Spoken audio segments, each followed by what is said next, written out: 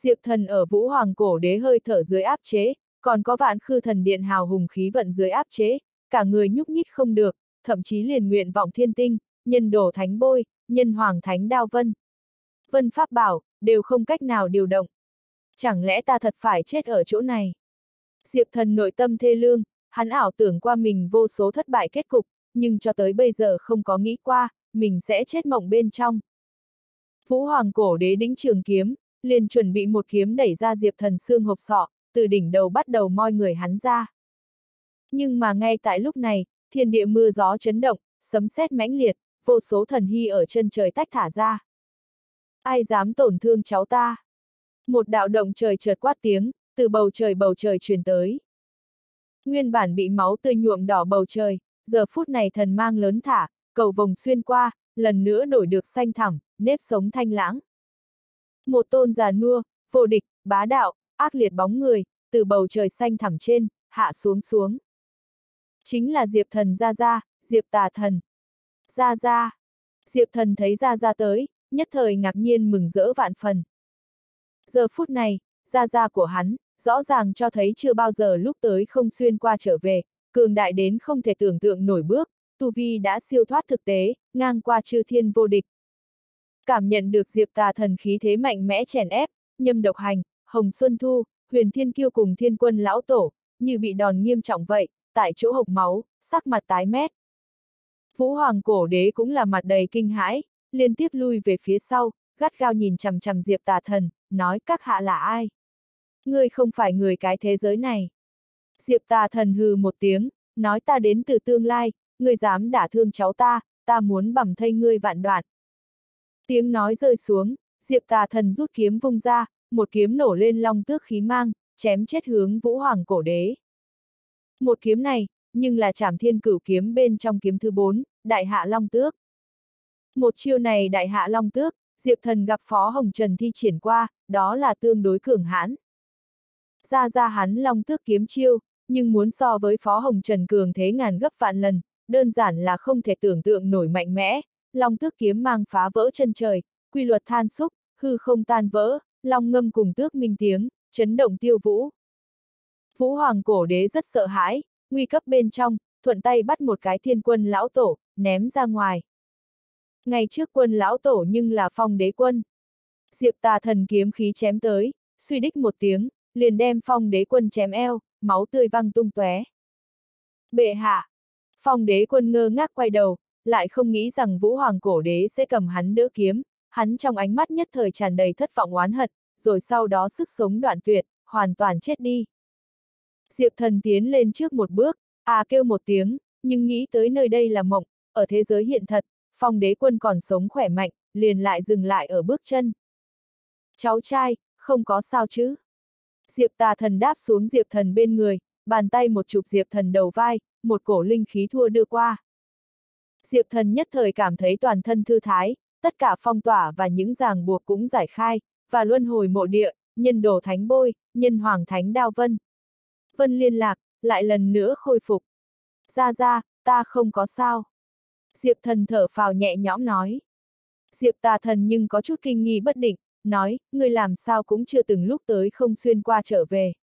Thế giới quy luật, thời gian đường dây, không thể tùy tiện sửa đổi, nếu không sẽ có không thể dự đoán nguy hiểm, người vậy xuyên qua, nếu là xảy ra điều gì không may, chỉ sợ trời long đất lở, khó mà thu thập. Diệp thần nói, không phải, ra ra, nơi này là mộng cảnh thế giới, ta bị người kéo đến trong giấc mộng tới, nàng muốn giết ta. Chỉ chỉ Mạc Thải Điệp.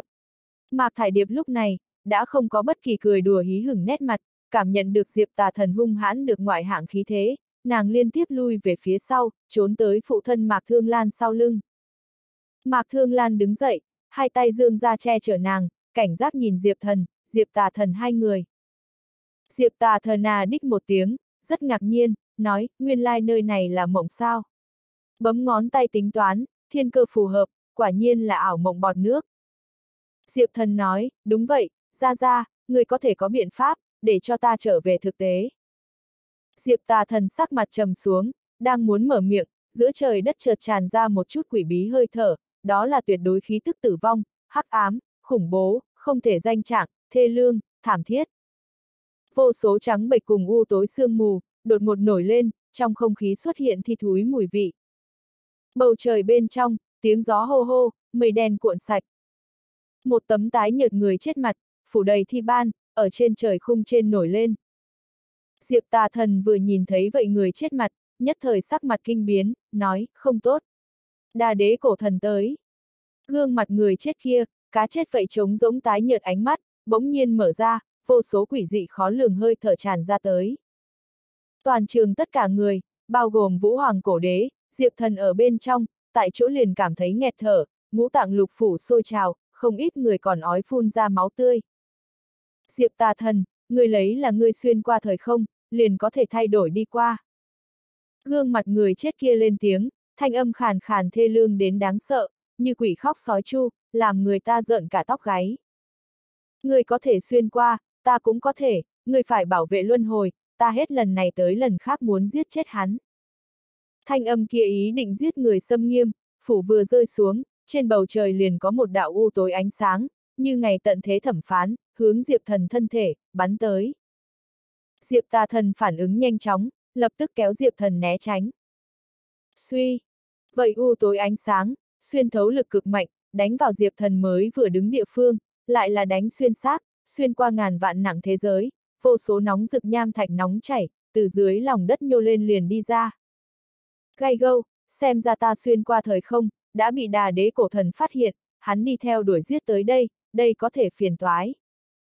Diệp tà thần ra mặt hơi co giúp, tuy nói bởi vì quy tắc hạn chế, giờ phút này hạ xuống đà đế cổ thần, chỉ là một luồng ý chí. Nhưng trí cao ý chí, không phải chuyện đùa, coi như chỉ là một món năng lượng, vậy đủ để chấn áp hết thảy. Những người ở chỗ này, Vũ Hoàng Cổ Đế, Hồng Xuân Thu, Diệp Lâm Uyên, Mạc Thải Điệp các người, nhìn bầu trời ở giữa người chết mặt, cũng là một hồi rung động sợ hãi. Đà đế cổ thần, chính là trong truyền thuyết trí cao ý chí, không không lúc nào không bên trong cổ thần chủ. Đà, là nặng nề, dày, đức hạnh viên mãn ý, đúng như Phật đà, tượng trưng cho rộng đại trí tuệ vô lượng. Hiện tại đà đế cổ thần, chính là cho người một loại viên mãn cao thâm, không thể địch nổi cảm giác. Phượng Lam Khê liền trực tiếp quỳ xuống đất, chắp hai tay, hướng đà đế cổ thần màng bái, giống như tín đồ trung thành. Diệp tà thần, luân hồi chi chủ, chết đi cho ta. Trên bầu trời người chết mặt, đổi được dữ tợn, cuồng bạo hung ác tiếng quát nổ lên, vô số ma khí tách thả ra, hóa thành tất cả vạn vẹo ma thần, hướng Diệp thần và Diệp tà thần hai người bạo giết đi. Diệp thần cảm nhận được ngập trời ý định giết người, cả người lông tơ cũng ngược lại dựng lên. Nhân hoàng thánh đao, phá cho ta. Ở tuyệt đối dưới nguy cơ, Diệp thần cả người bắp thịt căng thẳng, ánh mắt như điện, đột nhiên rút ra nhân hoàng thánh đao. Hoàn chỉnh thân đao, bị Diệp thần rút ra. Vậy mà nói, Diệp thần coi như muốn rút ra đao, cũng chỉ có thể rút ra một nửa thân đao. Nhưng giờ phút này, ở đà đế cổ thần uy bách hạ, nguy cơ sinh tử, Diệp thần lại là đột phá tự thân hạn chế, nguyên vẹn rút ra đao. Hoàn chỉnh nhân hoàng thánh đao ra khỏi vỏ, kim quang sáng chói, nhất thời xóa bỏ trong thiên địa thi thúi cùng chướng khí, so mặt trời còn muốn tia sáng chói mắt, xé bầu trời. À, đây là... Đà đế cổ thần thấy Diệp thần rút ra đao ra khỏi vỏ, cũng là lớn kinh. Diệp thần ngũ quan gần như vặn vẹo, một đao chém ngược bầu trời. Màu vàng kim ánh đao, mang đủ để chém mặc thế giới đáng sợ mũi nhọn, một đao chém vào đà đế cổ thần chết trên mặt người. Đà đế cổ thần người chết mặt, ở ngay tức thì liền bị chém được bể tan tành, bầu trời mặt đất ủng ủng vang dội. Diệp thần đao thế mãnh liệt, trực tiếp chặt đứt thế giới vũ trụ quy luật, cái này phiến mộng thế giới, bắt đầu đi về phía sụp đổ hủy diệt, trời trăng sao cũng rất xuống, ngàn vạn dặm mặt đất điên cuồng sụp đổ, vô số kiến trúc cùng huy hoàng tồn tại, bị nhanh chóng chìm ngập. Tất cả người thấy Diệp thần một đao, đều là sợ ngây người. Bọn họ cảm nhận được liền chém ngược thiên khung đáng sợ uy nghiêm, vậy cảm nhận được liền thuộc về duy nhất luân hồi kinh thiên sát phạt. Tất cả thấy một đao này người, cũng rung động thật sâu. Nếu như cái này thế gian, thật tồn tại cái gì trí cao mà nói, vậy tuyệt đối không phải cái gì đà đế cổ thần, mà là diệp thần. Chỉ có luân hồi, mới có tư cách gọi là trí cao. Luân hồi chi chủ, ta sẽ không thua ngươi, người bất quá là một con kiến hôi thôi. Đà đế cổ thần người chết mặt tan vỡ, ý chí còn đang gầm thét, không cam lòng lúc này xa sút Hắn ý chí, hóa thành một cổ cho đen sát khí, chui vào Phượng Lam Khê trong cơ thể. Phượng Lam Khê che ngực, rên lên một tiếng, khạc ra một hơi máu tươi màu đen, cơ hồ muốn ngất đi. Ta ý chí, sẽ ở thế gian lưu tích chữ, ta sẽ hóa thành sử thi, đem người trấn áp. Đà đế cổ thần ý chí, lại là một tiếng gầm thét, rồi sau đó hoàn toàn ẩn chui ở Phượng Lam Khê trong cơ thể, không thấy tiếng thở. Ung ung, mộng thế giới đang nhanh chóng sụp đổ, hết thảy cũng đi về phía hủy diệt. Diệp tà thần sắc mặt ngưng trọng, chỉ chỉ Phượng Lam Khê, hướng Diệp thần nói, cháu trai, người phụ nữ kia, bị đà đế cổ thần ý chí sống nhờ, người nhất định phải cầm nàng giết. Hoặc là, bắt được thiên võ ngọa long kinh, nghiền nát nàng trong cơ thể cổ thần ý chí, nếu không nàng sẽ hóa thành sử thi, đem ngươi giết chết. Lời nói này rơi xuống, Diệp tà thần thân thể, vậy theo mộng thế giới, cùng hủy diệt. Vũ hoàng cổ đế các người, cũng là toàn bộ diệt tán. Không, chẳng lẽ cuộc đời ta, chỉ là một chàng huyễn mộng. Ta không cam lòng à à à. Vũ hoàng cổ đế phát ra không cam lòng gầm thét, nhưng mộng thế giới chôn vùi, hắn cũng là hoàn toàn diệt tán, không có sức vãn hồi. Sốt cuộc, toàn bộ mộng thế giới, cũng tan vỡ biến mất. Diệp Thần, Diệp Lâm Uyên, Phượng Lam Khê, Thiết Phương Tỏa, Phó Hồng Trần, Mạc Thải Điệp, Sinh Tuyệt Thiên các người, còn có một chút thiên sơ đế quốc cùng sử thi đế quốc may mắn còn sống sót cường giả, lần nữa trở lại thế giới hiện thật. Trước mắt mọi người, lại là vậy quen thuộc mở tối lòng đất hang. Phía trước, là một miếng đồng xanh cự môn. Đồng xanh đổ sộ phía sau cửa, chính là cựu nhật chi chủ bảo tàng. Cựu nhật chi chủ trí nhớ hình chiếu, đã theo mộng thế giới tan vỡ, mà tản đi hết. Diệp thần, Diệp Lâm Uyên, Phó Hồng Trần các người, nhưng là ngơ ngác xuất thần, trước mắt mê mang, tất cả người không nói một lời, một phiến tĩnh mịch. Mới vừa mộng thế giới trải qua, để cho bọn họ hoàn toàn rung động. Mộng cùng thực tế xen lẫn, để cho bọn họ tất cả người, đều có loại như mộng như ảo, cảm giác không chân thật. Mới vừa thế giới, chỉ là một giấc mộng. Vậy bây giờ thế giới đâu? Là thực tế. Vẫn là khác một giấc mộng cảnh. Đang. Diệp thần trong tay nhân hoàng thánh đao, rớt xuống đất. Rồi sau đó, Diệp thần chính là ùm một tiếng, quỳ sụp xuống đất, chỉ cảm thấy cả người gân cốt đau nhức. Nguyên vẹn rút ra nhân hoàng thánh đao, cơ hồ hút hết hắn linh khí, thậm chí tạo thành nghiêm trọng cắn trả. Diệp thần cảm thấy mình võ đạo căn cơ, thậm chí cũng xuất hiện hư hại, cả người tinh khí thần đang nhanh chóng lưu tán. Có thể nói, Diệp thần thời khắc này trạng thái, tương đương không ổn. Nhưng, vô luận là Diệp Lâm Uyên, vẫn là Thiết Phương Tọa, Phó Hồng Trần các người, cũng không dám đến gần Diệp thần. Mới vừa Diệp thần rút ra đao, phá giết đà đế cổ thần, nghiền nát mộng thế giới, mang cho bọn họ sâu đậm rung động. Trước nhất phản ứng lại, là Mạc Thải Điệp. Luân hồi chi chủ, người thật đúng là lợi hại sao, lại có thể có thể phá hư ta mộng, hừ hừ, coi là ngươi thắng, ta đi trước, chúng ta lần sau đánh lại. Mạc Thải Điệp nhìn rớt xuống đất nhân hoàng thánh đao một mắt, trong ánh mắt cũng là mang sâu đậm kiêng kỵ, không dám lưu lại nữa, xoay người phi độn đi. Diệp Lâm Uyên không nói một lời, cũng là nhanh chóng xoay người rời đi. Phó Hồng Trần và Thiết Phương Tọa nhìn nhau, cũng là kiêng kỵ rè chừng và sợ hãi, xoay người rời đi. Cũng muốn đi sao, lưu một cái xuống đây đi. Diệp thần khẽ cắn răng, nhặt lên trên đất nhân hoàng thánh đao, dùng sức ném ra ngoài. Suy! Nhân hoàng thánh đao đi về trước cấp bay, phá vỡ không khí, cuối cùng đinh một tiếng, hung hăng xuyên qua thiết phương tọa thân thể, đem người sau đóng xuống đất. Phó Hồng Trần thấy thiết phương tọa bị đinh ở, hù được kinh hồn bạt vía, cũng không quay đầu lại đi. Thiết phương tọa bị đóng xuống đất, đạo tâm đều bị nhân hoàng thánh đao nghiền nát, sắc mặt bị sợ phát trắng, run lẩy bẩy, kêu lên, luân hồi chi chủ, ta nguyện phụng ngươi vi tôn, ngươi chính là ta vương, cầu ngươi tha ta một mạng. Diệp thần nghe được thiết vương tỏa cầu xin tha thứ, cười lạnh một tiếng, nói, hiện tại mới cúi đầu, đã muộn. Nói xong, Diệp thần sử dụng nhân đồ thánh bôi, đem thiết Phương tọa thân thể, chiếm đoạt đến thánh bôi bên trong đi. Thiết Phương tọa à một tiếng hét thảm, thân xác thần hồn đều bị chiếm đoạt, tất cả nguyên khí đều bị Diệp thần hấp thu. Diệp thần cắn nuốt thiết Phương tọa nguyên khí, giống như là ăn một cái đại bổ phẩm, hư hại võ đạo căn cơ, khôi phục một ít. Thậm chí, thiết Phương tọa các loại thần thông, Thái Thượng Hoàng hướng đạo Vân. Vân, cũng bị Diệp Thần toàn bộ lĩnh ngộ. Diệp Thần tay một chiêu, thu hồi nhân Hoàng Thánh Đao, lần nữa cắm vào sao bên trong, cảm thụ tự thân võ đạo căn cơ, mặc dù khôi phục không thiếu, nhưng đan điển vẫn có hư hại lỗ hổng. Muốn đền bù hư hại nói, trừ phi là đạt được hoàn chỉnh thiên võ ngọa long kinh. Hiện tại Diệp Lâm Nguyên, Mạc Thải Điệp, Phó Hồng Trần các người, toàn bộ thua chạy, đã không người cùng Diệp Thần cướp đoạt bảo tàng.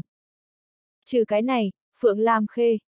Diệp Thần ánh mắt, rơi vào Phượng Lam Khê trên mình, có thể rõ ràng cảm nhận được, nàng trong cơ thể vậy đà đế cổ thần còn sót lại ý chí.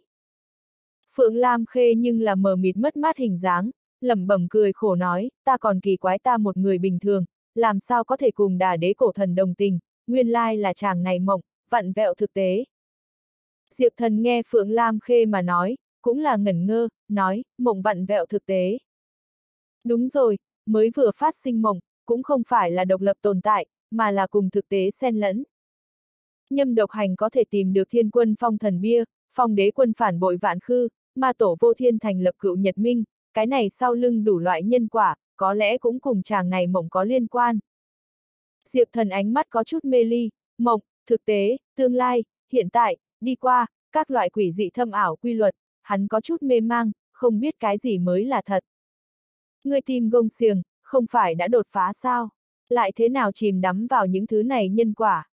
Một đạo khinh thường già nua tiếng quát, từ luân hồi mộ địa chỗ sâu vang lên, nhưng là hoang lão thanh âm. Diệp thần nghe được hoang lão tiếng quát, nhất thời thức tỉnh, nguyên bản ánh mắt mê mang, vậy lần nữa đổi được kiên định đứng lên. Thiên hành kiện, quân tử lấy tự cường không ngừng, đi qua đã qua, tương lai còn chưa từng đến, duy nhất có thể nắm bắt, chỉ có hiện tại. Thà suy nghĩ quá nhiều, ngược lại không như chân đạp mặt đất, làm xong hết thảy trước mắt. Diệp thần nhìn Phượng Lam Khê, nắm được nàng cầm, nhìn thẳng nàng ánh mắt, nói, Phượng Lam Khê, người trước kia thờ Phượng Đà đế cổ thần, vậy hôm nay đâu? Tiếp tục thờ Phượng hắn, vẫn là quy thuận ta. Phượng Lam Khê trong lòng run lên, nếu như là trước kia, nàng khẳng định sẽ kiên định trả lời, là thờ Phượng Đà đế cổ thần. Nhưng hiện tại, mắt thấy Diệp thần động trời một đao, nàng thật sâu bị rung động. Nàng tín ngưỡng, xuất hiện dao động. Ta, ta không biết. Phượng Lam Khê giọng nói thống khổ, nói. Diệp thần trầm mặc xuống, như cũng ngắm nhìn nàng. Phượng Lam Khê thân thể mềm mại phát run, rồi sau đó nhìn Diệp thần, nói, luân hồi chi chủ, ta muốn thối lui ra, có thể không? Ngươi và vạn khư tranh đấu, và đà đế cổ thần tranh đấu, ta chẳng muốn lại dính vào, ta muốn làm một người bình thường, trở về bầu bạn ra ra ta, có thể không? Mới vừa mộng thế giới trải qua, để cho Phượng Lam Khê chấn động. Luân hồi, vạn khư, trí cao cổ thần, những thứ này thế giới đỉnh cấp đáng sợ tranh đấu, căn bản không phải nàng có thể đặt chân. Nàng sợ, vậy thật sâu sợ hãi, chẳng muốn lại giao thiệp với tiến vào, nàng muốn một cái an ổn cuộc đời còn lại. Diệp thần yên lặng một hồi, liền gật đầu một cái, nói, rất tốt, chờ ta tìm được thiên võ ngọa long kinh, hóa giải bên trong cơ thể ngươi cổ thần ý chí, ta sẽ mang ngươi về nhà, rất nhiều một mình ngươi an ổn cuộc đời còn lại. Phượng Lam Khê muốn thối lui ra bàn cờ này, Diệp Thần tự nhiên không đảm nhiệm hoan nghênh, cái này tránh hợp hắn ý. Đa tạ. Phượng Lam Khê quỳ xuống, hướng Diệp Thần yêu kiều một bái, hai tròng mắt rưng rưng, tràn đầy cảm kích. Diệp Thần đem nàng đỡ dậy, nói, không cần cảm ơn, tiếp theo, chúng ta đi liền cầm lấy cựu nhật chi chủ bảo tàng. Vừa nói, Diệp Thần liền dẫn sinh tuyệt thiên, Phượng Lam Khê các người, đi tới đồng xanh cự môn trước, muốn đi vào. Nhưng sinh tuyệt thiên và Phượng Lam Khê, đều là đi lui về phía sau mấy bước. Sinh tuyệt thiên nói, tôn chủ, nơi này có võ tổ ý chí bảo vệ, còn hữu dụng thiên quân phong thần bia bày ra cấm chế, chúng ta khó mà đến gần. Diệp thần gật đầu một cái, cũng là cảm thấy có một cổ hung mãnh lực lượng, từ đồng xanh cự môn chuyện sau ra, cổ lực lượng kia bên trong, hàm chứa võ tổ ý niệm. Vô luận là sinh tuyệt thiên, vẫn là phượng lam khê, đều không cách nào chịu đựng, chỉ có thể lui về phía sau. Cũng chỉ có diệp thần cái này võ tổ truyền nhân, mới có thể an ổn đứng. Ừ, vậy các ngươi liền lui về phía sau một ít, chờ ta đi vào xem xem. Diệp thần phân phó, sinh tuyệt thiên và phượng lam khê các người, lại lui về phía sau mấy bước. Diệp thần lấy lại bình tĩnh, tiến lên trước một bước, bàn tay đè ở đồng xanh cự môn trên. Vù vù. Đồng xanh cự môn chấn động, một phiến khoáng đạt hồng mông đại tinh không, tách thả ra ra. Đó chính là võ tổ ý niệm, hối tụ thành tinh không. Là ai, lại dám xông vào ta thiên võ tiên môn bảo tàng chi địa? Một đạo uy nghiêm thanh âm, từ tinh không chỗ sâu truyền ra, chính là võ tổ thanh âm. Diệp thần nghe được võ tổ thanh âm, nội tâm đại hỉ, kêu lên, võ tổ sư tôn, là ta. Thanh âm kia à đích một tiếng, tràn đầy ngạc nhiên vui sướng, nói, là Diệp thần sao? Diệp thần nói, dạ, sư tôn, là ta. Võ tổ thanh âm nói, người muốn cầm lấy võ tuyệt thần bảo tàng. Diệp thần nói, dạ, sư tôn, xin thả ta đi vào. Võ tổ thanh âm trầm xuống, nói, võ giao tiểu thư không ở bên người ngươi sao? Diệp thần nói, xảy ra chút bất ngờ, nàng không có ở đây. Võ tổ nói, đây có thể phiền toái.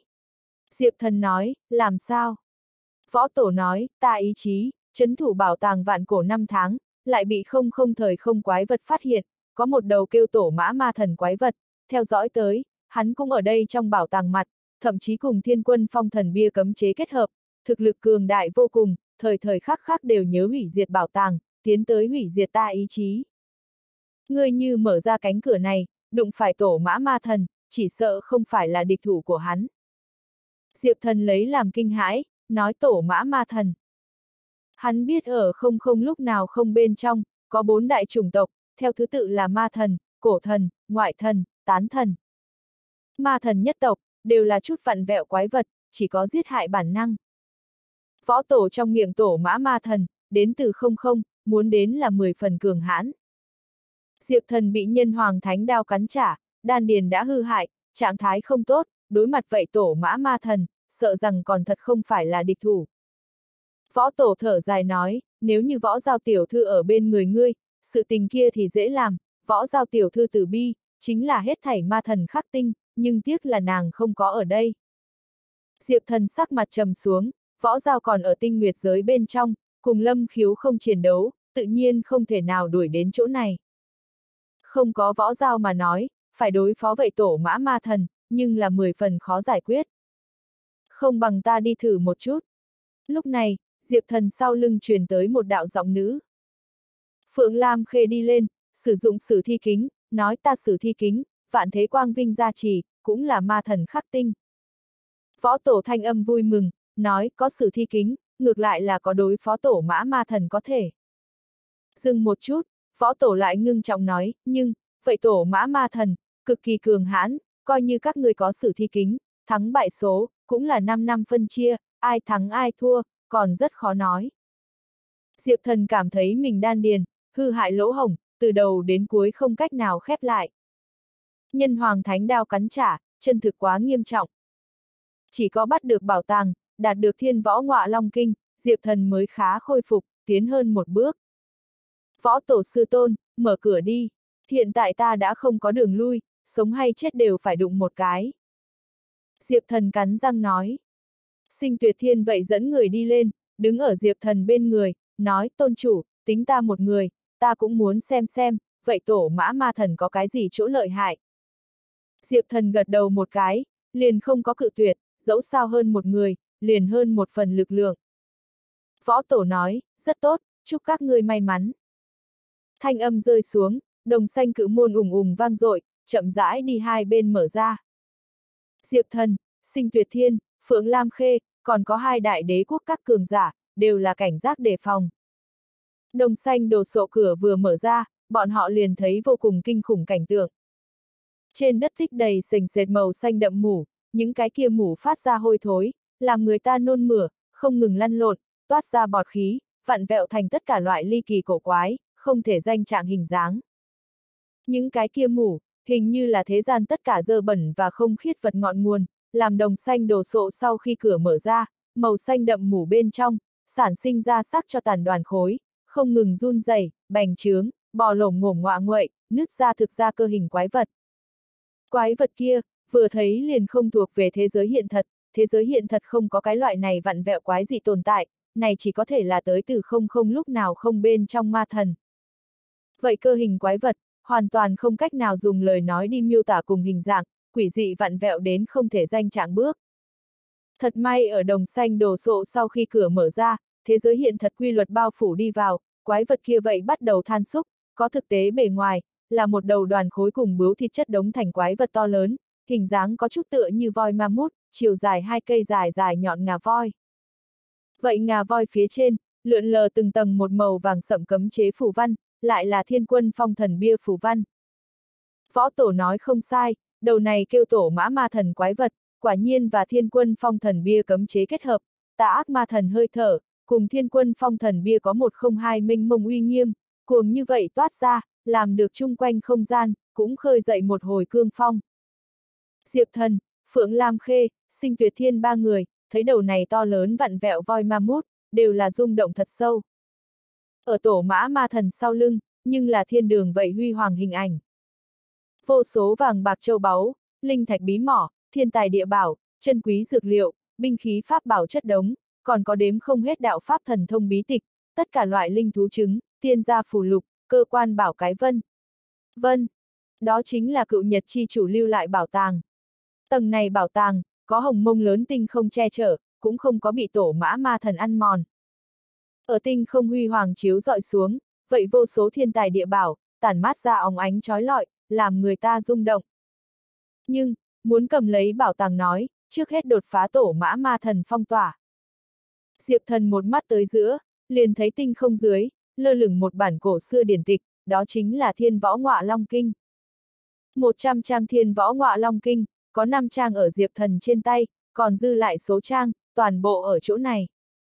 Chỉ phải lấy được vậy bản điển tịch, diệp thần thiên võ ngọa long kinh, là có thể lập tức khôi phục viên mãn. Hắn hư hại đan điền, cũng có thể khôi phục.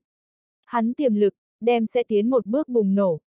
Hắn tu vi, đem sẽ đột nhiên tăng mạnh. Thiên võ ngọa long kinh, ở trước mắt, nhưng muốn cướp lấy, nhưng cũng không dễ dàng. Luân hồi, luân hồi, ngươi rốt cuộc đã tới. Tổ mã ma thần phát ra khàn khàn tiếng kêu, mang sát khí nồng nặc, ngươi rốt cuộc đã tới. Nhưng bảo tàng là ta, ngươi phải chết, các ngươi đều phải chết. Tiếng gào to, từ tổ mã ma thần trong cổ họng bộc phát ra, hắn voi ma mút thân thể, như pháo đài vậy, ngang nhiên hướng Diệp Thần liều chết sung phong. Chú ý! Phượng Lam Khê kêu lên một tiếng, vội vàng thúc giục sử thi kính, ngăn ở Diệp Thần trước mặt. Vù vù! Sử thi kính chấn động, vinh dự kính chiếu sáng liền đi ra, suy đích một tiếng, bắn vào tổ mã ma thần trên người, một hồi mùi khét thúi truyền ra. À, sử thi kính, các ngươi tại sao có thể có loại vật này? Ma thần nguyên, cho ta ô nhiễm. Tổ mã ma thần phát ra kiêng kỵ tiếng kêu, rồi sau đó ngửa mặt lên trời gầm thét, trên mình chảy ra màu xanh đậm mù, còn có các loại tội ác dơ bẩn khí tức quỷ dị, hướng sử thi kính ăn mòn đi. Phượng Lam khê sắc mặt ngưng trọng, cũng cảm nhận được tổ mã ma thần cường hãn, vội vàng lộn sử thi kính, dùng tấm gương phía sau đối kháng vậy dơ bẩn hơi thở ăn mòn, kêu lên. Luân hồi chi chủ, để ta ở lại cản hắn, người đi nhanh cướp lấy bảo tàng. Phượng Lam Khê thật sâu rõ ràng, lấy mình thực lực, căn bản không thể chiến thắng tổ mã ma thần, chỉ có thể miễn cưỡng chống lại chốc lát. Muốn chiến thắng ma thần, chỉ có dựa vào Diệp Thần ra tay. Chỉ cần Diệp Thần bắt được bảo tàng, cảm ngộ thiên võ ngọa long kinh, khôi phục đan điền, đủ để ung dung đánh bại tổ mã ma thần. Diệp Thần khẽ cắn răng, cũng cảm nhận được cục diện khó giải quyết, chỉ tiếc hắn đan điền hư hại, hiện tại không thích hợp chiến đấu.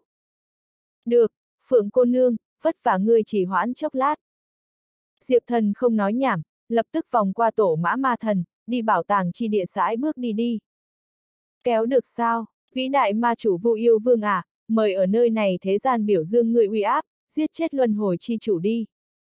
Tổ mã ma thần phát ra thật lớn ngâm sướng, không gian nhất thời vặn vẹo, ma khí hội tụ, một đầu rưỡi người nửa quỷ khô lâu quái vật xuất hiện, đó chính là trong truyền thuyết vu yêu. Đầu này vu yêu, so với diệp thần trước kia đã gặp vu yêu, đều mạnh hơn đáng sợ được nhiều, cả người tràn ngập ngất trời yêu khí cùng ma sát ý niệm, là vu yêu ở giữa vương giả, vu yêu bá chủ, thế gian vô địch tồn tại, làm người ta nghẹt thở. Vậy vu yêu vương vừa xuất hiện, gầy đét khô lâu bàn tay, chính là hung hăng hướng diệp thần ấn đi. Diệp thần đan điền hư hại dưới, không đỡ được, bị một trưởng đánh bay ra ngoài, đánh mất ở tinh không trong bảo tàng mặt, phốc xích một tiếng, phun ra máu tươi. Hắn ói phun ra máu tươi, đều mang quỷ dị đáng sợ vu yêu tà khí, để cho được chung quanh mấy bụi dược liệu, đều bị liền ô nhiễm. Hiện tại, Diệp Thần đã tiến vào bảo tàng đất, vậy hồng mông lớn tinh không phòng vệ, ngăn trở tổ mã ma thần, cũng không sẽ ngăn trở Diệp Thần. Nhưng, cho dù tiến vào bảo tàng chi địa, Diệp Thần cũng không lực bò dậy đoạt bảo. Vu yêu vương một trường cơ hồ tồi chặn hắn tim. Diệp Thần đại ca. Phượng Lam Khê thấy Diệp Thần bị thương, kinh hô một tiếng, tâm thần hoảng sợ. Nàng tinh thần khủng hoảng dưới, lại bị tổ mã ma thần thừa dịp hư mà vào. Tội ác dơ bẩn ma thần nguyên, xâm nhập sử thi kính bên trong, sử thi kính nhất thời bị ô nhiễm, ánh sáng tản đi, đổi được đen nhánh ảm đạm. Phượng Lam Khê cũng tốt xem chúng kịch độc vậy, gò má trắng nón, lập tức đổi được trắng xám. Hi hi, cô gái nhỏ, người thân thể và pháp bảo, tất cả thuộc về ta. Tổ mã ma thần phát ra cười gằn, nâng lên to lớn voi ma mút chân, hung hăng rậm ở Phượng Lam Khê thân thể mềm mại trên, dùng sức nghiền ép, phải đem nàng hoàn toàn nghiền nát.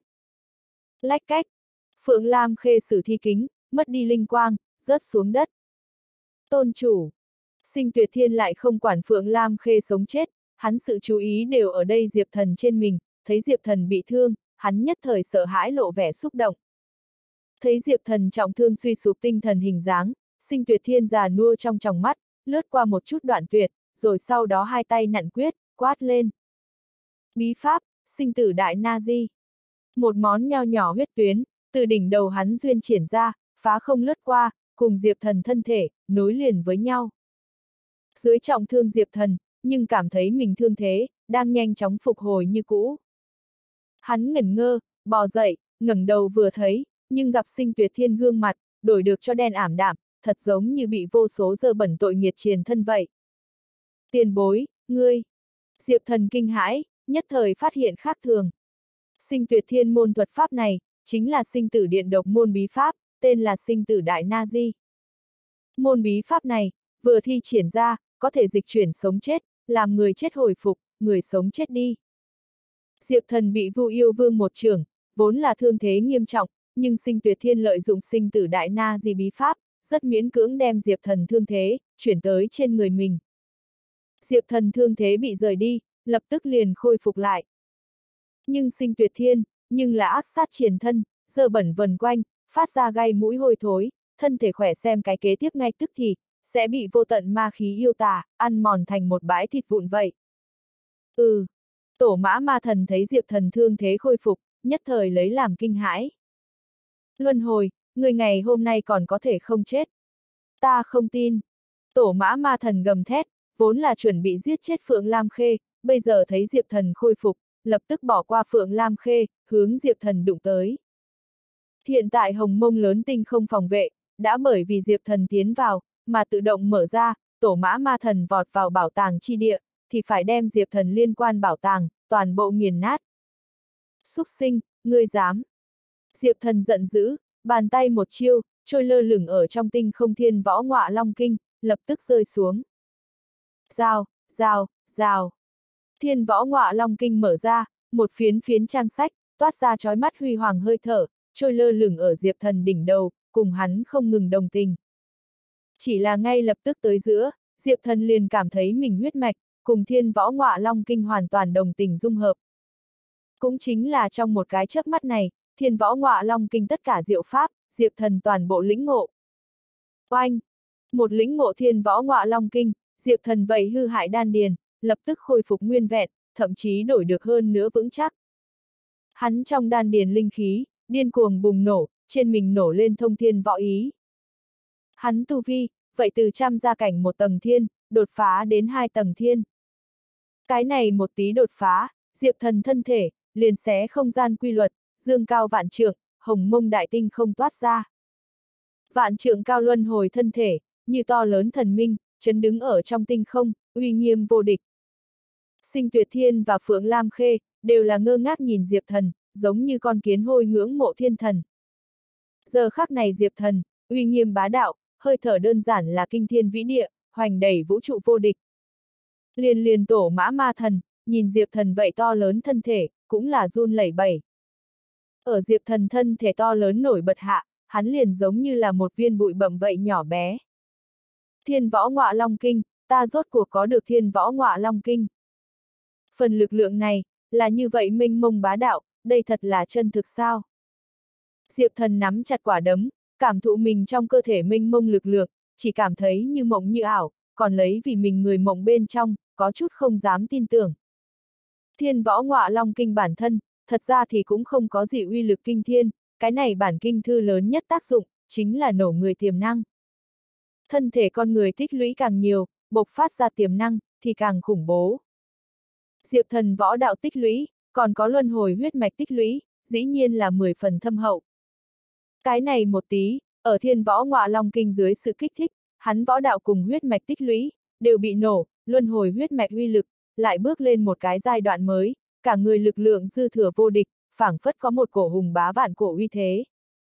Diệp thần nhìn xuống phía dưới, nhìn tổ mã ma thần, nhất thời cảm thấy cái này tổ mã ma thần, là nhỏ bé như vậy, thật là không chịu nổi một kích. Ma thần nguyên, cho ta ô nhiễm. Tổ mã ma thần phát ra gầm thét, cả người tội ác đục ngầu ma khí, hóa thành kịch độc mủ, điên cuồng hướng Diệp thần thân thể văng tung tóe đi qua, muốn ô nhiễm Diệp thần luân hồi khu. Hừ, chút tài mọn, cũng muốn đục ngầu ta pháp thân. Diệp thần hừ một tiếng, cả người ánh sao tách thả ra, luân hồi hơi thở tràn ngập, một tầng kim quang dâng lên. Tổ mã ma thần văng tung tóe mà đến đục ngầu hơi thở, toàn bộ bị ngăn trở, suy suy vang dội, ở luân hồi kim quang hạ, bốc hơi thành hư không. Cái này, không thể nào, không thể nào, người luân hồi huyết mạch, làm sao lập tức đổi được như thế lợi hại. Đơn giản là chư tà không vào, vạn pháp bất xâm. Tổ mã ma thần chấn động chỉ, sợ hãi sâu đậm, không nghĩ tới Diệp thần đạt được thiên võ ngọa long kinh sau đó, lại có thể đột phá được nhanh như vậy, đổi được như thế bá đạo. Dưới sự kinh hoàng, hắn xoay người chạy mất dạng, hoàn toàn mất đi ý chí chiến đấu. Muốn chạy sao, lưu lại đi. Diệp thần hừ một tiếng, một quyền hung hăng tuôn ra. Thần tượng băng thiên tràng. To lớn thần quang minh voi hư ảnh, ở diệp thần trên nắm tay nổi lên, mang dễ như bớn, xuyên qua vũ trụ đại khí phách, mãnh liệt đánh vào tổ mã ma thần trên người. Phịch, tổ mã ma thần thân thể, nhất thời nghiền nổ, hóa thành huyết vụ đầy trời.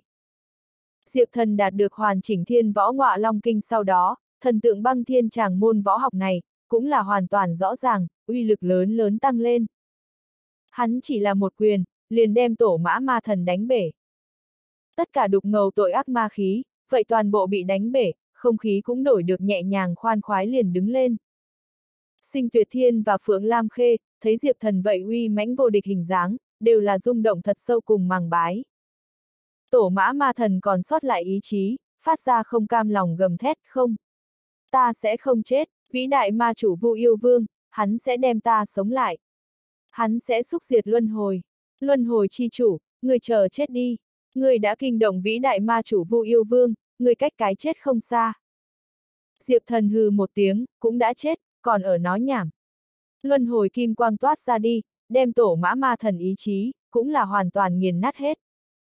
Tổ mã ma thần, liền triệt để như vậy biến mất ở giữa trời đất. Diệp thần, người quả nhiên là cường hãn vô địch, sư tôn ta rất là vui vẻ yên tâm. Võ tổ thanh âm, từ chỗ sâu truyền ra, mang tán thưởng cùng vui vẻ yên tâm. Võ tổ sư tôn, tổ mã ma thần đã bị ta giết chết. Diệp thần tiến lên trước một bước, nói. Võ tổ nói, người làm rất khá, ta ý niệm, vậy rốt cuộc có thể rời khỏi nơi này. Diệp thần vội vàng nói, võ tổ sư tôn, ta trong lòng có rất nhiều chỗ không hiểu, ví dụ như. Võ tổ cười một tiếng, nói có cái gì không hiểu, người sau này từ từ liền sẽ biết được, đi qua, tương lai, thực tế, mộng, hư không, tồn tại, thế gian quy luật, nhân sự chìm nổi, hết thảy đủ loại, người sau này cũng sẽ rõ, ta ở không không lúc nào không chờ ngươi. Những lời này rơi xuống, võ tổ ý niệm, chính là nhanh chóng ẩn lui đi, cuối cùng tiêu tán. Võ tổ sư tôn. Diệp thần buồn bã mất mát. Ho, tôn chủ. Một hồi tiếng ho khan, nhưng đem Diệp thần suy nghĩ kéo trở lại. Chỉ gặp sinh tuyệt thiên mặt đầy tím đen, đục ngầu hơi thở triển thân. Hắn thi triển sinh tử đại na di, đem Diệp thần thương thế, đổ lỗi đến trên người mình, hiện tại đã là vô cùng nghiêm trọng. Tôn chủ, trong bảo tàng mặt, phải có chút đặc thù chữa trị đan dược, cầu ngươi. Hụ hụ, sinh tuyệt thiên khó khăn mở miệng, ói ra đen nhánh máu tươi. Diệp thần quay đầu nhìn xem bảo tàng, liền gặp bảo tàng bên trong, rất nhiều đan dược chất đống như núi, tất cả loại kỳ chân dị bảo vô số, trong đó có hồi xuân diệu đan, toái niết thần đan, vô lượng tiên đan, miễn cưỡng tạo hóa đan, trừ tà diệu đan, thần nông hay lộ vân. Vân, sinh tuyệt thiên thương thế tuy nghiêm trọng, nhưng dựa vào trong bảo tàng đan dược, đủ để đem hắn chữa khỏi. Nhưng mà, Diệp thần lại không có đi lấy lấy đan dược, nhìn sinh tuyệt thiên nói, tiền bối, không cần hoảng, ngươi chút thương thế này, cũng không đáng ngại, ngươi là ta luân hồi tín đồ, ta muốn ngươi sống, không người có thể gây tổn thương cho tính mạng ngươi. Diệp thần thanh âm, mang thật lớn luân hồi quy luật ý niệm, bàn tay hắn vung lên, luân hồi kim quang toát ra đi, bao phủ lại sinh tuyệt thiên. Sinh tuyệt thiên vết thương, bắt đầu lấy mắt thường có thể thấy được tốc độ khép lại. Trên người hắn đục ngầu tội sát khí tức, ở luân hồi phép tắc bao phủ hạ, cũng là nhanh chóng tan thành mây khói. Ngay chớp mắt, sinh tuyệt thiên liền khôi phục như cũ, hồng quang mặt đầy, thần thái sáng láng. Hắn kinh hãi, hoàn toàn kinh hãi. Diệp thần cũng không có dùng cái gì bát quái thiên đan thuật các loại phương pháp chữa trị, liền là thuần túy quy luật ý niệm, luân hồi ý niệm. Diệp thần nói muốn để hắn sống, hắn liền sống lại, một chút vết thương đều không từng lưu lại. Đây là miệng chứa thiên hiến, nói sao làm vậy? Um. Rung động dưới, sinh tuyệt thiên tại chỗ quỳ xuống lại, nói tôn chủ, người luân hồi thần uy, quả nhiên vô địch. Có người ở đây, muốn đến ta sinh tử điện, trở lại quỷ vương giới, giết ngược man hoang thánh điện, cũng là dễ như trở bàn tay. Quỷ vương giới sao?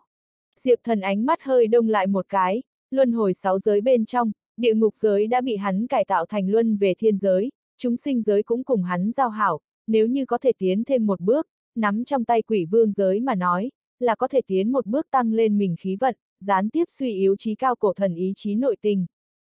Sinh tuyệt thiên nói, tôn chủ, hôm nay bảo tàng đã tới tay, ta muốn mời ngươi đi một chuyến sinh tử điện, cộng mưu việc lớn. Diệp thần trong lòng khẽ nhúc nhích, sau đó nhưng lắc lắc đầu nói, chậm một chút nói sau, ta còn có một số việc muốn xử lý.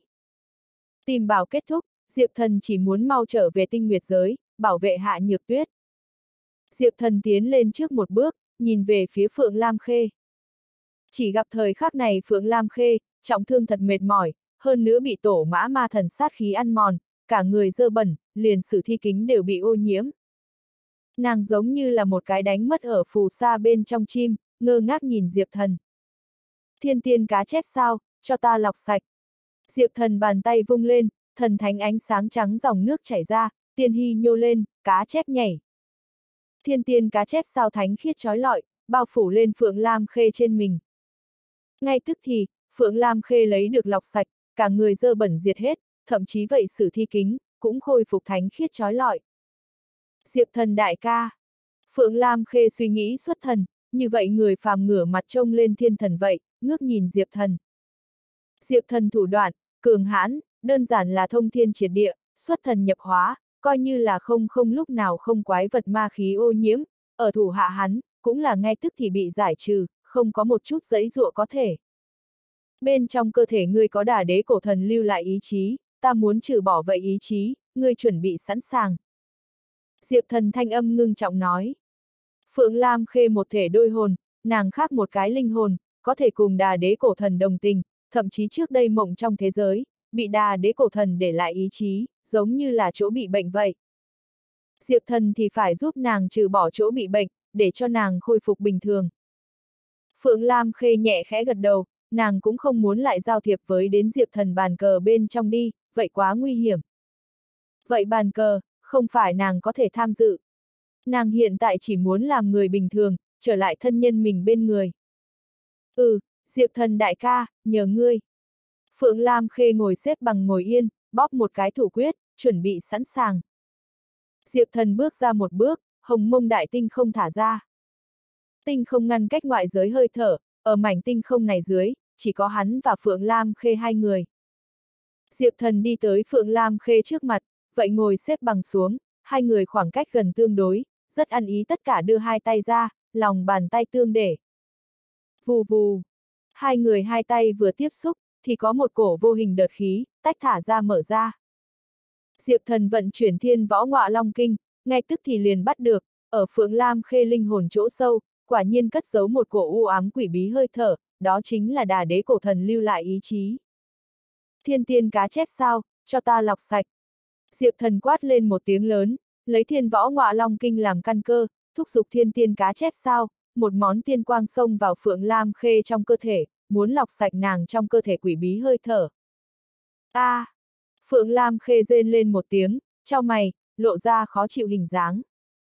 Ở Diệp Thần lọc sạch dưới sự sung kích, nàng trong cơ thể quỷ bí hơi thở, sôi trào, cũng không cam lòng lúc này bị tiêu diệt.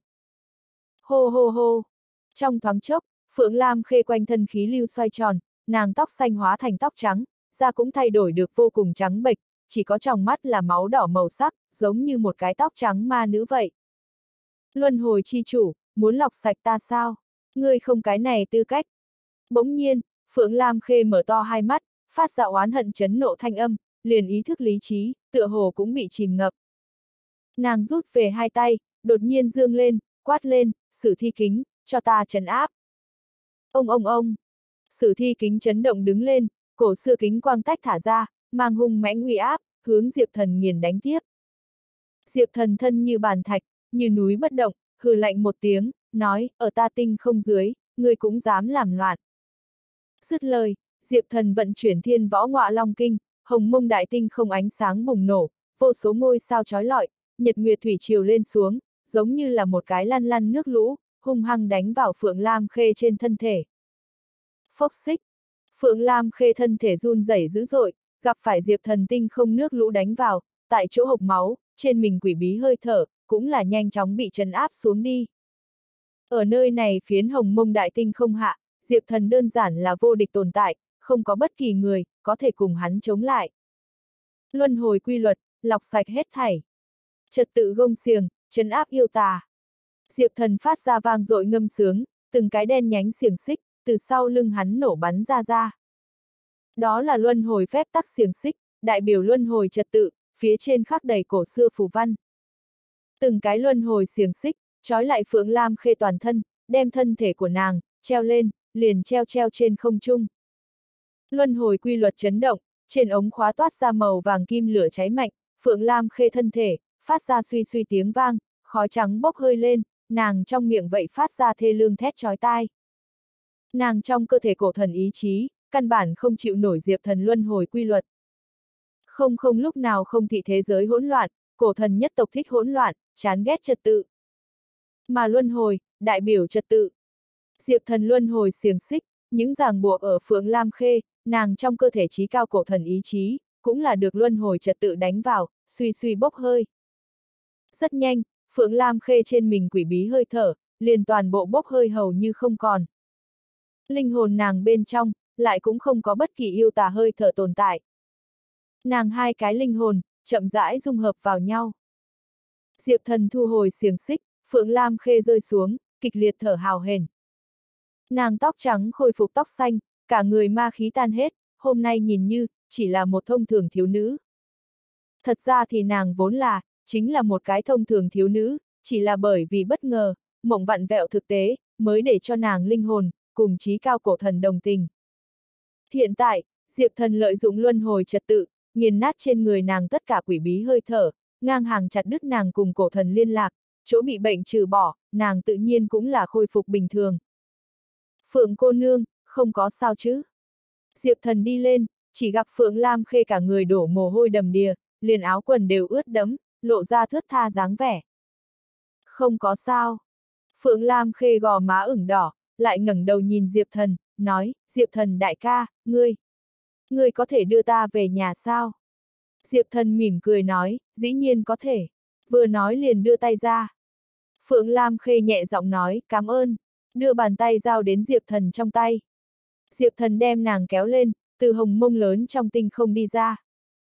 Tôn chủ. Sinh tuyệt thiên thấy hai người đi ra, hoảng vội vàng hành lễ. Diệp thần gật đầu một cái, chỉ chỉ phía trước bảo tàng, nói tiền bối, phượng cô nương, các người muốn cái gì bảo tàng, cứ lấy đi. Cựu nhật chi chủ bảo tàng, tương đương phong phú, không biết có nhiều ít kỳ chân dị bảo. Nhớ năm đó, thiên võ tiên môn hùng bá vạn thế kỷ nguyên, cựu nhật chi chủ vậy chấp trưởng thiên mệnh vô số kỷ nguyên, hắn tích lũy cùng siêu tầm, dĩ nhiên là phong phú đến ngoại hạng bước. Như thế nhiều thiên tài địa bảo tài nguyên, nếu như cầm tới đào tạo đệ tử, không biết có thể đào tạo được nhiều ít cao thủ. Sinh tuyệt thiên nói, tôn chủ, vì ngươi cống hiến, ta không cần bất kỳ thù lao nào.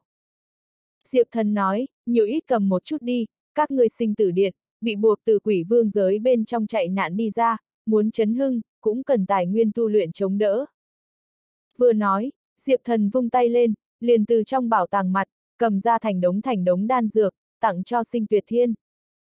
Sinh tuyệt thiên gặp Diệp thần giọng chân thành, cũng không tiện đẩy nhờ, liền nhận, cung kính chắp tay nói, đa tạ tôn chủ.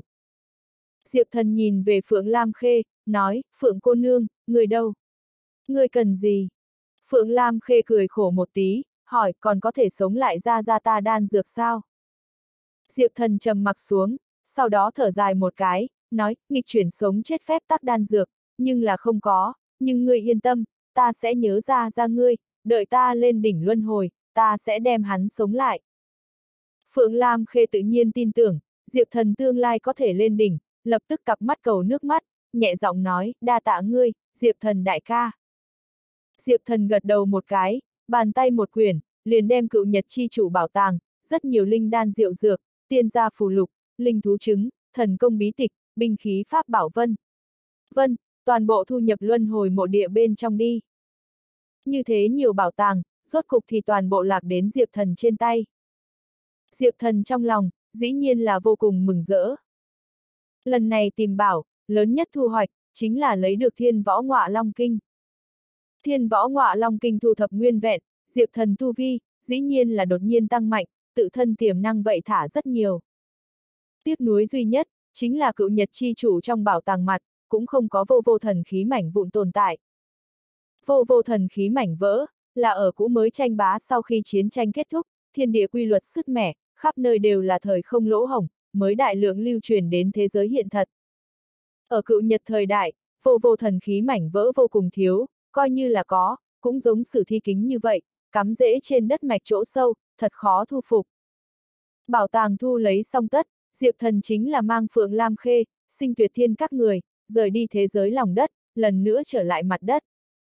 Diệp thần đi ra hắc ám, lần nữa trở về mặt đất thời điểm, thiên địa thương khung cũng chấn động, long ngâm gầm thét, xuất hiện từng cái hình rồng khí lưu, sáng đẹp nguy nga. Nhưng là Diệp thần đạt được thiên võ ngọa long kinh, kinh động thiên địa khí voi. Cái này cổ khí voi, xa xa truyền ra ngoài, không chỉ là sử thi thế giới, liền vũ hoàng thiên giới, kiếm môn thế giới, thiên thanh vực cùng các nơi, đều có cảm ứng. Vũ hoàng thiên giới, vạn khư thần điện bên trong. Mạc Thương Lan đang trận pháp bên trong, vận chuyển đại mộng thiên thu bí pháp, định ăn cắp thiên hoàng cổ trung, đáng tiếc vẫn không có thành công. Vũ hoàng cổ đế chắp tay đứng ở Mạc Thương Lan bên người, hai người cảm thấy trên bầu trời khí tượng thay đổi, sắc mặt đều là ngưng trọng xuống. Không nghĩ tới cựu nhật bảo tàng, cuối cùng vẫn bị Diệp thần vậy tiểu tử cướp đi. Vũ hoàng cổ đế bấm ngón tay diễn toán, theo dõi sử thi thế giới bên kia, phát sinh qua đủ loại sự việc. Rồi sau đó, hắn chính là phát hiện, cảnh trong mộng kia thế giới nhân quả. Ồ, vậy phiến mộng. Vũ Hoàng cổ đế lấy làm kinh hãi, mộng thế giới rất nhiều nhân quả, như nước chảy rót ngược vậy, hung hăng đánh thẳng vào đầu hắn, để cho hắn rung động thật sâu. Mạc Thương Lan vậy bắt được vậy phiến mộng cảnh hơi thở, nhất thời chấn động, nói cảnh trong mộng kia, có chút cổ quái. Vũ Hoàng cổ đế cũng có điểm ngẩn người cùng xuất thần, lẩm bẩm nói ta năm đó vốn là muốn trực tiếp nghiền diệt cựu nhật chi chủ, nhưng quyết định sau cùng lưu lại hắn thần hồn đúc kiếm, thật giống như trong sâu thẳm, có một cổ lực lượng thần bí, thúc đẩy ta đi làm như vậy tựa như. Chẳng lẽ là tương lai cái này phiến mộng, vặn vẹo đi qua thực tế, để cho ta thay đổi chủ ý. Mạc Thương Lan cũng là toát mồ hôi lạnh, không lời chống đỡ. Vũ Hoàng cổ đế nói tiếp, vậy ta hiện tại làm hết thảy, cũng là bị tương lai một cái mộng ảnh hưởng sao? Vẫn là nói chúng ta chỗ ở thế giới, bản thân chính là một giấc mộng. Thanh âm hắn mang một chút khủng hoảng, trước đó chưa từng có mê mang. Mộng cùng thực tế xen lẫn vặn vẹo, quá cổ quái, lộ ra không thể danh trạng quỷ bí hơi thở, thậm chí để cho hắn đạo tâm, cũng sinh ra một chút lay động. Mạc Thương Lan phục hồi tinh thần lại, vội vàng nói, bệ hạ, thanh tỉnh à. Mộng cùng thực tế, tương lai cùng đi qua, những thứ này khó nói nên lời quỷ bí tồn tại, chờ chúng ta chứng đạo không vô hậu, tự nhiên rõ ràng. Nghe được Mạc Thương Lan mà nói, Vũ Hoàng cổ đế cũng là tỉnh ngộ lại, gật đầu một cái, khôi phục bình tĩnh, nói, người nói không sai, những thứ này khái niệm, quá mức quỷ bí, đã siêu thoát thực tế, chúng ta chỉ có mau sớm giết chết Diệp Thần vậy tiểu tử, chiếm đoạt hắn luân hồi khí vận, mới khá siêu thoát chứng đạo, bước vào không không, xuyên thủng hết thảy xương mù dày đặc nhân quả. Mạc Thương Lan chân mày nhưng chặt nhíu lại, nói, bệ hạ, hôm nay cựu nhật bảo tàng, đã bị vậy tiểu tử cướp đi, chúng ta không có đầy đủ tài nguyên, không cách nào ăn cắp thiên hoàng cổ chung, chỉ sợ khó mà trấn áp vậy tiểu tử. Vũ hoàng cổ đế nhìn Mạc Thương Lan một mắt, ánh mắt chuyển động, hư một tiếng, nói, muốn ăn cắp thiên hoàng cổ chung, tài nguyên nhưng thật ra là có. Mạc Thương Lan thấy Vũ Hoàng cổ đế ánh mắt, cảm thấy sau lưng một hồi lạnh lẽo, nói, bệ hạ, người muốn làm cái gì? Vũ Hoàng cổ đế hắc một tiếng cười, nói, Mạc Thương Lan, người không phải là tài nguyên sao? Cái này thế gian, còn có so ngươi, tốt hơn tài nguyên sao? Nếu nữ nhi ngươi không giành được cựu nhật chi chủ bảo tàng, vậy ta không thể làm gì khác hơn là cầm ngươi hiến tế. Mạc Thương Lan mồ hôi lạnh nhễ nhại, nói, bệ hạ, ta đối ngươi trung thành cảnh cảnh. Vũ Hoàng cổ đế khoát tay chặn lại, nói, nếu trung thành cảnh cảnh, vậy ngươi liền là ta vạn khư hy sinh một lần. Ta phải lấy ngươi khí huyết tánh mạng làm giá, làm mộng biến thành sự thật, triệu hoán thiên hoàng cổ trung, ngươi yên nghỉ đi. Ta sẽ chiếu cố tốt nữ nhi ngươi. Diệp thần có nhân hoàng thánh đao, thiên nữ có địa hoàng thần thư, hơn nữa diệp thần lại chém hết trăm gia, đạt được thiên võ ngọa long kinh, khí tượng quá lớn. Nếu như không cướp lấy trong truyền thuyết thiên hoàng cổ trung, Vũ Hoàng cổ đế không có nắm chắc lại chân áp Diệp Thần. Lập tức, Vũ Hoàng cổ đế ánh mắt bên trong, lộ ra tàn bạo ý định giết người, một trưởng hung hăng hướng Mạc Thương Lan đầu đánh. Bệ hạ! Mạc Thương Lan lạc giọng kêu to, không thể phản kháng. Chỉ nhất kích, hắn thân thể cùng thần hồn, liền bị Vũ Hoàng cổ đế đánh bể. Ung ung! Vô lượng cường giả, thiên quân lão tổ máu thịt thần hồn, năng lượng toàn bộ dốc vào ở cảnh trong mộng kia trận pháp bên trong.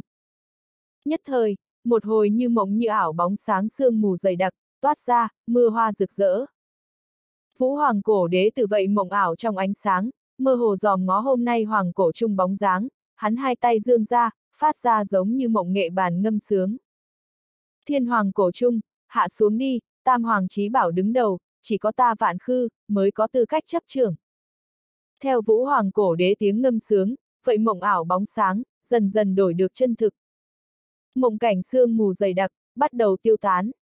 Làm sương mù dày đặc hoàn toàn tản đi, một tòa cổ xưa đồ sộ chung, liền xuất hiện ở Vũ Hoàng cổ đế trước mặt. Chỗ tòa này cổ chung, chừng trăm trượng cao, nguy nga to lớn, toàn thân như đồng xanh vậy cổ xưa, tản mát ra đủ loại không thể danh trạng khí thức thần bí. Ở cổ trung phía trên, khắc đầy các loại phù văn huyền ảo, không biết có nhiều ít ngàn vạn, làm người ta nhìn một cái, liền cảm thấy tâm hồn rung. Những phù văn kia, mỗi một cái cũng như hàng tinh mặt trời gay gắt vậy huy hoàng, làm người ta rung động. Cái này, đây chính là thiên hoàng cổ trung. Vũ hoàng cổ đế thấy trong truyền thuyết thiên hoàng cổ trung, hạ xuống ở trước mặt mình, có chút không dám tin tưởng, trong mắt tràn đầy rung động sắc thái. Hắn tay run run trưởng, vuốt ve thân chuông, chỉ cảm thấy thiên hoàng cổ trung bên trong, truyền ra từng trận minh mông quy luật chập chờn. Đó là đủ để chấn áp toàn bộ thế giới hiện thật đáng sợ năng lượng ba động. Coi như đem toàn bộ thế giới hiện thật vật chất, toàn bộ dung luyện hết, cũng đánh không tạo ra mạnh mẽ như vậy pháp bảo. Đây mới thật là vô vô thần khí, tam hoàng chí bảo đứng đầu, thiên hoàng cổ trung. Chỗ tòa này cổ trung năng lượng, dâng trào bá đạo đến siêu thoát thực tế phạm vi, năng lượng khí tức kinh khủng, khó mà dùng lời nói đi hình dạng. Vũ Hoàng cổ đế vận chuyển linh khí, trùng trùng một trường, đánh vào thân chuông bên trên. Đang! Lanh lảnh tiếng chuông vang lên, chấn động vạn giới thiên cổ. Vũ Hoàng cổ đế hơi thở, cũng cùng thiên hoàng cổ minh trước. Trên người của hắn, toát ra một tòa đại trung hư ảnh, phía trên hàng tỷ cái cự long vần quanh, vô số cổ xưa phù văn ở chấn động, để cho người nhìn một cái, thì có dũng khí muốn quỳ xuống quy theo cảm giác. Ha ha ha, rất tốt, rất tốt, thiên hoàng cổ trung, rốt cuộc rơi xuống vạn khư thần điện trong tay. Diệp thần, nhâm thiên nữ, các ngươi chết chắc, các ngươi chết chắc. Nhân hoàng thánh đao thì như thế nào, địa hoàng thần thư thì như thế nào, sao phối cùng ta thiên hoàng cổ trung so sánh. Vũ hoàng cổ đế phát ra gầm thét, rốt cuộc cướp được thiên hoàng cổ trung, hắn là khó che giấu hưng phấn cùng kích động. Thời khắc này hắn, đã có thể cùng thiên hoàng cổ minh, phát huy ra một chút cổ trung thần uy, tiếng chuông chấn động một cái, thiên địa hoàn vũ đều phải thần phục, vô cùng uy nghiêm bá đạo. Có thiên hoàng cổ trung chấn thủ, vạn khư thần điện sơn môn, vậy là khí vận bùng nổ, toát ra ngàn vạn điều sáng mở thần hy, huy hoàng mà nguy nga.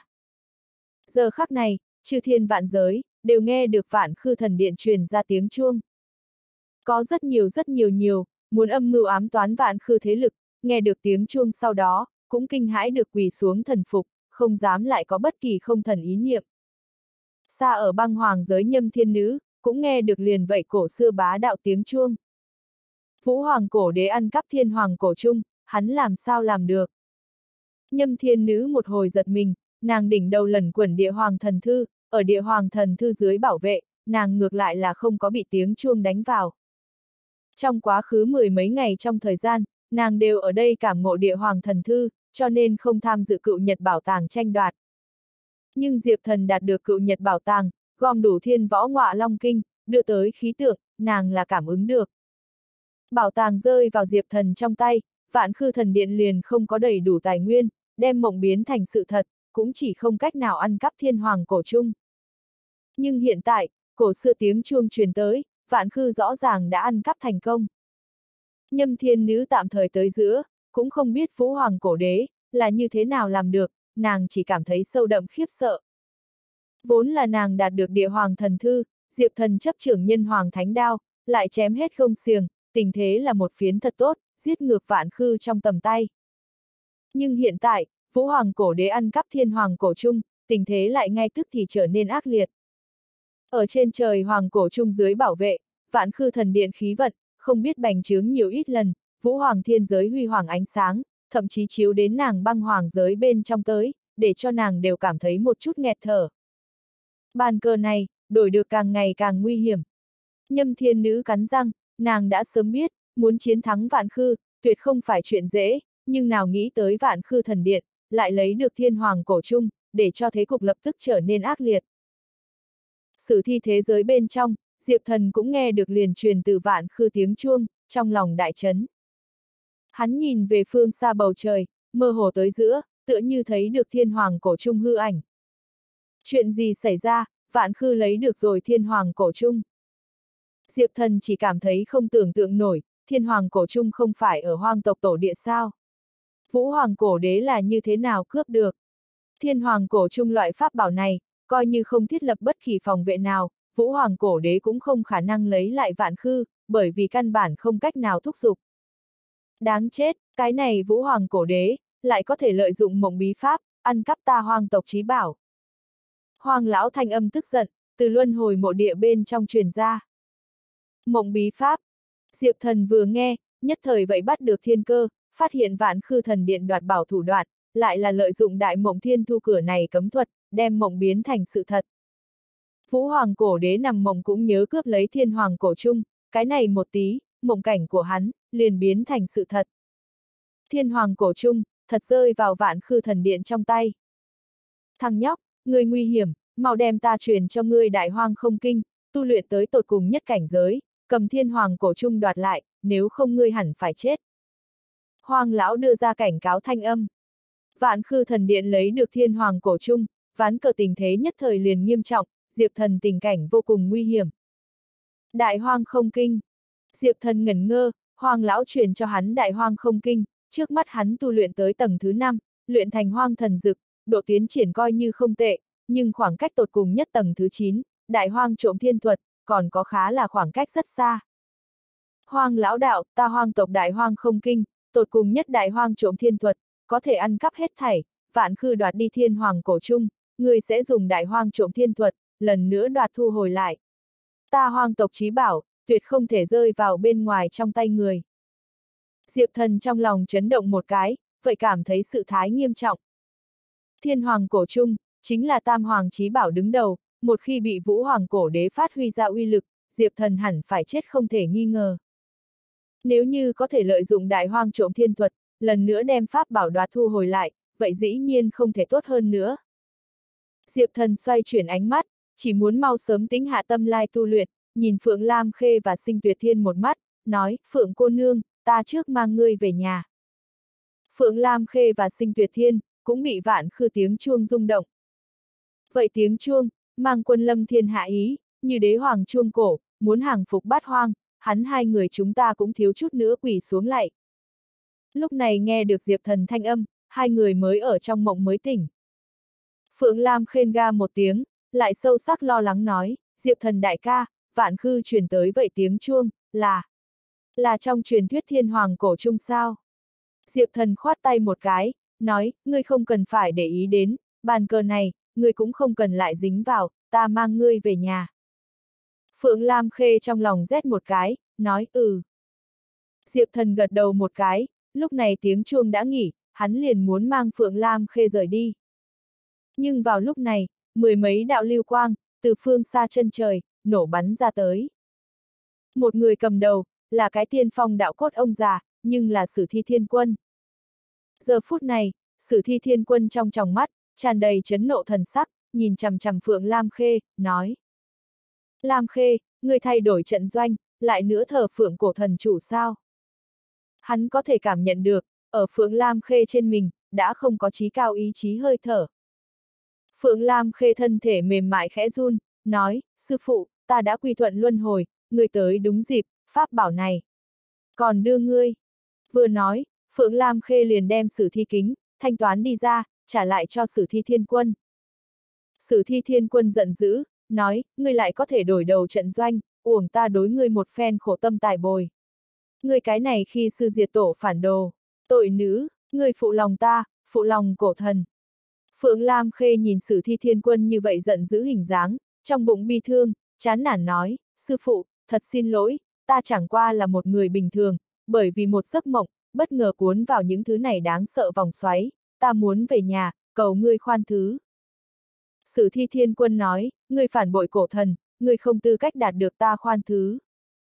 Diệp thần thấy sử thi thiên quân, như vậy giận giữ hình dáng, trong bụng trầm xuống, chắp tay, nói tiền bối, người tài bồi lam khê, hao phí nhiều ít tài nguyên, ta 10 lần phụng còn đưa ngươi chính là, mời ngươi thả chúng ta rời đi, mọi người vẫn là bằng hữu.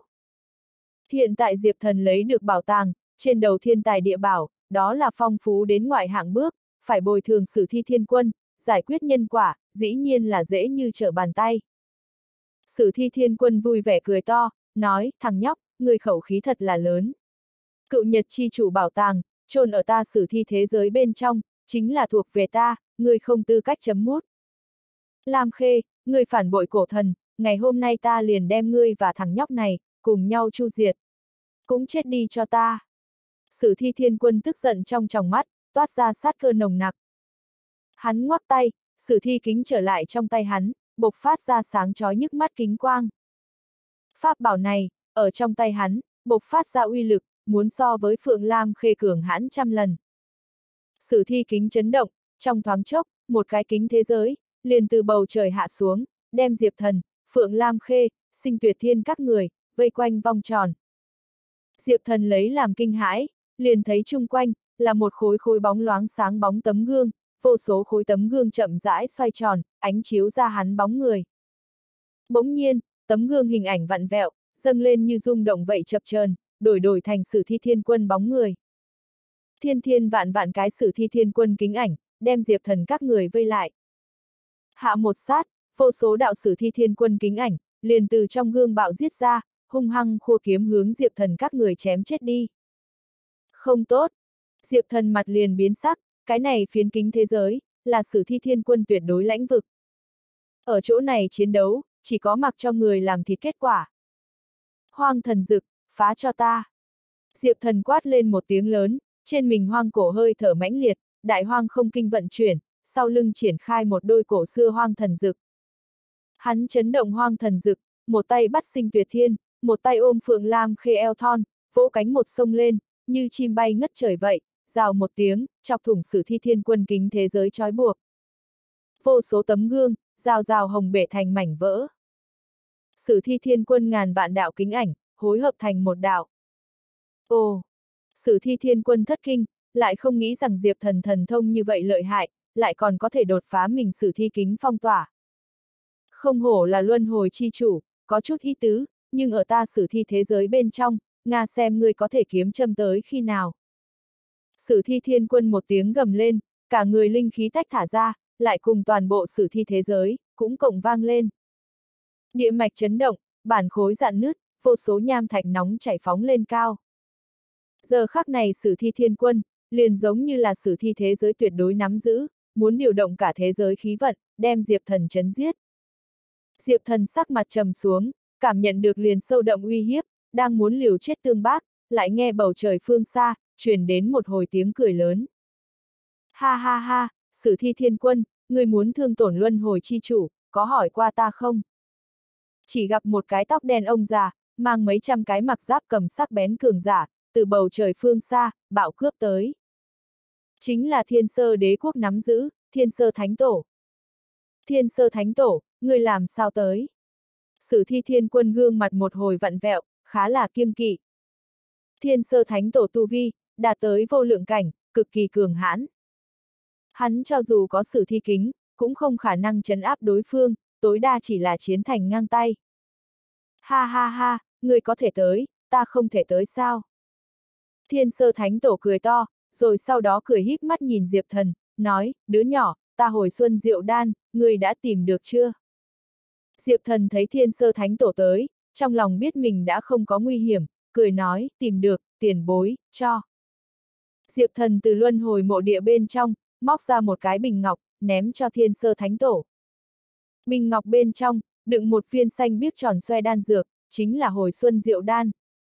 Cựu nhật chi chủ trong bảo tàng mặt, đan dược vô cùng nhiều, lúc này xuân diệu đan, mặc dù chân quý thưa thớt, nhưng cũng có mười mấy viên cất dấu vật quý giá.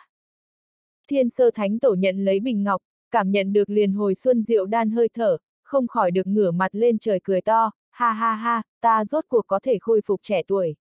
Thiên nữ tiểu muội muội nhất định sẽ thích ta.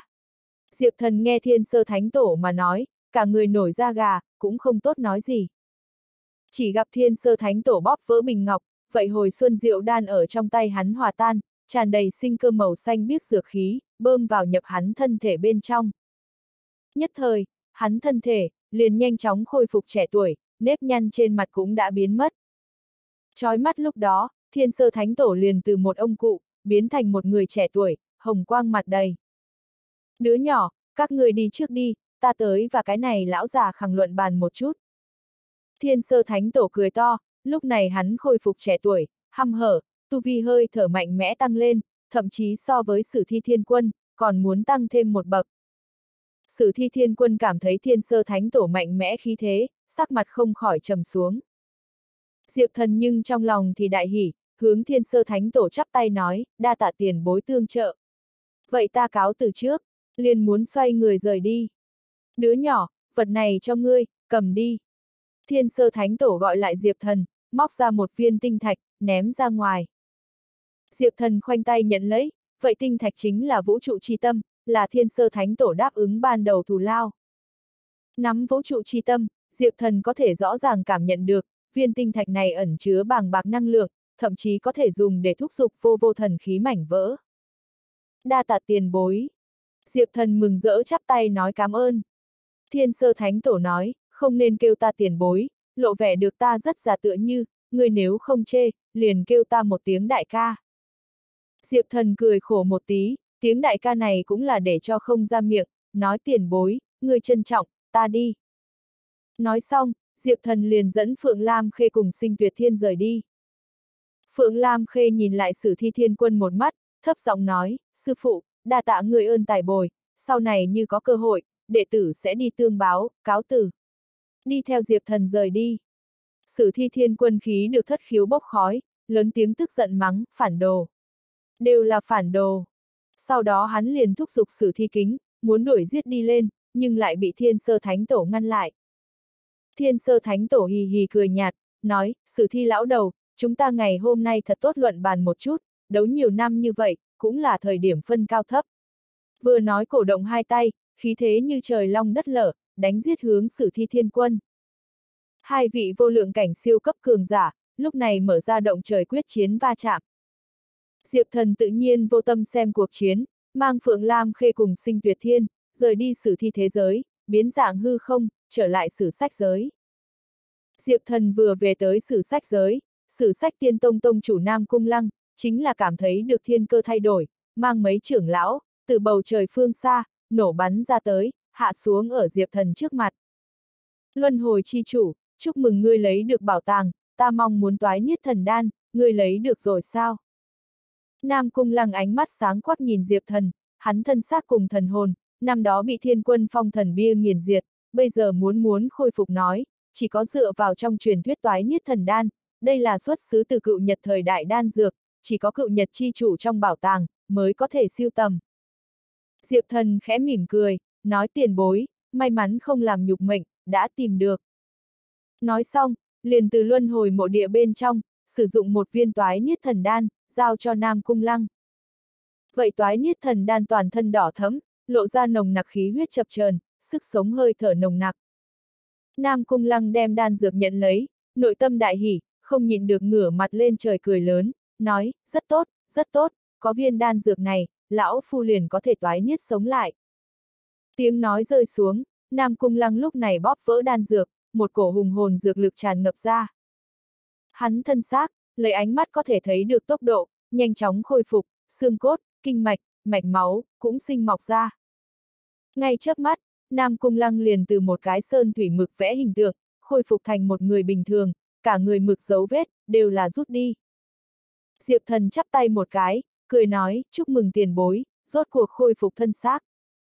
Nam Cung Lăng cười híp mắt gật đầu một cái, nói, lão phu có thể khôi phục, vậy may mà ngươi, từ nay về sau, ta sử sách tiên tông, chính là luân hồi nhất kiên định đồng minh, chỉ cần ngươi luân hồi chi chủ một câu nói, ta sử sách tiên tông trên dưới, nguyện vì ngươi vào nơi dầu sôi lửa bỏng.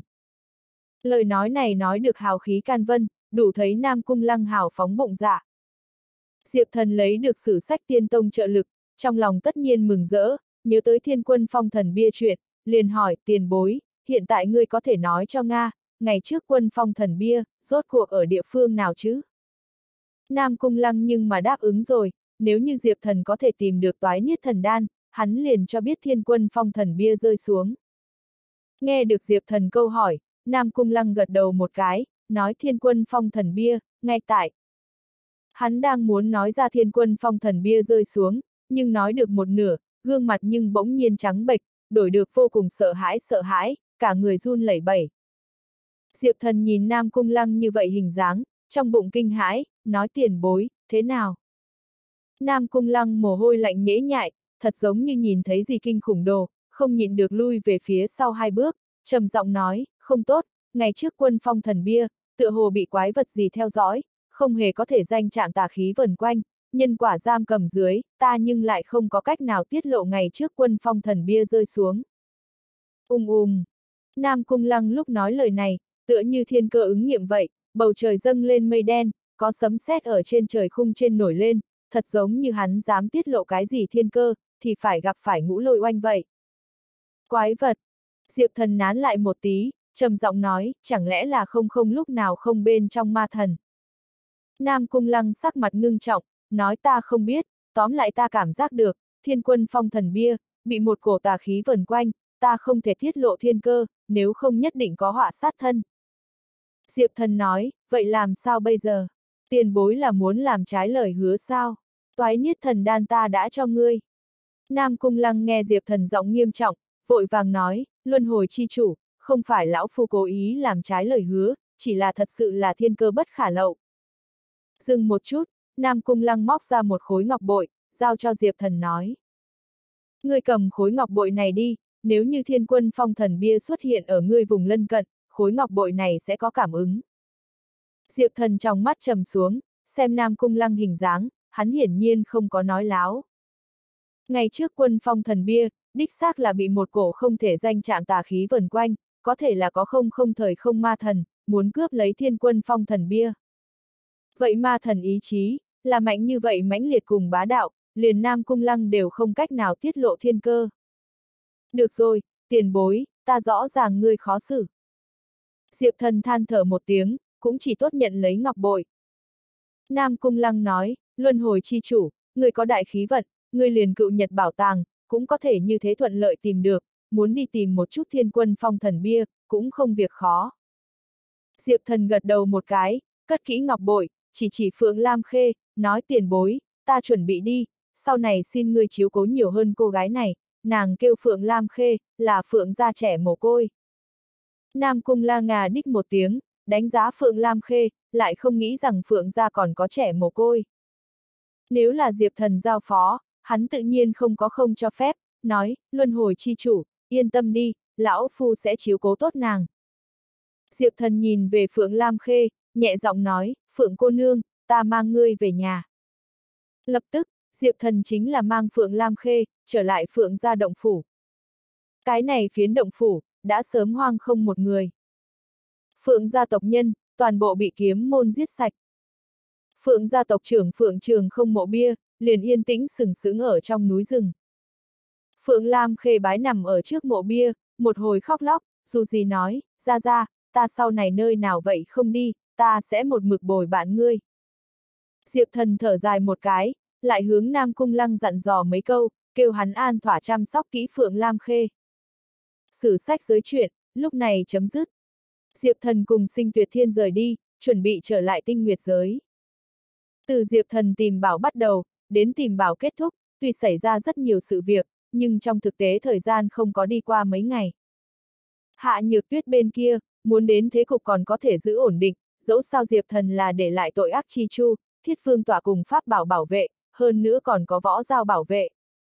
Diệp thần suy tính bỏ đời tuyệt cảnh vị kia mình chắc có năng lực giải quyết, quá thần mệnh dã trọng yếu, đáng tiếc, bỏ đời tuyệt cảnh vậy một đỉnh vẫn là mâu thuẫn mình tiến vào. Dưới mắt chỉ có đợi. Tôn chủ, ta trước phải hồi một chuyến sống chết vực, đó là ta sinh tử điện trụ sở, ta cần phải đi về đút lót một chút, vì ngươi sau này hạ xuống, chuẩn bị sẵn sàng. Sinh tuyệt thiên cung kính nói. Diệp thần gật đầu một cái, nói, được, đợi ta giải quyết hết tinh nguyệt giới và một người bạn biến cố, ta đi liền sống chết vực một chuyến. Sinh tuyệt thia ừ một tiếng, nhưng lại có chút lo lắng hình dáng. Diệp thần nói, thế nào? Chẳng lẽ không hoan nghênh ta đi qua? Sinh tuyệt thiên vội vàng nói, không phải, không phải, tôn chủ, chỉ là ta sinh tử điện bên trong, có một ít người không phục luân hồi giáo hóa, nhưng tôn chủ ngươi chấp trưởng thiên võ ngọa long kinh, lấy được rồi cựu nhật bảo tàng, muốn đến những cái kia ý kiến khác người, hôm nay vậy chịu thần phục, ta lập tức liền trở về thu xếp an bài. Diệp thần nhướng mày một cái, hắn còn lấy là sinh tử điện bên trong, toàn bộ là mình tín đồ, không nghĩ tới lúc đầu còn có ý kiến khác người. Hiện tại hạ nhược tuyết chuyện, khẩn cấp nhất, Diệp thần tự nhiên không tâm tư quá nhiều để ý, liền nói, được, vậy ngươi liền trở về an bài, ta về trước tinh nguyệt giới một chuyến, đợi ta giải quyết hết bên kia nhân quả, ngươi có thể tới tinh nguyệt giới tìm ta. Dừng một chút, Diệp thần lại cười nói, như ta giải quyết thất bại, vậy ngươi cũng có thể tới đây, thay ta nhặt xác. Sinh tuyệt thiên hoảng hốt, hoảng hốt vội nói, tôn chủ nói đùa. Diệp thần cười ha ha một tiếng, liền không nhiều lời nữa, nói, vậy Nga đi trước. Dứt lời, Diệp thần chính là tạm biệt sinh tuyệt thiên, biến dạng hư không, trở lại tinh nguyệt giới. Trở lại tinh nguyệt giới, Diệp thần nhưng thấy, bầu trời tan vỡ, mặt đất vỡ nát, khắp nơi đều là sụp đổ quy luật, nham thạch nóng chảy văng tung tóe, gió lốc tàn phá mặt đất, một phiến ngày tận thế cảnh tượng. Thảm như vậy mãnh liệt khí tượng, chẳng lẽ quyết chiến đã bắt đầu? Diệp thần trong bụng thất kinh, muốn suy diễn cái gì, nhưng thiên cơ rối loạn, cái gì cũng theo dõi không tới. Hạ nhược tuyết độ kiếp tấn thăng, cũng không biết thuận lợi hay không, nếu là bị tinh nguyệt thần giáo người công kích, chỉ sợ hậu quả thiết tưởng không chịu nổi. Hỗn loạn bên trong, Diệp thần chỉ biết bắt được võ giao hơi thở. Võ giao thừa kế cựu nhật chi chủ tu vi, trong đan điền linh khí nội tình, ước chừng đạt tới vô lượng cảnh 9 tầng thiên bước. Năm đó cựu nhật chi chủ, độc chiến 10 đại thiên quân lão tổ, vậy tình cảnh chiến đấu, Diệp Thần là chính mắt kiến thức qua. Võ giao linh khí nội tình, có thể tưởng tượng được. Cho nên, Diệp Thần trở lại tinh nguyệt giới sau đó, thời gian đầu tiên, liền bắt được võ giao khí cơ. Không biết võ giao muội muội như thế nào. Diệp Thần trong lòng tưởng nhớ võ giao, lập tức phi thân đi. Chỉ chốc lát sau, nhưng thấy lớn bên trên, xuất hiện một cái băng tuyết kiếm trận. Từng chuôi to lớn hàn băng cự kiếm, giống như cũi vậy, làm thành một vòng, phong tỏa ở một cô gái. Cô gái kia ở kiếm trận bên trong, đi qua đi lại, nhưng Thủy Trung sông lên không đi ra, mặt đầy bộ dáng lo lắng, chính là võ giao. Võ giao muội muội. Diệp thần gặp được võ giao, nhất thời lớn tiếng kêu lên. Diệp thần ca ca. Võ giao thấy Diệp thần trở về, cũng là ngạc nhiên mừng rỡ vạn phần. Diệp thần gặp nàng bị kiếm trận vây khốn, lập tức hạ xuống đi xuống, hung hăng một quyền đánh ra, quát lên, thần tượng băng thiên tràng. Oanh! mãnh liệt quyền phong, bạo giết ra. Quang minh cự tượng hư ảnh, từ trên trời hạ xuống, hung hăng một sông lên, liền đem khốn khóa võ giao hàn băng cự kiếm, toàn bộ sông lên đoạn. Võ giao được cởi tự do, mừng đến chảy nước mắt, nước mắt cũng chảy xuống, gió cũng tựa như bay tới, lao vào Diệp Thần trong ngực, thanh âm ủy khuất nói, Diệp Thần ca ca, lão đầu tử kia không nói võ đức, hắn khi dễ ta. Diệp Thần nhìn võ giao ủy khuất như vậy trông mong hình dáng, bật cười khanh khách, sờ một cái đầu tóc nàng, nói, làm sao, là vậy lâm ra lão tổ lâm khiếu không sao. Võ giao ủy khuất gật gật đầu nói, ưm, lão đầu tử kia không đánh lại ta, liền giả vờ nói nhận thua đầu hàng, rồi sau đó thừa dịp ta khinh thường, để gạt, tới đánh lén ta, bày kiếm trận, đem ta phong tỏa ở. Võ giao linh khí nội tình tuy mạnh, nhưng chỉ có thể bị động phòng ngự, mình nhưng không cách nào chủ động phát huy uy lực. Cho nên, đối mặt lâm khiếu không kiếm trận phong tỏa, nàng lại là bó tay, một mực chờ đến hiện tại Diệp Thần trở về, mới thoát khỏi phong tỏa đi ra. Nàng cuối cùng là một bé gái tâm tính, ủy khuất dưới, nước mắt vạch qua gò má, từng giọt từng giọt rơi xuống. Diệp thần khẽ vuốt ve gò má mặt nàng, lau sạch nước mắt của nàng, nói ta đã tìm được người phụ thân bảo tàng, người cần muốn cái gì, hiện tại nói cho ta. Cựu nhật chi chủ trong bảo tàng mặt, có ít thứ, có thể để cho võ giao phát huy thực lực, không còn là chỉ có thể bị động phòng ngự hình dáng. Võ giao nghe được Diệp thần mà nói, trong lòng vui mừng, nói, Diệp thần ca ca, người đã tìm được bảo tàng liền sao? Tinh nguyệt giới chiến loạn quá kịch liệt, cựu nhật bảo tàng khí tượng, coi như truyền tới nơi này, võ giao cũng không từng lưu ý đến, bây giờ nghe Diệp thần chính miệng nói ra, mới biết hắn đã thuận lợi lấy được rồi bảo tàng. Diệp thần khẽ gật đầu một cái. Võ giao đại hỉ, kéo hắn cánh tay, trầm tư một hồi, nói, Diệp thần ca ca, ta cần quét hạ y, chân trời thần kiếm, võ thần chân kinh, 72 đạo chân long tiên phù. Còn có độ ách tiên đan, kỳ lân tiên đan, chém ra tiên đan, 9 tầng thần huyền đan, ngoài ra còn cần hồ lô vàng tím, đau buồn kim luân, phục long đỉnh, chín hàn ngưng băng gai cùng pháp bảo. Võ giao vừa mở miệng, liền đòi rất nhiều pháp bảo binh khí, đan dược phù lục, bí tịch võ đạo vân. Vân. Diệp thần âm thầm ngạc nhiên, võ giao đồ mong muốn, dõi mắt toàn bộ bảo tàng, đều là cao cấp nhất một nhóm tồn tại, giá trị cực cao. Ví dụ như võ thần chân kinh, chính là thiên võ tiên môn bí truyền võ học điển tịch, do võ tổ sáng lập, rồi sau đó đi qua triều đại thiên võ chúa tể hoàn thiện, nội tình thâm hậu, không kém gì bất kỳ thế gian võ học. Còn có chân trời thần kiếm, chính là võ tổ đã từng đã dùng qua binh khí, chính là một cái hạng nặng cự kiếm, đại khai đại hợp, uy mãnh cương liệt. Còn có đầu buồn kim luân, phục long đỉnh, chín hàn ngưng băng gai vân. Vân Pháp bảo, đều là thiên võ tiên môn ngày xưa cất giấu vật quý giá nhiều năm bảo bối. Nếu như là người khác đòi, vậy Diệp Thần tuyệt đối sẽ không cho. Nhưng võ giao muốn, hắn tự nhiên không việc gì do dự, lập tức đem tất cả binh khí pháp bảo, đan dược phù lục vân. Vân, toàn bộ đều lấy ra ngoài, giao cho võ giao. Võ giao thay quét hạ y, liền như tiên vai nữ một vậy tươi đẹp động lòng người, lại lưng đeo trên nặng nề to lớn chân trời thần kiếm, thon nhỏ thân thể, cùng to lớn chiến kiếm so sánh, lại lộ vẻ được có chút buồn cười. Nàng cầm võ thần chân kinh ngọc giản, ngưng thần lĩnh ngộ, ấn đường hiện ra một đạo cổ xưa dấu vết, lại nuốt vào chém ra tiên đan, tự thân võ đạo gông xiềng tiếp chém liên tục đi. Diệp thần cũng cảm giác được, võ giao hơi thở, đổi được cường đại rất nhiều, đã có một chút thiên quân mệnh cách cùng uy nghiêm. Võ giao vui vẻ nói, Diệp thần ca ca, hôm nay ta đã có thể, phát huy ra một chút ta phụ thân lực lượng, vậy thiên huyền cảnh cường giả, hẳn không phải là ta địch thủ, người muốn sắc phong ta tại sao thiên quân. Trước đây, Diệp thần sắc phong huyết long thành thánh long thiên quân, tiểu hoàng là thú vương thiên quân, kỳ tư thanh là chu tước thiên quân, ngụy dĩnh là tuyệt hàn thiên quân, nàng trong lòng cũng rất là hâm mộ, hiện tại cũng muốn đòi phong. Diệp thần sợ hết hồn, lắc đầu một cái, nói, ngươi là một đời mới thiên võ bá chủ, ta nào dám sắc phong ngươi. Ngươi nếu như cần một cái thiên quân danh hiệu, liền kêu tử bi tốt. Võ Giao mừng rỡ gật đầu một cái, nói, được, Diệp thần ca ca, ta đều nghe ngươi, ta sau này pháp danh, liền kêu tử bi thiên quân. Diệp thần gặp nàng như vậy ngoan ngoãn nghe lời, trong lòng cảm thấy trấn an, sờ một cái đầu tóc nàng, nói, đúng rồi, chúng ta mau đi cứu viện ngươi nhược tuyết tỷ tỷ. Lập tức, Diệp thần liền dắt võ giao tay, phong tỏa tội ác chi chu hơi thở, nhanh chóng bay vút đi. Tinh nguyệt giới khói lửa hỗn loạn, Diệp thần đã bắt không tới hạ nhược tuyết hơi thở, nhưng có thể cảm ứng được mình pháp bảo, tội ác chi chu, thiết phương tỏa hơi thở. Hạ nhược tuyết ở tội ác chi chu trên độ kiếp, chỉ cần tìm được tội ác chi chu, liền có thể tìm được hạ nhược tuyết. Diệp thần cùng võ giao, cấp tốc phi hành, trên đường nhưng gặp phải một ít tinh nguyệt thần giáo cường giả, đều là thái thượng trưởng lão Vân Sơn Vũ vậy một hệ phái kẻ địch. Võ giao cố ý khoe khoang, cũng không được Diệp thần ra tay, tự đi rút ra vậy số đo khoa trương chân trời cự kiếm, một kiếm bổ ra, võ thần tuyệt chém, liền đem những địch nhân kia chém thành trọng thương, đánh rơi xuống đất. Rất tốt, người võ công rất là tinh xảo.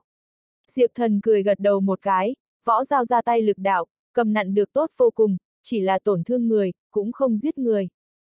Nàng cuối cùng là từ bi, không đành lòng lộn xộn sát thủ, Diệp thần là biết, cho nên không hề trách cứ, chỉ là khen ngợi.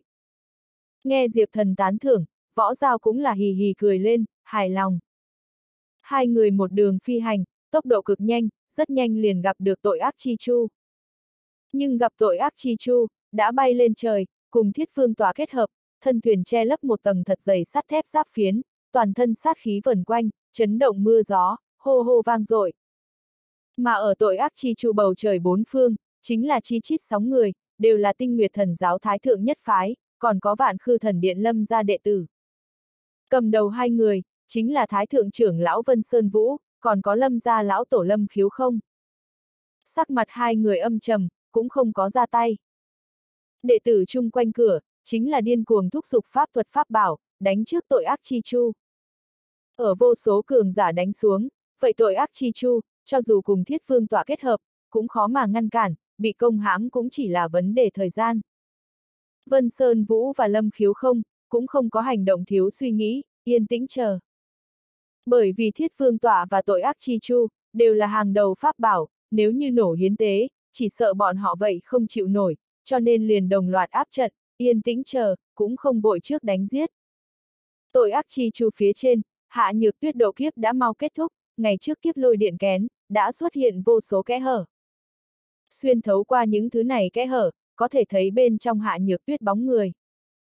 Ở hạ nhược tuyết bên người, ngụy Dĩnh, Kỳ Tư Thanh, Ma Đế, Huyết Long, Tiểu Hoàng các người, chặt chẽ bảo vệ, còn có tinh nguyệt thần giáo đại trưởng lão cổ Thanh Hà, vậy mang một nhóm tinh nhuệ, thề bảo vệ.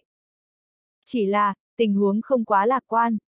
Vân Sơn Vũ và Lâm Khiếu không, bày ra thiên la địa võng, điên cuồng đánh giết, sớm muộn cũng phải oanh phá bọn họ phòng ngự, đến lúc đó, tất cả mọi người đều phải chết.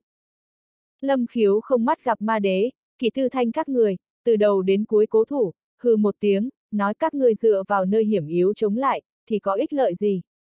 Còn không mau một chút đầu hàng. Kỳ tư thanh cắn răng, đứng dậy, tóc xanh đón gió phiêu động, ánh mắt kiên quyết, nói kiếp trước ta bảo vệ luân hồi, cái này nhất thế ta liền tiếp tục bảo vệ, có Nga nữ võ thần ở chỗ này, ai cũng đừng nghĩ khinh nhờn luân hồi. Thanh âm rơi xuống, kỳ tư thanh cả người khí huyết, bỗng nhiên đốt đốt, hóa ra một đầu nóng rực to lớn chu tước. Đầu này chu tước, ngửa mặt lên trời hí, hai cánh rung lên, cuốn lên cương phong, kéo theo tội ác chi chu, đi bên ngoài sông lên bay ra ngoài. Nàng còn muốn tự mình hy sinh, đốt hết mình tuổi thọ cùng máu tươi, cưỡng ép thúc giục tội ác chi chu, đột phá trùng vây, sông lên đánh ra. Chút tài mọn, cũng dám ở ta trước mặt phô trương.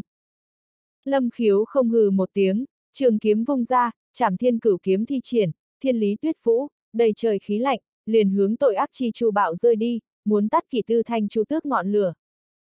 Diệp thần viễn xa thấy một màn này, lại là kinh hãi, lại là tức giận, một quyền như oanh phá vũ trụ vậy, bạo giết ra. Thần tượng băng thiên tràng, phá cho ta. Hung hãn linh khí ánh sáng, từ diệp thần trong cơ thể bộc phát ra, một đầu cổ xưa quang minh cự tượng, mang nghiền nát hết thảy đáng sợ uy thế, ở Diệp Thần đỉnh đầu hiện lên. Diệp Thần mãnh liệt một quyền, liền như cự tượng đánh vào, đạp bể vũ trụ, đánh giết hướng lâm khiếu không. Luân hồi chi chủ, là ngươi. Lâm khiếu không thấy Diệp Thần nổ bắn ra mà đến bóng người, nhất thời bị sợ hết hồn. Diệp Thần một quyền này, uy thế quá kinh khủng, ở hoàn chỉnh thiên võ ngọa long kinh trợ lực hạ, một quyền này thần tượng băng thiên, giống như muốn đụng nát bầu trời hoàn vũ vậy. Lâm khiếu không không dám đón đỡ, theo bản năng đi bên thối lui. Diệp thần tu vi, chỉ có trăm gia cảnh hai tầng thiên.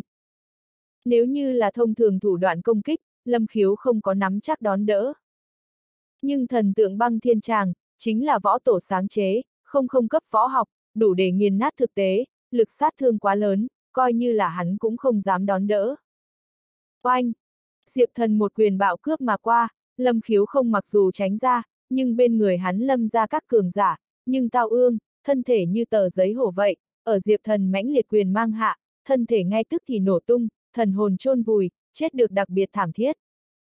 Diệp thần, ma đế, ngụy dính, kỳ thư thanh các người, thấy diệp thần trở về, đều là kinh hãi, không dám tin tưởng mình ánh mắt. Tiểu hoàng và huyết long hô to khủ nhân, cũng là hân duyệt vạn phần. Còn có ta.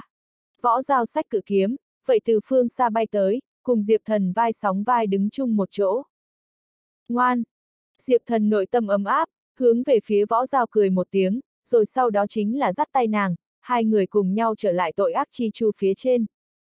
Tư Thanh, không có sao chứ? Diệp Thần thấy kỳ Tư Thanh sắc mặt trắng bệch, hiển nhiên là khí huyết cháy quá độ, không khỏi được một hồi đau lòng, liền buông ra võ giao tay, đi lên ôm kỳ Tư Thanh, từ luân hồi mộ địa bên trong, móc ra một ít bổ sung khí huyết linh đan rượu dược, cho nàng khôi phục hơi thở. Những linh đan này rượu dược, cũng đến từ cựu nhật chi chủ bảo tàng, 10 phần linh rượu, dược khí thấm vào kỳ tư thanh trong kinh mạch đi, nàng sắc mặt lập tức liền khôi phục đỏ thắm. Diệp thần, người rốt cuộc trở về. Kỳ tư thanh vô cùng kích động, nàng còn lấy là Diệp thần không kịp. Xin lỗi, để cho các người đợi lâu. Diệp thần khẽ vuốt ve kỳ tư thanh gò má, lại nhìn xem ma đế, ngụy dính các người, cuối cùng hắn ánh mắt, rơi vào ngày trước kiếp lôi điện kén trên. Vậy kén phía trên, kẽ hở vô số, tỏ rõ hạ nhược tuyết đã mau độ kiếp thành công. Chỉ cần lại ổn định chốc lát, nàng liền có thể phá kén ra. Tội ác chi trụ bên ngoài, Vân Sơn Vũ thấy hạ nhược tuyết sắp phá kiếp, nhất thời khẩn trương, kêu lên, lâm lão tổ, mau giết bọn họ, đừng để cho tội kia nữ độ kiếp thành công. Lâm khiếu không hừ một tiếng, nói, không cần ngươi nói nhảm, ta tự có đúng mực. Hắn ánh mắt lóe lên, tâm niệm thay đổi thật nhanh, gặp Diệp Thần đã cướp lấy bảo tàng trở về, hơn nữa còn có võ dao ở bên người, ngày hôm nay muốn thủ thắng, đã là muôn vàn khó khăn, trừ phi là nằm mơ. Thải điệp tiểu thư, hạ xuống đi, luân hồi chi chủ ở chỗ này, hắn cướp đi ngươi bảo tàng, ngươi chẳng muốn đoạt lại sao. Lâm khiếu không cao giọng kêu lên, lại là kêu gọi Mạc Thải Điệp hạ xuống. Hiện tại Diệp thần khí thế quá mức, hơn nữa võ giao lại giải tỏa liền bộ phận thực lực, muốn chiến thắng bọn họ, chỉ có dựa vào mộng, nghịch chuyển thực tế. Diệp thần nghe được lâm khiếu không kêu gọi, nhất thời bị sợ hết hồn. Mạc Thải Điệp mộng thần thông, cho hắn để lại ấn tượng sâu sắc. Ban đầu hắn là vận dụng nhân hoàng thánh đao, mới từ vậy cựu nhật mộng trong thế giới, tránh thoát được. Nếu như lần nữa rơi vào mộng, Diệp thần không có nắm chắc tránh thoát. Cái đó gọi mạc thải điệp thiếu nữ, chân thực quá quỷ dị, đã không thể dùng thực tế lời nói, đi hình dạng nàng thủ đoạn. Diệp thần coi như là đi đối chiến sử thi thiên quân, Phó Hồng Trần, Diệp Lâm Uyên nhóm cao thủ, cũng không muốn đối mặt mạc thải điệp. Dẫu sao thực tế hung hiểm, còn có giải quyết có thể, mộng cảnh nguy hiểm, vậy thì hoàn toàn là dựa vào vận khí. Muốn gọi người, nguyện vọng thiên tinh, cho ta phong tỏa. Diệp thần phản ứng cực nhanh, nguyện vọng thiên tinh sử dụng, rất nhiều hạ nguyện vọng, phong tỏa không gian. Vù vù. Nhất thời, nguyện vọng thiên tinh chấn động, ngân bạch trói lọi tách thả ra ra, tinh nguyệt giới không gian, nhất thời bị phong tỏa, hết thảy nhân quả đều bị cắt đứt, vậy cắt đứt lâm khiếu không truyền niệm. Võ giao muội muội, nga cửa liên thủ làm thịt lão đầu này. Diệp thần ngoắc tay, rút ra luân hồi thiên kiếm, khua kiếm hướng lâm khiếu không chém tới. Nếu như hắn chỉ là một người, tuyệt đối không thể nào là lâm khiếu không địch thủ. Nhưng, hắn không phải chiến đấu một mình. Hắn còn có võ giao. Được. Võ giao rất khôn khéo gật đầu một cái, nàng là từ bi tâm tính, nếu như vậy dưới tình huống, tuyệt đối sẽ không giết người. Nhưng hiện tại, Diệp Thần mở miệng muốn nàng giết người, nàng là một chút đều không mang do dự, ngựa sách cự kiếm liều chết sung phong đi ra. Lâm khiếu không cảm nhận được võ dao trên mình, vậy cổ nóng rực thiên võ hơi thở, ngũ quan đều vặn vẹo, một hồi sợ hãi, hồi tưởng lại ngày xưa đối chiến võ tuyệt thần tình cảnh. Năm xưa võ tuyệt thần, có thể nói là kinh thiên vĩ địa, vô cùng hung hãn, bọn họ vạn khư thần điện, muốn mười đại thiên quân lão tổ liên hiệp, mới khá đối kháng. Hiện tại từ võ giao trên mình, lâm khiếu không thấy được võ tuyệt thần bóng người, đạo tâm cũng lắc lư một hồi, một hồi sợ hãi. Đáng chết! Lâm khiếu không hít sâu một hơi, vội vàng coi giữ tâm thần, trường kiếm sử dụng, kiếm quang thoáng một cái, hóa thành ngàn vạn hàn băng kiếm ảnh, chấn rơi xuống, tạo thành một cái kiếm trận. Cái kiếm trận này, lại cũng không sát phạt, mà là thủ hộ, bảo vệ hắn tự thân. Lâm khiếu không đạo tâm dung dưới, không dám tùy tiện đánh ra, dựa vào kiếm trận, chỉ làm phòng ngự. Diệp thần và võ giao, nâng kiếm chém xuống, phía dưới kiếm trận, chính là vọt lên ngàn vạn đạo kiếm khí, ngăn trở hai người thế công. Hai người liên thủ đối kháng kiếm khí, nhưng trong chốc lát, cũng khó mà đột phá lâm khiếu không phòng ngự. Lâm khiếu không dẫu sao là 10 đại thiên quân lão tổ một trong, vô lượng cảnh cường giả, hắn chỉ làm phòng ngự nói, vậy đơn giản là phòng thủ kiên cố, lấy diệp thần và võ giao hai người thời khắc này tu vi, trong thời gian ngắn cũng khó mà xông phá. Trung quanh lâm gia đệ tử, tinh nguyệt thần giáo bọn giáo chúng, e sợ cho gặp đợt khí ảnh hưởng đến, xa xa lui ra. Bên kia Vân Sơn Vũ, thấy Diệp Thần và Võ Giao, đều rời đi tội ác chi chu, trong lòng biết là cơ hội, đột nhiên lắc mình bạo cướp, một trường cách không hướng hạ nhược tuyết bổ tới. Tội nữ, cho ta chết. Vân Sơn Vũ gương mặt vặn vẹo, một trường này khí huyết cháy, đã dùng toàn lực. Hắn tu vi tuy không bằng lâm khiếu không, nhưng dẫu sao cũng là vô lượng cảnh cường giả, một trường này uy thế cực kỳ khủng bố, lại đem ngụy dính, kỷ tư thanh, ma đế các người, cũng ép lui ra, làm bọn họ không cách nào đến gần. Mắt xem hắn một trường này, thì phải đánh chúng hạ nhược tuyết, nhưng ngay vào lúc này, sấm sét kén bên trong hạ nhược tuyết, nhưng mở mắt, tỉnh lại. Hạ nhược tuyết một tỉnh lại, sấm sét kén rắc rắc sát vang dội, hoàn toàn vỡ ra đi. Nàng trên mình, toát ra sáng chói tinh nguyệt chói lọi. Vậy tinh nguyệt chói lọi, ánh chiếu chư thiên, làm tinh nguyệt giới bầu trời, cũng đổi được đen nhánh, màn trời đen nhánh trên, một vòng trăng tròn cao treo, bỏ ra sáng trong thanh huy, tiếng gió hu hu vang dội, như có cổ xưa trương nhạc ở tấu vang. Tất cả mọi người ánh mắt, đều là vô cùng rung động hội tụ ở hạ nhược tuyết trên mình. Thời khắc này hạ nhược tuyết, rốt cuộc phá kiếp xuất quan. Tất cả mọi người đều có thể nhìn ra, nàng đã thuận lợi tấn thăng, thành chân chính thiên quân. Nàng trên mình, có thiên quân có một không hai mệnh cách hơi thở, là uy nghiêm của cấp trên. Minh Nguyệt Thiên Thư, Thái Thượng Tinh Hy Đạo, Vọng Thư Thiên Châu, Tinh Nguyệt Thần Giáo Thần Thông Vân. Vân, vô số sáng bóng khí tượng, ở hạ nhược tuyết quanh thân vần quanh, nàng thánh khiết được giống như ánh trăng con gái thần. Mắt xem Vân Sơn Vũ một trưởng giết tới, hạ nhược tuyết thong thả, cũng là một trưởng đánh ra, trăng sáng thần mang tách thả ra, sau lưng mơ hồ huyễn hóa ra một đạo tươi đẹp tuyệt trần bóng người. Vậy lại là tinh nguyệt thần giáo tổ tiên, thanh nguyệt nữ đế thần hồn hư ảnh. Hạ nhược tuyết thừa kế thanh nguyệt nữ đế y bát, giờ phút này thậm chí có thể mượn dùng thanh nguyệt nữ đế thần hồn lực lượng. Ở thanh nguyệt nữ đế dưới bảo vệ, hạ nhược tuyết một trường này, băng cơ ngọc cốt, uy nghiêm minh mông, phịch đích một tiếng, liền đánh tan Vân Sơn Vũ trưởng thế. Lão Tổ Tông, ngươi! Vân Sơn Vũ nhìn hạ nhược tuyết sau lưng, vậy thanh nguyệt nữ đế hư ảnh, nội tâm rung động, gương mặt một hồi vặn vẹo, lại là ảm đạm thần thương. Thanh nguyệt nữ đế cuối cùng là cố ý lựa chọn hạ nhược tuyết, bọn họ cái này nhất phái, nhưng là bị từ bỏ. Hạ nhược tuyết một trường đánh lui Vân Sơn Vũ, không hề đuổi giết, mà là nhanh chóng bay đến Diệp Thần bên người. Diệp Thần. Hạ nhược tuyết ngắm nhìn Diệp Thần, bên trong lòng rất là kích động, gò má lại là một hồi đỏ ửng. Nhược tuyết, người rốt cuộc phá kiếp xuất quan, tấn thăng thành thiên quân. Diệp Thần thấy hạ nhược tuyết xuất quan, cũng là ngạc nhiên mừng rỡ vạn phần, nắm thật chặt bàn tay nàng. Nhược tuyết tỷ tỷ, chúc mừng ngươi rồi. Võ Giao cũng là mỉm cười cười nói. Hạ nhược tuyết từ một tiếng, cười gật đầu một cái, ánh mắt nhìn về kiếm trận ở giữa lâm khiếu không, trong mắt lướt qua hàn mang, nói ta tinh nguyệt thần giáo, hôm nay hỗn loạn đến đây, đều là người này đang dở trò, chúng ta liền giết hắn. Đúng là như vậy. Diệp thần gật đầu một cái, liền chuẩn bị cùng võ giao, hạ nhược tuyết toàn lực ra tay, đánh chết lâm khiếu không. Lâm khiếu không sắc mặt trắng bệch, cảm thấy không ổn. Thật ra thì nếu như chỉ có Diệp thần và hạ nhược tuyết mà nói, hắn cũng không sợ. Nhưng, bây giờ còn có một cái võ giao, hơn nữa hạ nhược tuyết sau lưng, cũng có thanh nguyệt nữ đế bảo vệ, hắn tình cảnh, nhất thời đổi được vô cùng nguy hiểm. Lâm bá bá, hi, người sợ sao? Vừa lúc đó, một đạo thanh thúy giọng nữ, nhưng là ở bầu trời phương xa truyền tới. Chỉ gặp một cái minh lệ tung bay thiếu nữ, người mặc y phục rực rỡ, giữa eo bội kiếm, đạp một cái hồng kiều, ngự gió đạp không tới, chính là Mạc Thải Điệp. Diệp thần thấy Mạc Thải Điệp tới, nhất thời trong lòng giật mình, con người có giúp lại. Lâm khiếu không nhưng là ngạc nhiên mừng rỡ, kêu lên, Thải Điệp tiểu thư, ngươi tới. Diệp thần tuy hết sức ngăn chặn nhân quả, nhưng Lâm khiếu không kêu lên, hay là đem Mạc Thải Điệp triệu hoán liền xuống. Thải Điệp tiểu thư, mau mau giết những người đó.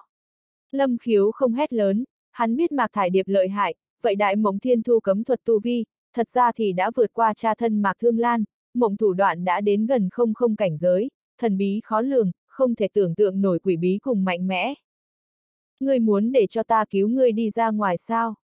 Mạc Thải Điệp cười nói.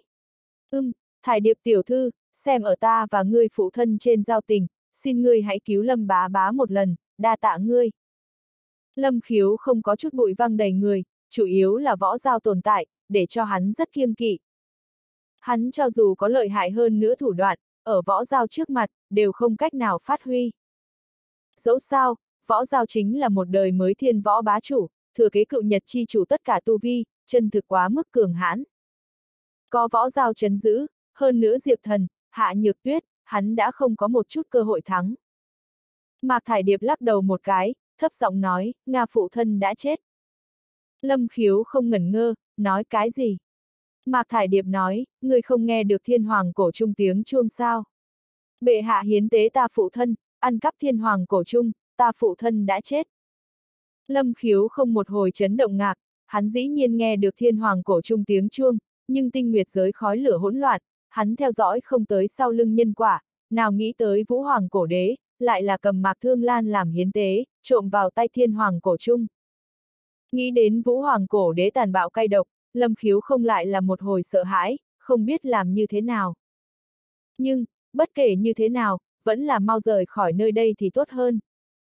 Lâm khiếu không lấy lại bình tĩnh, liền nói, thải điệp tiểu thư, người muốn nén bi thương, người trước cứu ta đi ra ngoài, cầm những người này toàn bộ giết, coi như không giết được, người cũng phải đem bọn họ vĩnh viễn khốn mộng bên trong, không muốn thả bọn họ đi ra ngoài.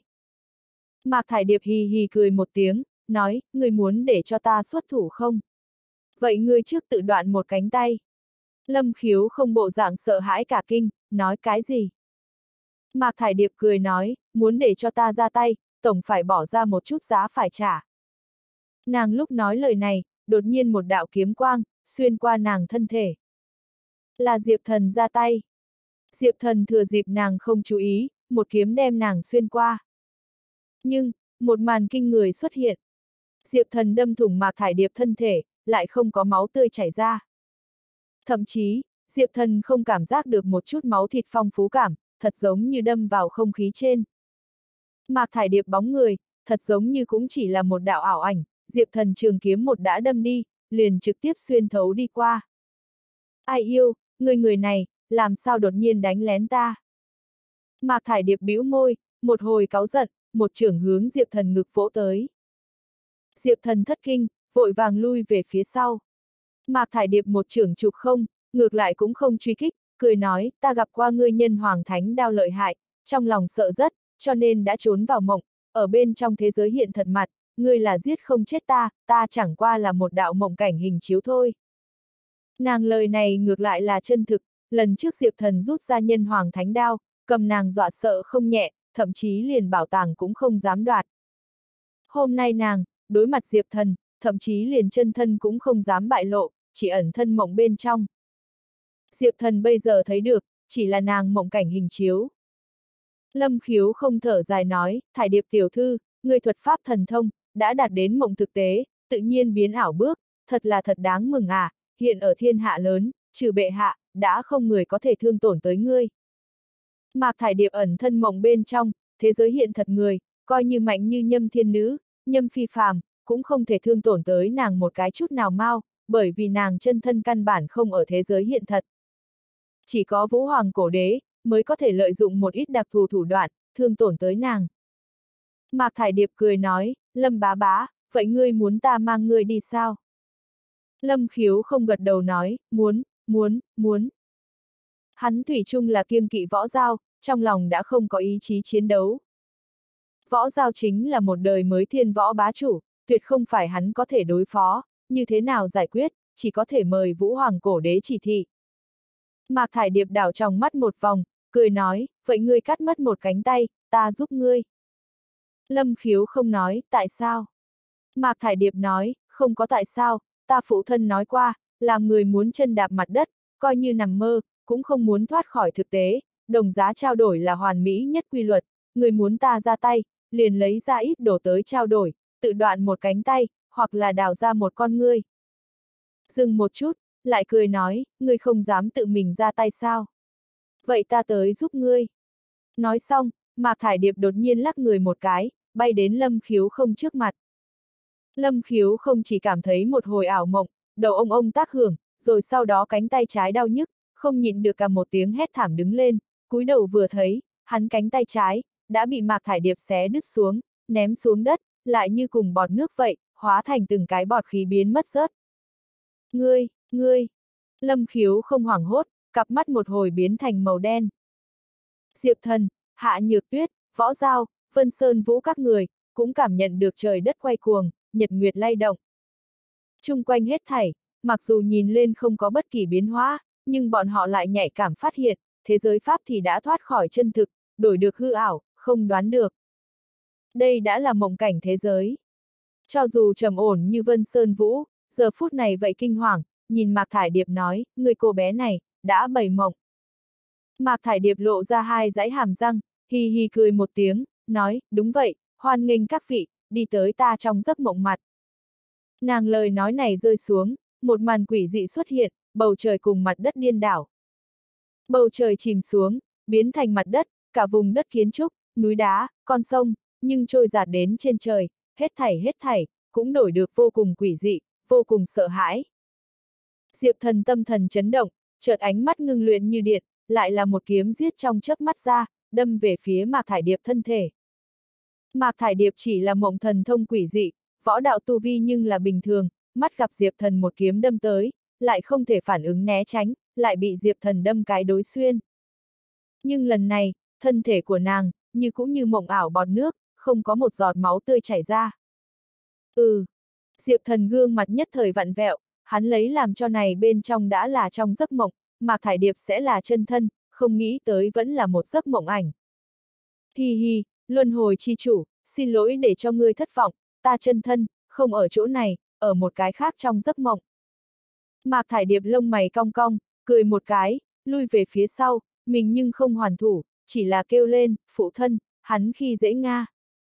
Thanh âm rơi xuống, Mạc Thải Điệp bên người, không gian vặn vẹo, một bóng người nổi lên, lại là nàng phụ thân Mạc Thương Lan. Lâm khiếu không che tay cụt, thấy Mạc Thương Lan xuất hiện, một hồi ngạc nhiên, nói, Mạc Thương Lan, nữ nhi ngươi không phải nói ngươi đã chết rồi sao? Mạc Thương Lan lộ ra một cái thê lương nụ cười, nói, đúng vậy, Lâm Huynh, nhưng con gái ta, lại mộng trong thế giới, đem ta sống lại. Dừng một chút, Mạc Thương Lan có chút trách cứ nhìn về phía Mạc Thải Điệp, nói Thải Điệp, ta nói với ngươi, đồng giá trao đổi là trụ cột nhất nguyên tắc, người đem ta sống lại, người giá phải trả là cái gì? Mạc Thải Điệp rào hoạt cười một tiếng, chỉ chỉ Diệp Thần, nói ta giá phải trả và tiền đặt cuộc, chính là luân hồi chi chủ. Chỉ cần giết hắn, phụ thân, ngươi không chỉ là mộng bên trong sống lại, ở thế giới hiện thật cũng có thể sống lại. Diệp Thần giận cả tóc gáy, cảm thấy nguy cơ trước đó chưa từng có, chợt quát lên, các người muốn giết ta, vậy thì tới đi. Ta đây muốn xem xem, người cái này phiến mộng, mệt không vây được ta. Tiếng nói rơi xuống, Diệp Thần gọi ra luân hồi thánh hồn thiên. Bàng bạc khoáng đạt thánh hồn bầu trời, nhất thời tách thả ra ra. Lục đạo luân hồi khí thế kinh khủng, đang điên cuồng lan tràn. Mộng là tinh thần một phần chia, mà Diệp Thần luân hồi thánh hồn trời, tinh thần bảo vệ vô địch. Hắn trực tiếp thả ra luân hồi thánh hồn trời, chính là muốn nghiền nát mạc thải điệp mộng, trở về thực tế.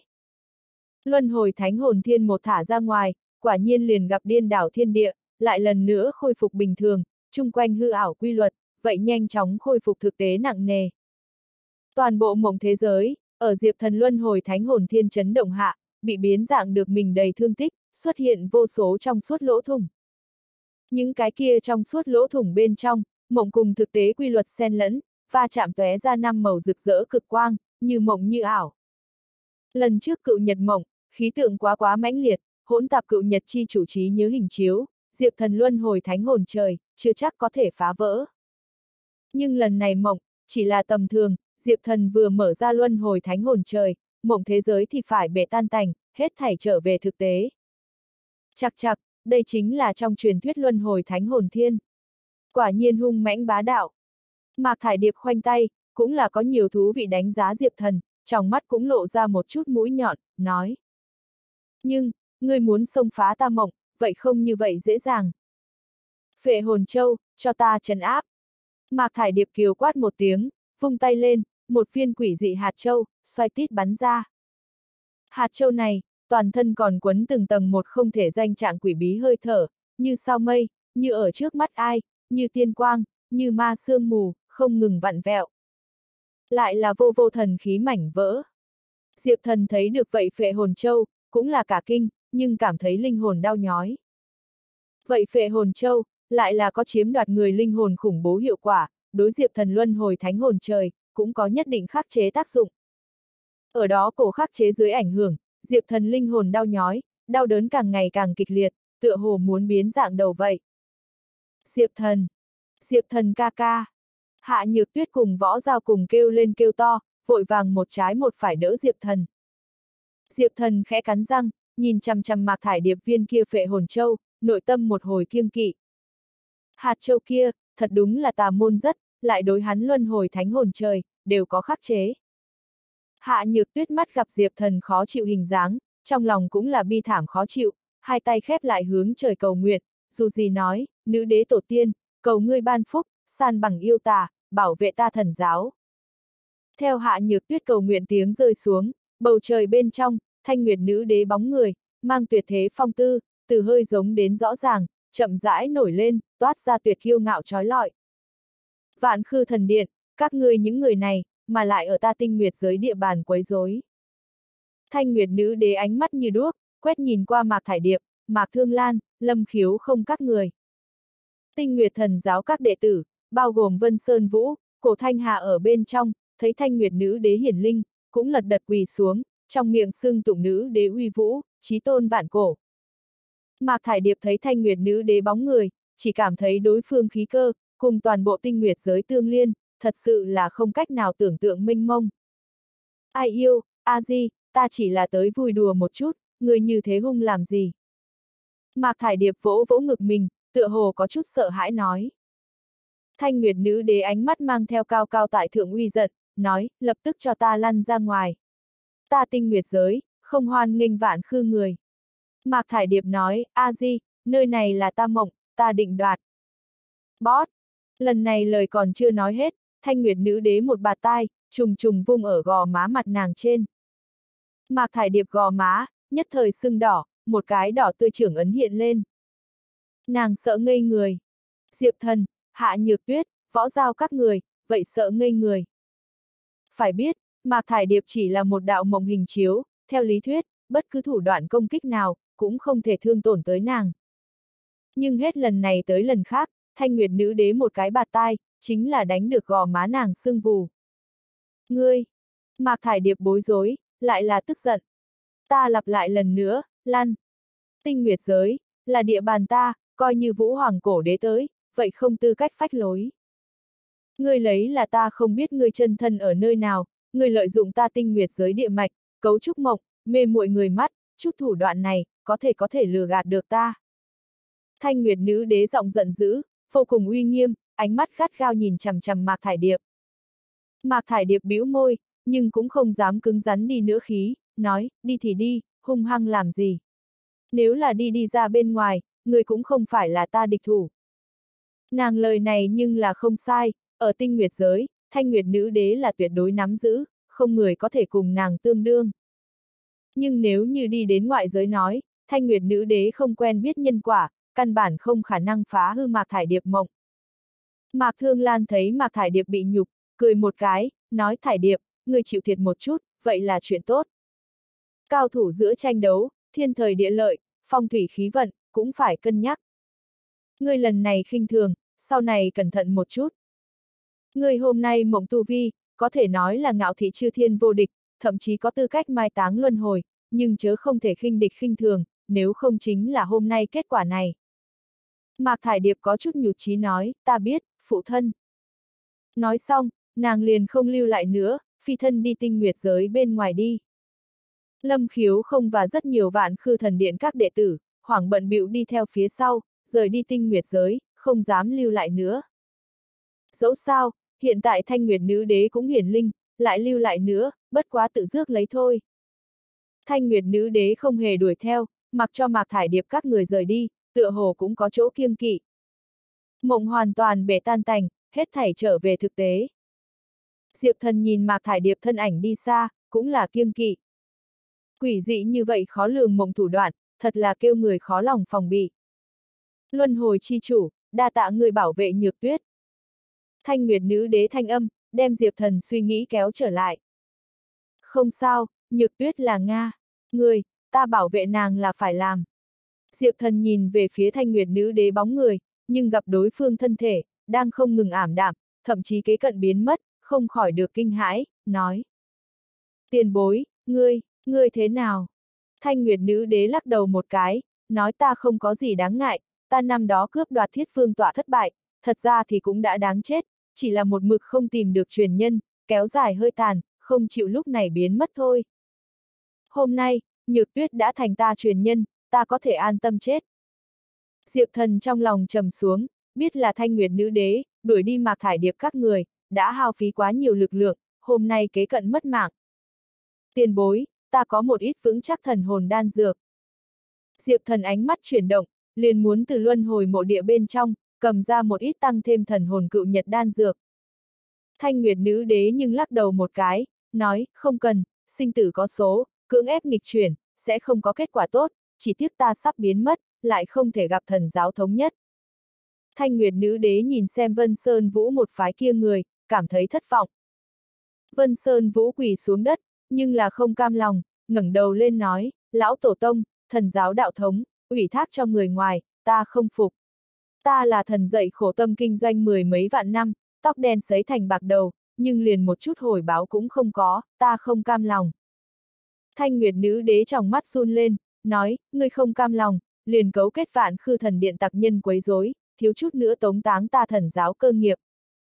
Vân Sơn Vũ nghe Thanh Nguyệt nữ đế trách cứ, một hồi xấu hổ, nói, lão tổ tông, ta chỉ là không nghĩ tới, vạn khư thần điện, sẽ như vậy. Thanh Nguyệt nữ đế nói, dẫn sói vào nhà, người phải bị tội gì? Vân Sơn Vũ mồ hôi lạnh nhễ nhại, dập đầu nói, mời lão tổ tông thứ tội. Thanh Nguyệt nữ đế sắc mặt vừa chậm, nhìn về phía Vân Sơn Vũ một phái kia người, số người quả thực không thiếu, tinh nguyệt giới lại đến chỗ khói lửa khói báo động, lại như thế đấu nữa, chỉ sợ cả thế giới đều phải sụp đổ, tinh nguyệt thần giáo đạo thống cũng phải băng diệt. Nàng ngừng lại một chút, liền thở dài nói, Vân Sơn Vũ, ta biết ngươi không phục, vậy ta lại cho các ngươi một cái cơ hội. Vân Sơn Vũ ánh mắt sáng lên, nói, mời lão tổ tông minh giám.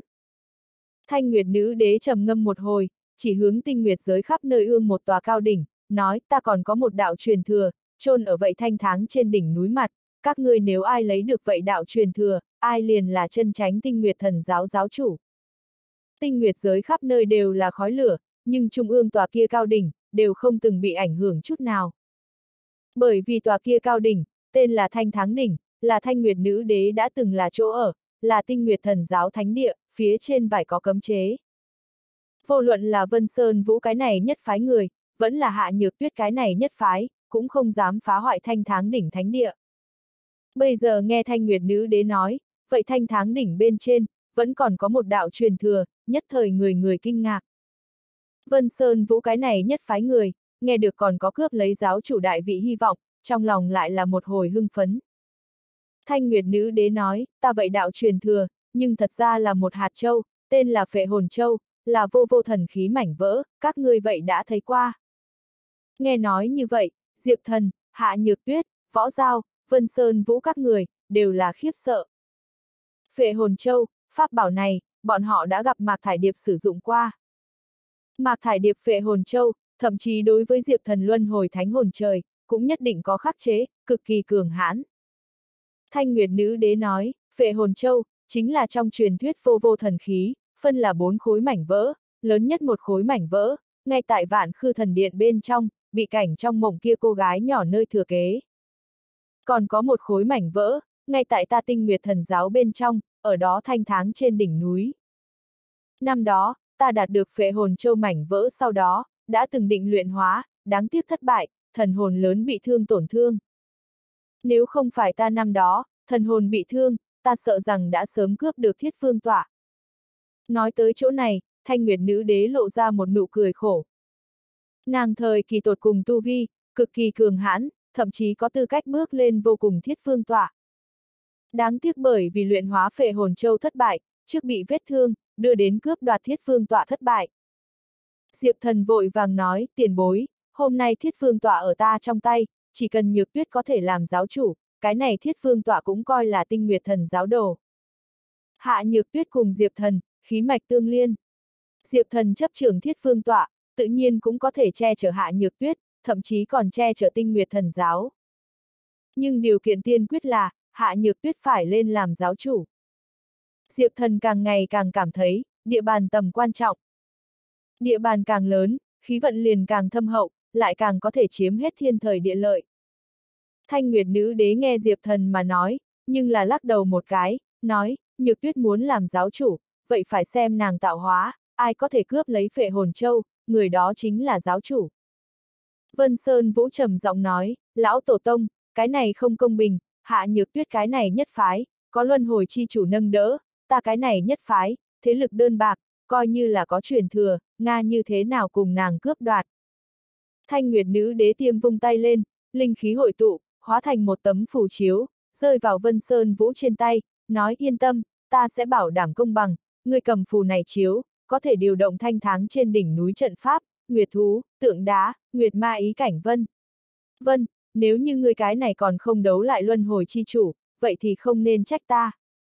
Vân Sơn Vũ cầm phù chiếu, vui mừng trong bụng, nói, đa tạ lão tổ tông ban phúc. Thanh Nguyệt nữ đế nhẹ khẽ gật đầu, nhìn xem Vân Sơn Vũ, lại nhìn xem hạ nhược tuyết các người, nói ta muốn các người lấy đạo tâm thể, bỏ mặc người nào thắng, khác nhất phái đều phải hết sức phụ trợ đối phương, không thể chút nào hai lòng. Vân Sơn Vũ lúc này thề, nói, nếu như lão tổ tông truyền thừa, thật rơi xuống như tuyết cô nương trong tay, ta nguyện máu chảy đầu rơi, là như tuyết cô nương cống hiến.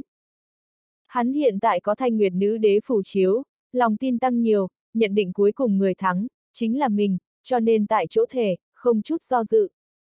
Sau lưng hắn hệ phái các đệ tử, cũng là dối giết thề. Diệp thần và hạ nhược tuyết nhìn nhau một mắt, nhưng là có chút do dự.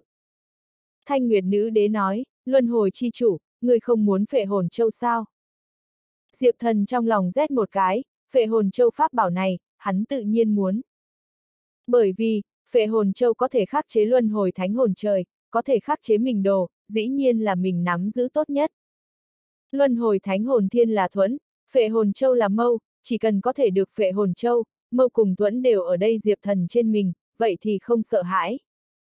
Được, ta đáp ứng, nếu chúng ta thất bại, ta và nhược tuyết, hết sức phụ tá thái thượng trưởng lão là được. Diệp thần khẽ cắn răng, cuối cùng cũng là lấy đạo tâm thề. Vân Sơn Vũ cười ha ha một tiếng, nói, không phải thái thượng trưởng lão, cùng lão phu bắt được truyền thừa, lão phu liền là mới giáo chủ. Diệp thần cười lạnh một tí, từ chối cho ý kiến.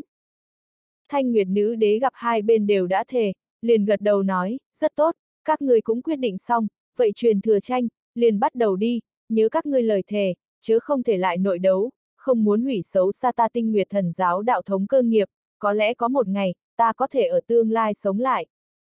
Lời nói này nói xong, thanh nguyệt nữ đế thần hồn, chính là đã tiêu hao hết tất cả năng lượng, hoàn toàn tiêu tán đi.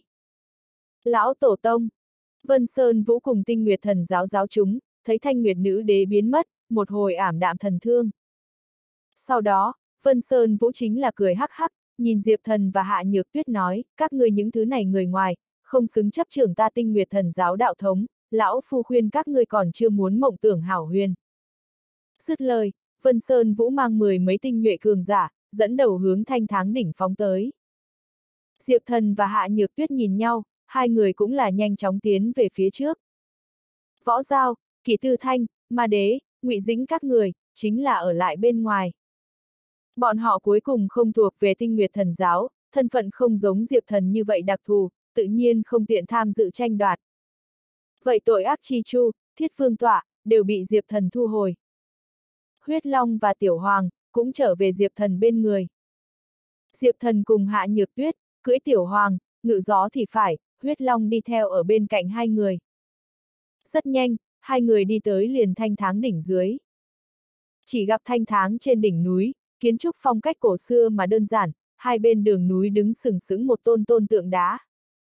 Vân Sơn Vũ mang người thủ hạ, dẫn đầu chạy tới thanh tháng trên đỉnh núi, vung lên phù chiếu, vậy một tôn tôn tượng đá, con ngươi lại có thể sáng lên hồng mang, hoạt động, đạp sải bước, rắc rắc rắc rắc vang dội, vọt tới Diệp Thần cùng trước mặt người. Luân hồi chi chủ, các ngươi từ từ hưởng thụ, lão phu đi trước một bước. Vân Sơn Vũ hì hì cười gần một tí, lợi dụng phù chiếu, khống chế vậy một tôn tôn tượng đá, công kích Diệp Thần các người, hắn thì dẫn người sông lên núi, tìm vậy phệ hồn châu. Mười mấy đầu tượng đá, đạp sải bước, ung ung vọt tới Diệp Thần cùng trước mặt người. Những thứ này tượng đá, chừng mười mấy mét cao, to lớn nguy nga, là ban đầu thanh nguyệt nữ đế, đặc biệt chế tạo mà thành, là thanh tháng đỉnh thần bảo vệ. Coi như là vậy thiên huyền cảnh cường giả, đối mặt những thứ này tượng đá đánh vào nghiền ép, chỉ sợ cũng không chịu nổi. Diệp thần thấy vậy mười mấy đầu tượng đá vào tới, nhưng là thong thả, sử dụng thiết phương tọa, quát lên, sắt thép phản tượng, cho ta trấn áp. Ung ung. Thiết phương tọa bên trên, tràn ra từng luồng kinh khủng sắt thép hơi thở, như hắc chiều vậy bạo dũng ra. Vậy mười mấy đầu tượng đá, vừa tiếp xúc với sắt thép hắc chiều hơi thở, lập tức thiết hóa, toàn bộ biến thành một cái cái sắt thép pho tượng, sừng sững tại chỗ không nhúc nhích. Cái gì? Xa xa Vân Sơn Vũ, thấy một màn này, nhất thời kinh hãi. Hắn thúc giục những thứ này tượng đá, vậy không muốn nói có thể giết chết Diệp Thần và Hạ Nhược Tuyết, chỉ cầu trì hoãn bọn họ bước chân chốc lát. Cứ như vậy, hắn liền có thời gian đi tìm phệ hồn châu, thậm chí cướp lấy. Chỉ cần lấy được phệ hồn châu, thắng được truyền thừa, như vậy dựa theo lời thề ước định, Diệp Thần và Hạ Nhược Tuyết, đều phải trở thành hắn bề tôi, tận tâm tận lực hầu hạ hắn. Nhưng hắn nơi nào nghĩ đến, những thứ này tượng đá thần bảo vệ, lại không có thể ngăn cản Diệp Thần bước chân chút nào. Giết về đi! Diệp Thần thúc giục thiết phương tọa, mãnh quát một tiếng, vậy mười mấy đầu biến thành sắt thép tượng đá, liền đổi lại phương hướng, quay đầu hướng Vân Sơn Vũ các người lướt đi. Mãnh liệt lạnh lùng sắt thép uy áp, để cho được Vân Sơn Vũ đều là sắc thay đổi. Đáng chết luân hồi chi chủ. Vân Sơn Vũ khẽ cắn răng, thật sâu cảm thấy Diệp Thần thần thông cường hãn, ánh mắt một hồi ngưng trọng, rồi sau đó chính là toàn lực thúc giục phủ chiếu, quát lên. Nguyệt ma ý cảnh, cho ta buồn ngủ chết bọn họ. Theo Vân Sơn Vũ tiếng quát rơi xuống, toàn bộ thanh tháng đỉnh địa mạch, đều là chấn động đứng lên, có vô số quỷ bí quái đản hơi thở nổi lên.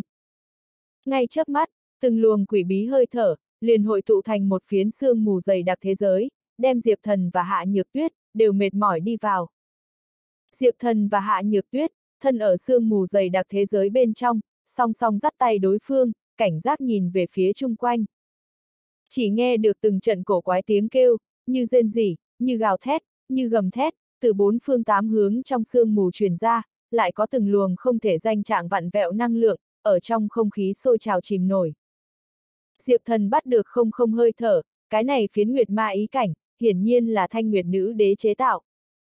Thanh nguyệt nữ đế thời kỳ tột cùng tu vi, thậm chí tìm hiểu một chút không không bí ẩn, có thể mượn dùng không không thời không hơi thở, chế tạo ma thần ý cảnh.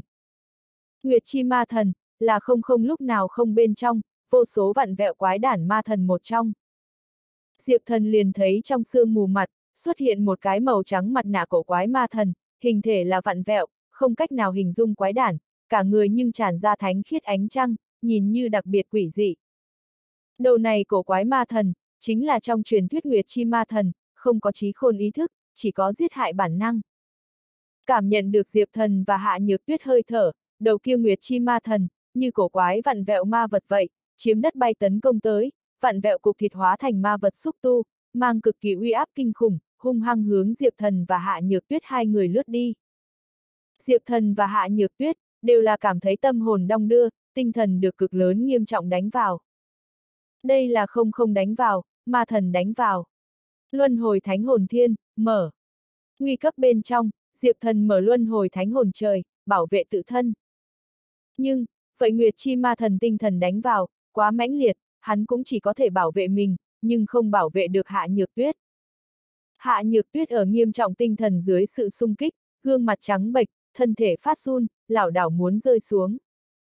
Vậy Nguyệt Chi ma thần phát ra gầm thét, bỏ qua Diệp thần, như điên mãng vậy hướng Hạ Nhược Tuyết chiếm đoạt đi.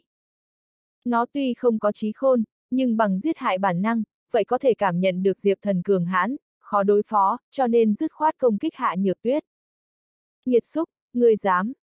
Diệp thần tức giận, tay một chiêu, tám đại thiên kiếm đồng loạt giết ra, đấu chữ quyết cùng trận tự quyết vậy đồng thời mở. Thiên kiếm đấu đế trận.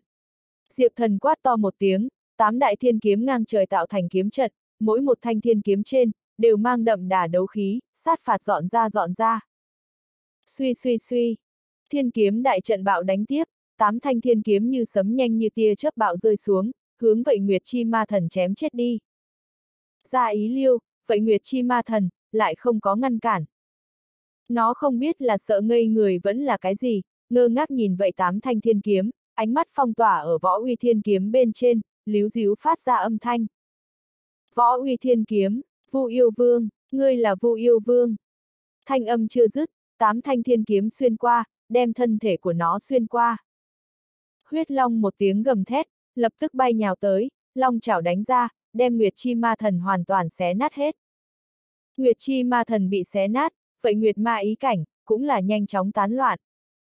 Thế giới bên ngoài, lần nữa xuất hiện ở Diệp Thần và Hạ Nhược Tuyết trước mặt hai người.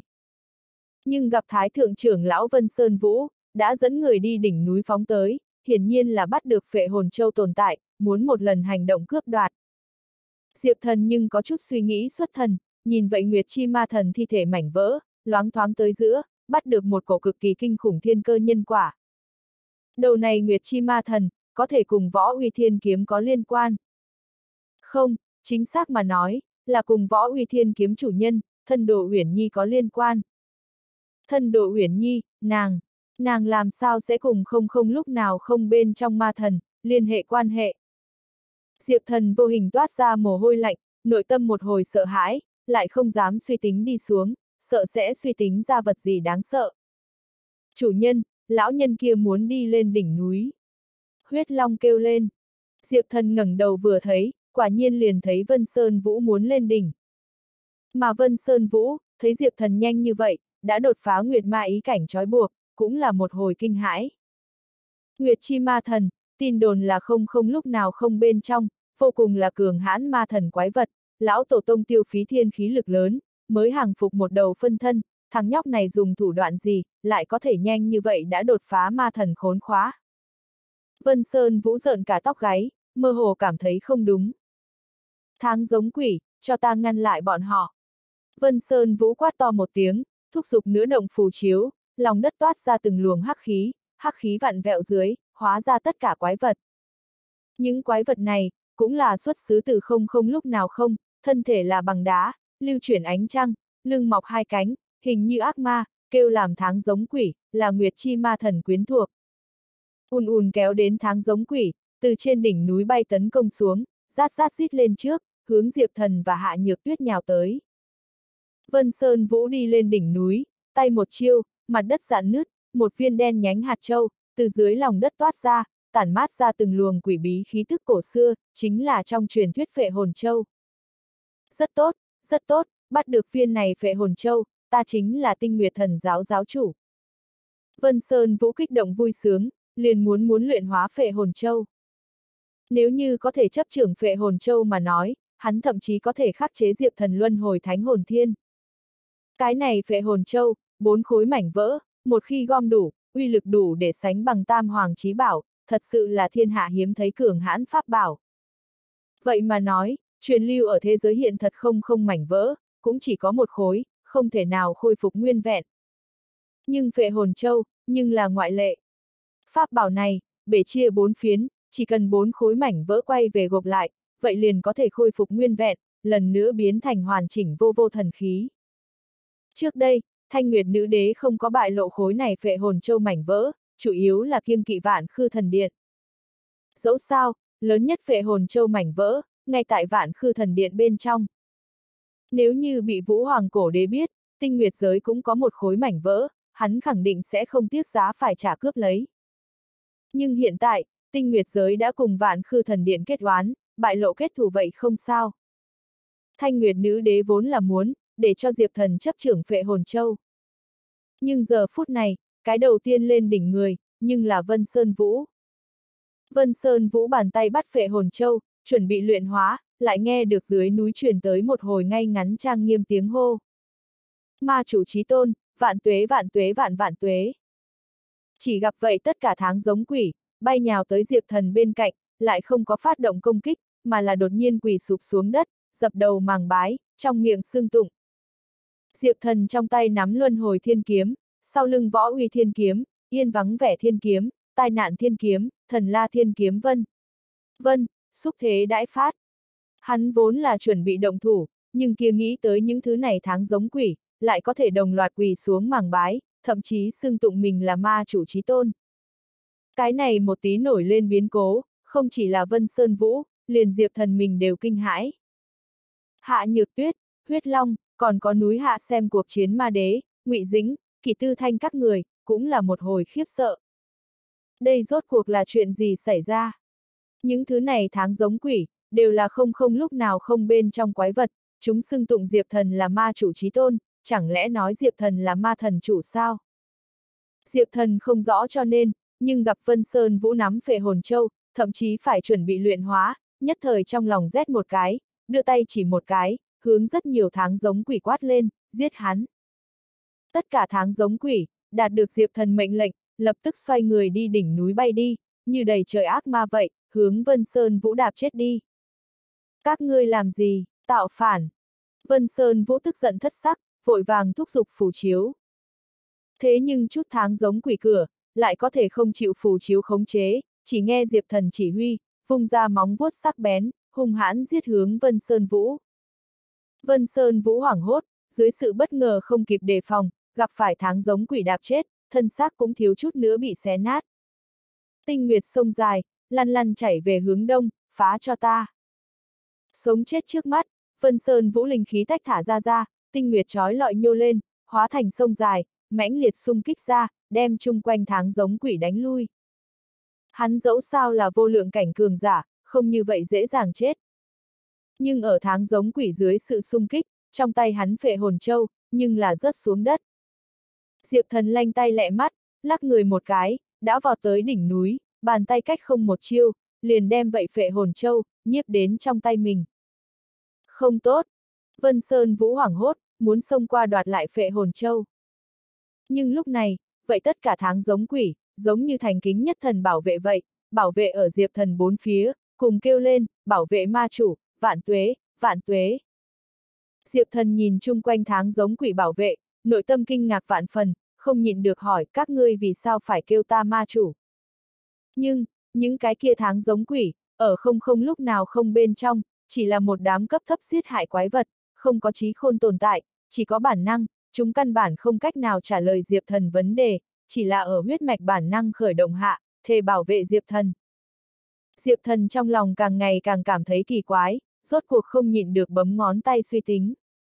Cái này một tí suy diễn, mơ hồ tới giữa, Diệp Thần bắt được một cọc vô cùng kinh khủng nhân quả. Hết thảy các thứ này, có lẽ cùng thân độ uyển nhi có liên quan.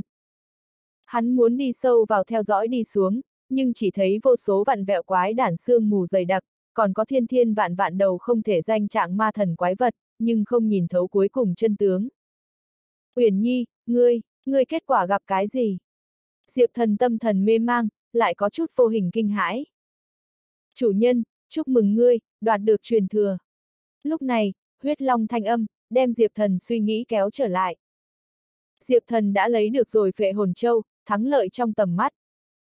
Vân Sơn Vũ mắt gặp thế cục bất lợi, nội tâm chấn động, nhưng cũng không cam lòng lúc này nhận thua, đột nhiên cháy hết trong tay phủ chiếu, hét điên cuồng nói. Luân hồi chi chủ, tiếp Nga một trường, sống chết thành bại, ở chỗ này nhất kích. Ung ung. Theo phủ chiếu cháy hết, cả tòa thanh tháng đỉnh địa mạch, cũng cùng Vân Sơn Vũ, phát ra kịch liệt đồng tình. Một cái chớp mắt tới giữa, thanh tháng đỉnh sụp đổ, loạn thạch tung tóe. minh mông địa mạch năng lượng, bơm vào đến Vân Sơn Vũ trong cơ thể. Vân Sơn Vũ từng cái tóc trắng kích dương, máu tươi cháy, khí thế muôn vàn, một trưởng lôi cuốn uy mãnh vô địch khí thế, hung hăng hướng Diệp Thần bạo giết đi. Hắn nhưng mà vô lượng cảnh cường giả, một trưởng này ẩn chứa địa mạch năng lượng, cùng khí huyết thiêu đốt năng lượng, lực sát thương cực kỳ khủng bố. Bảo vệ ma chủ. Vậy rất nhiều tháng giống quỷ, từ huyết mạch bản năng, không sợ chết vậy, bảo vệ Diệp Thần, đón Vân Sơn vũ trưởng thế, liều chết sung phong đi lên. Bình bịch bịch. Nhưng, Vân Sơn vũ liều mạng, trưởng thế dị thường mãnh liệt, vậy tất cả tháng giống quỷ, căn bản không đỡ được, một sông ra, đã bị đánh được nổ tung. Diệp thần cảm thấy Vân Sơn vũ trưởng thế, Sơn hô hải khiếu đánh giết tới, cũng là lấy làm kinh hãi.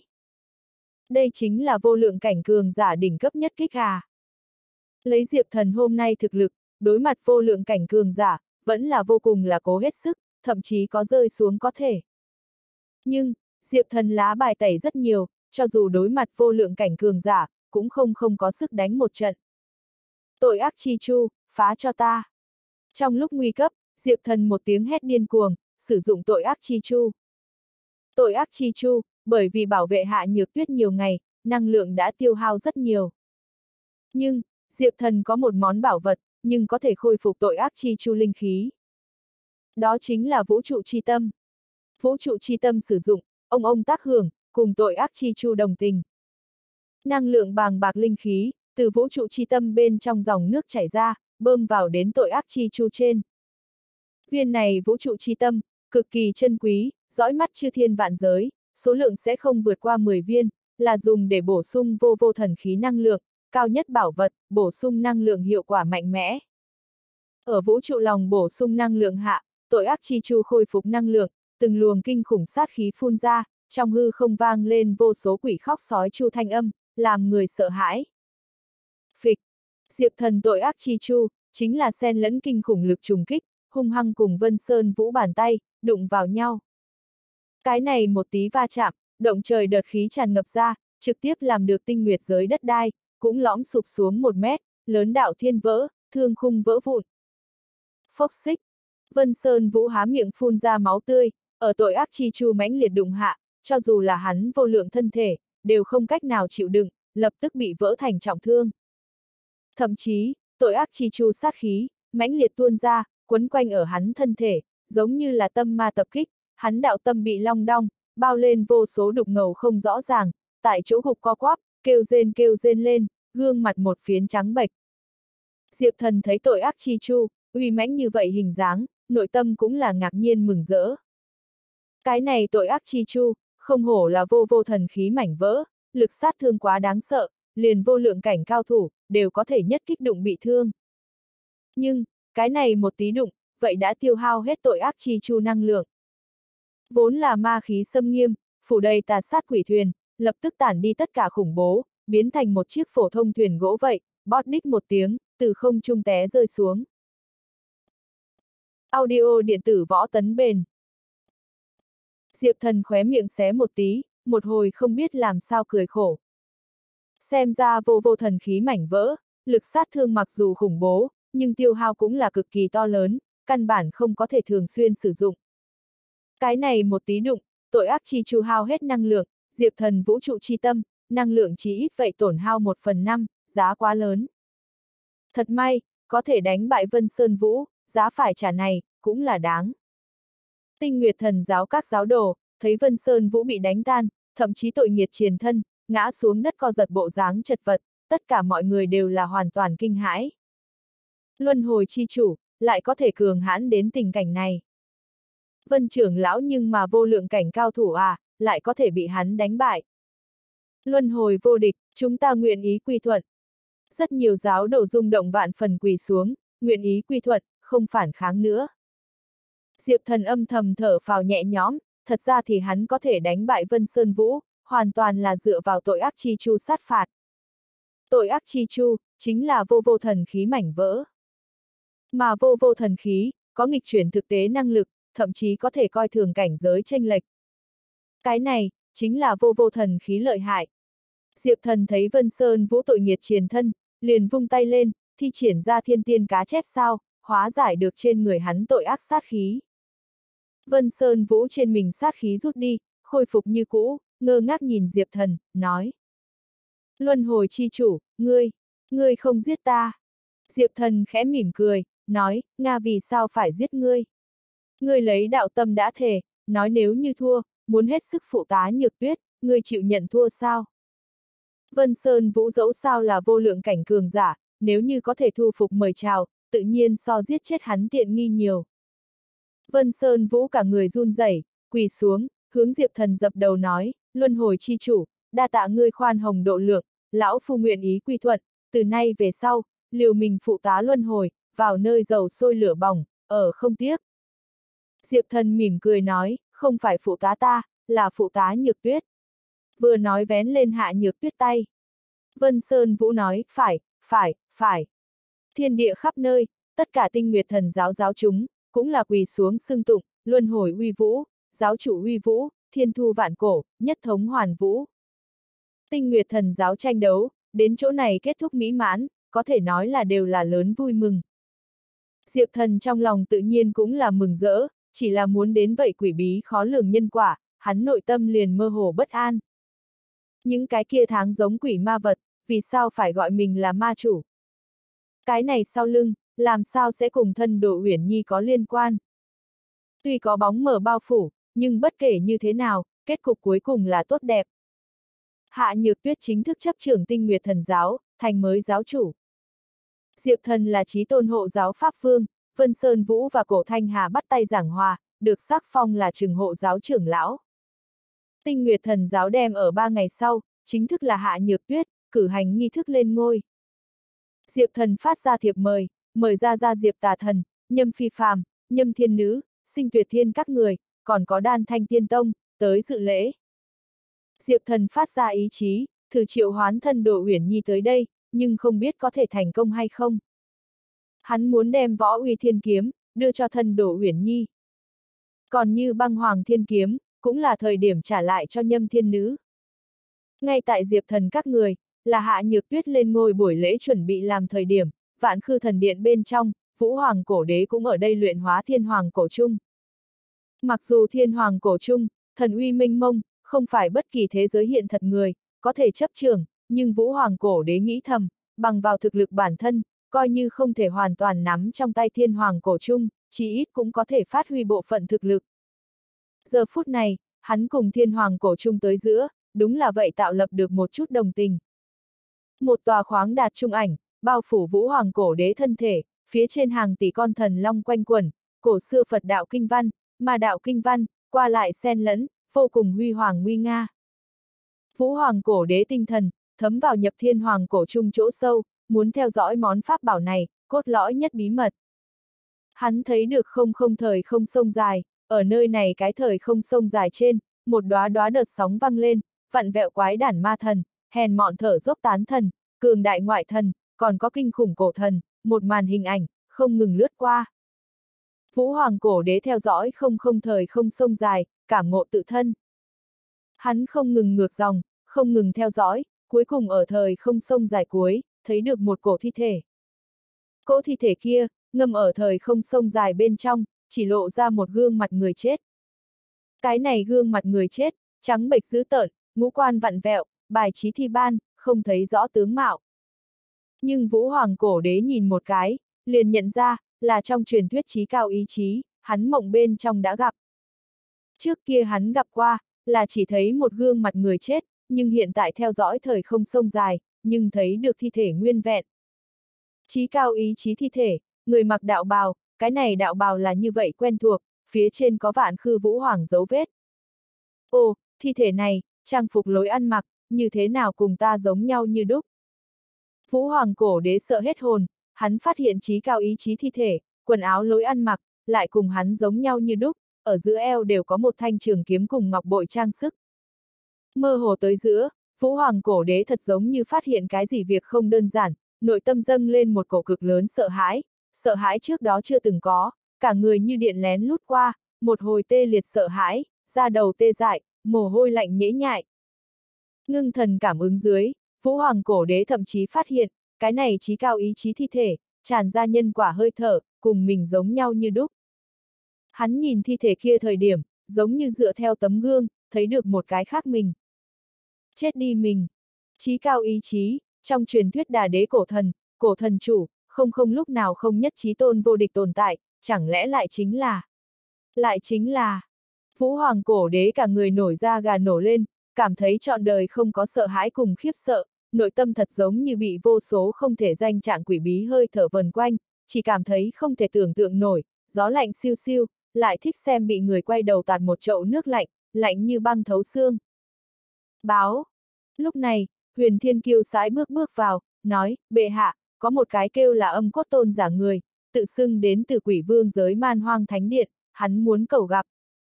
Vũ hoàng cổ đế thoáng phục hồi tinh thần lại, nhướng mày một cái, nói quỷ vương giới, man hoang thánh điện. Hắn tự nhiên cũng nghe qua, luân hồi sáu giới truyền thuyết. Luân hồi sáu giới, là trí cao ý chí chế tạo ra thế giới, vì mai táng luân hồi mà sống. Quỷ vương giới, chính là sáu giới một trong, man hoang thánh điện chính là quỷ vương giới nắm giữ thế lực. Kêu hắn đi vào. Vũ Hoàng cổ đế nhàn nhạt phất tay một cái, nói. Huyền Thiên Kiêu gặp Vũ Hoàng cổ đế sắc mặt trắng bệch, hơn nữa cả người bị mồ hôi ướt đẫm, thật giống như gặp cái gì biến cố trọng đại vậy, trong lòng ngầm thất kinh kỳ, nhưng không dám hỏi nhiều, kêu, ưm. Xoay người đi ra ngoài truyền đạt. Vũ Hoàng cổ đế hít sâu một hơi, linh khí vần quanh, để cho chuyện mình trạng thái, khôi phục bình thường, lại là một bộ tiên hy nhô lên siêu nhiên hình dáng.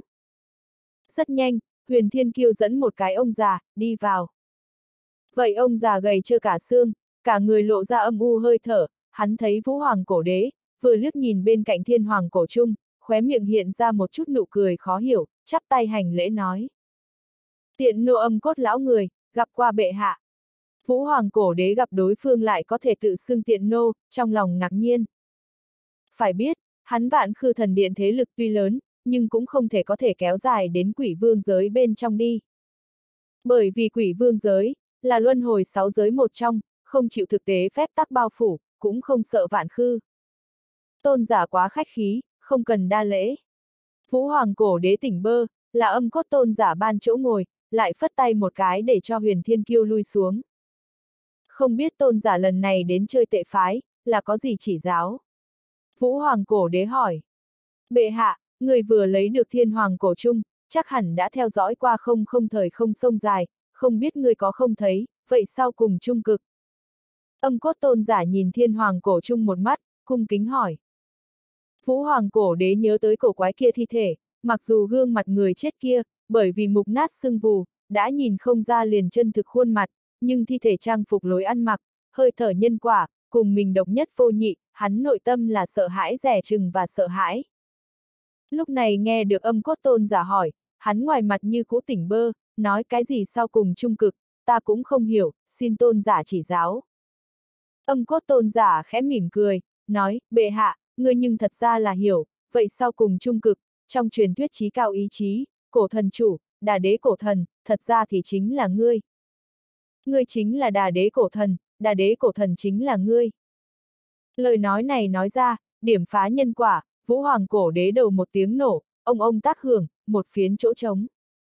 Âm cốt tôn giả nói tiếp, bệ hạ, thật ra thì cái gọi là đà đế cổ thần, chính là tương lai ngươi, ngươi chính là trí cao ý chí, lão nô là thư của ngươi đồ, xin nhận lão nô một bái. Vừa nói, âm cốt tôn giả quỳ sụp xuống đất, cung kính hướng vũ hoàng cổ đế dập đầu. Vũ hoàng cổ đế vẻ mặt đại chấn, cảm thấy vô số thiên cơ nhân quả vọt tới. Âm cốt tôn giả cũng không phải là ngụy trang, hắn đích xác là thành tâm thành ý, ngưỡng mộ cổ thần, là vũ hoàng cổ đế tương lai tín đồ. Vũ hoàng cổ đế tương lai, chính là đà đế cổ thần. Các loại thiên cơ phù hợp, vũ hoàng cổ đế rõ ràng xác định, vậy đà đế cổ thần, chính là hắn tương lai thân. Thật giống như có một cái đồ sộ trùy, hung hăng gõ vũ hoàng cổ đế tâm linh, hắn cả người cũng chấn động lên. Chân tướng biết rõ, sợ hãi, rung động, kinh ngạc, phòng bị, bộ dạng sợ hãi vân. Vân tâm trạng, ở hắn trong lòng không ngừng xen lẫn. Cho dù lấy vũ hoàng cổ đế tu vi hàm dưỡng, lúc này tinh thần vậy đối mặt tan vỡ. Bởi vì cái này chân tướng, thật là quá mức kinh người. Đà đế cổ thần, chính là tương lai hắn. Trên đời này, có một cái khác ta, vẫn là tương lai Nga. Vũ hoàng cổ đế cả người run rẩy run, không biết như thế nào đối mặt. Đang. Vừa lúc đó, thiên hoàng cổ trung tự động phát ra một tiếng trung vang. Đạo này tiếng chuông, tựa như mang đáng địch yêu tà lực lượng, ngay tức thì để cho vũ hoàng cổ đế đầu óc thanh tỉnh lại, các loại hỗn loạn tâm trạng, cũng là ngay tức thì tiêu tán đi. Hắn tâm thần, khôi phục bình tĩnh, ánh mắt lóe lên, nội tâm lướt qua vô số ý niệm, vội vàng đem âm cốt tôn giả đỡ dậy, nói tôn giả, ta trong lòng có rất nhiều nghi ngờ, xin ngươi hãy chỉ điểm. Âm cốt tôn giả chậm rãi đứng dậy, nói chỉ điểm không dám làm, là bệ hạ cống hiến, là lão nô có phúc. Vũ hoàng cổ đế lấy lại bình tĩnh, nói, ngươi nói đà đế cổ thần, chính là tương lai ta. Cái này, đây rốt cuộc là chuyện gì xảy ra? Âm cốt tôn giả sắc mặt hơi hơi trầm xuống một cái, nói, bệ hạ, đà đế cổ thần, đúng là chính là tương lai ngươi, nhưng cụ thể nhân quả, lão nô không cách nào giải thích. Vũ Hoàng cổ đế nói, vì sao? Âm cốt tôn giả nói, bởi vì không không lúc nào không, không cách nào dùng lời nói chính xác miêu tả, ở đó phiến thời không bên trong, không có phát hiện thật suy luận cùng trật tự, hoặc là nói, coi như tồn tại suy luận cùng trật tự, cũng không phải chúng ta có thể hiểu. Vũ Hoàng cổ đế ngẩn ngơ, sau đó có chút hiểu ra. Hắn vậy khổ tâm điều nghiên qua không không, đúng là biết, không không thời không thần bí, không cách nào dùng lời nói đi miêu tả, có rất nhiều rất nhiều hơn quỷ bí khó lường tồn tại. Ví dụ như tương lai hắn, liền tồn tại ở không không lúc nào không bên trong, quỷ bí như vậy sự việc, căn bản không cách nào dùng thực tế suy luận đi hiểu. Âm cốt tôn giả nói, cụ thể chân tướng, chúng ta tạm thời không cách nào giải khai, chỉ là lão nô có một cái phỏng đoán, có thể là bởi vì diệp tà thần tồn tại, đưa đến tương lai ngươi, trước thời hạn xuất hiện. Vũ Hoàng cổ đế nhướng mày một cái, nói, diệp tà thần. Âm cốt tôn giả nói, ưm, chính là vậy luân hồi chi chủ ra ra, hắn nhiều lần xuyên qua thời không, có thể đưa đến thời không hỗn loạn, khiến cho tương lai ngươi, từ một cái khác thời không bên trong hạ xuống. Vũ Hoàng cổ đế chân mày càng nhíu càng sâu, thời không lần lượt thay nhau, tương lai cùng hiện tại, những thứ này nhân quả, cũng siêu thoát thực tế phạm vi, trừ phi là chứng đạo không không, nếu không căn bản không có thể hoàn toàn biết rõ, hắn hiện tại suy nghĩ lại hỗn loạn lên. Âm cốt tôn giả nói tiếp, bệ hạ, thật ra thì cái này rất nhiều quỷ bí, chúng ta không cần tra cứu, chỉ cần biết, cõi đời này tồn tại một cái khác ngươi, là tương lai ngươi, chính là trong truyền thuyết đà đế cổ thần. Vũ Hoàng cổ đế gật đầu thật sâu, suy nghĩ lại rõ ràng đứng lên, nói, ngươi nói không sai, muốn được quá nhiều, ngược lại có thể nhiễu loạn đạo tâm, có cái gì gian nan hiểm trở địa phương, mau đao chặt đứt chính là, nếu là thật không địch lại, cũng không uổng ta oanh oanh liệt liệt huy hoàng cả đời. Âm cốt tôn giả hí mắt cười một tiếng, nói, đúng là như vậy, bệ hạ, vậy ngươi có thể có hứng thú, cướp lấy ngươi tương lai lực lượng. Vũ hoàng cổ đế trong lòng rét một cái, nói, ngươi có ý gì? Âm cốt tôn giả nói, ta quỷ vương giới có một môn trận pháp, xuất xứ từ không không lúc nào không, tên là di hoa tiếp mộc trận, trận pháp này một khi bày thành công, liền có thể đem người khác tu vi lực lượng, đổ lỗi đến trên người mình, là là di hoa tiếp mộc. Vũ Hoàng Cổ Đế nói, người muốn gọi ta di hoa tiếp mộc, đem Nga tương lai thân tu là, chuyển giá đến bây giờ trên người ta. Âm cốt tôn giả nói, chính là, cái này di hoa tiếp mộc trận, tỷ lệ thành công cực thấp, di hoa tiếp mộc, rất dễ dàng phát sinh bài xích, nhưng bệ hạ, ngươi và ngươi tương lai thân, có cùng nguồn gốc, tương lai tu vi đổ lỗi đến hiện tại, liền như nước chảy xuống chỗ thấp, tự nhiên sẵn có, tuyệt sẽ không có nửa điểm cản trở chỗ. Vũ Hoàng cổ đế trong mắt sáng lên, nếu quả thật như vậy, di hoa tiếp mộc thành công, hắn há không phải có thể trước thời hạn đến tương lai, thành tựu không không. Dừng một chút, Vũ Hoàng cổ đế lại có chút phòng bị nói, các ngươi quỷ vương giới, vì sao phải giúp ta? Âm cốt tôn giả yên lặng một hồi, sau đó thở dài nói, bệ hạ, thực không dám giấu giếm, ta quỷ vương giới phụng mệnh mai táng luân hồi, nhưng chậm chạp không thể thành công, đã khiến cho đà đế cổ thần tức giận, đà đế cổ thần ít ngày nữa liền muốn rơi xuống lôi phạt, đem ta quỷ vương giới hoàn toàn hủy diệt. Vũ Hoàng cổ đế nghe đến chỗ này, vuốt sâu cười một tiếng. Đà đế cổ thần là hắn tương lai, lấy hắn tính cách, người khác làm việc bất lực, vậy dĩ nhiên là muốn chém tận giết tuyệt.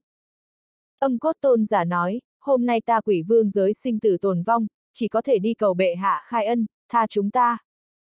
Vũ Hoàng cổ đế nói, luân hồi chi chủ trăm ra chém hết, khí vận bằng bạc, các ngươi giết không chết hắn, vậy cũng không trách ngươi được cửa. Âm cốt tôn giả nói, đúng là như vậy. Chỉ tiếc, bệ hạ, chỉ tiếc tương lai ngươi, lại không chịu khoan thứ, nên làm như thế nào?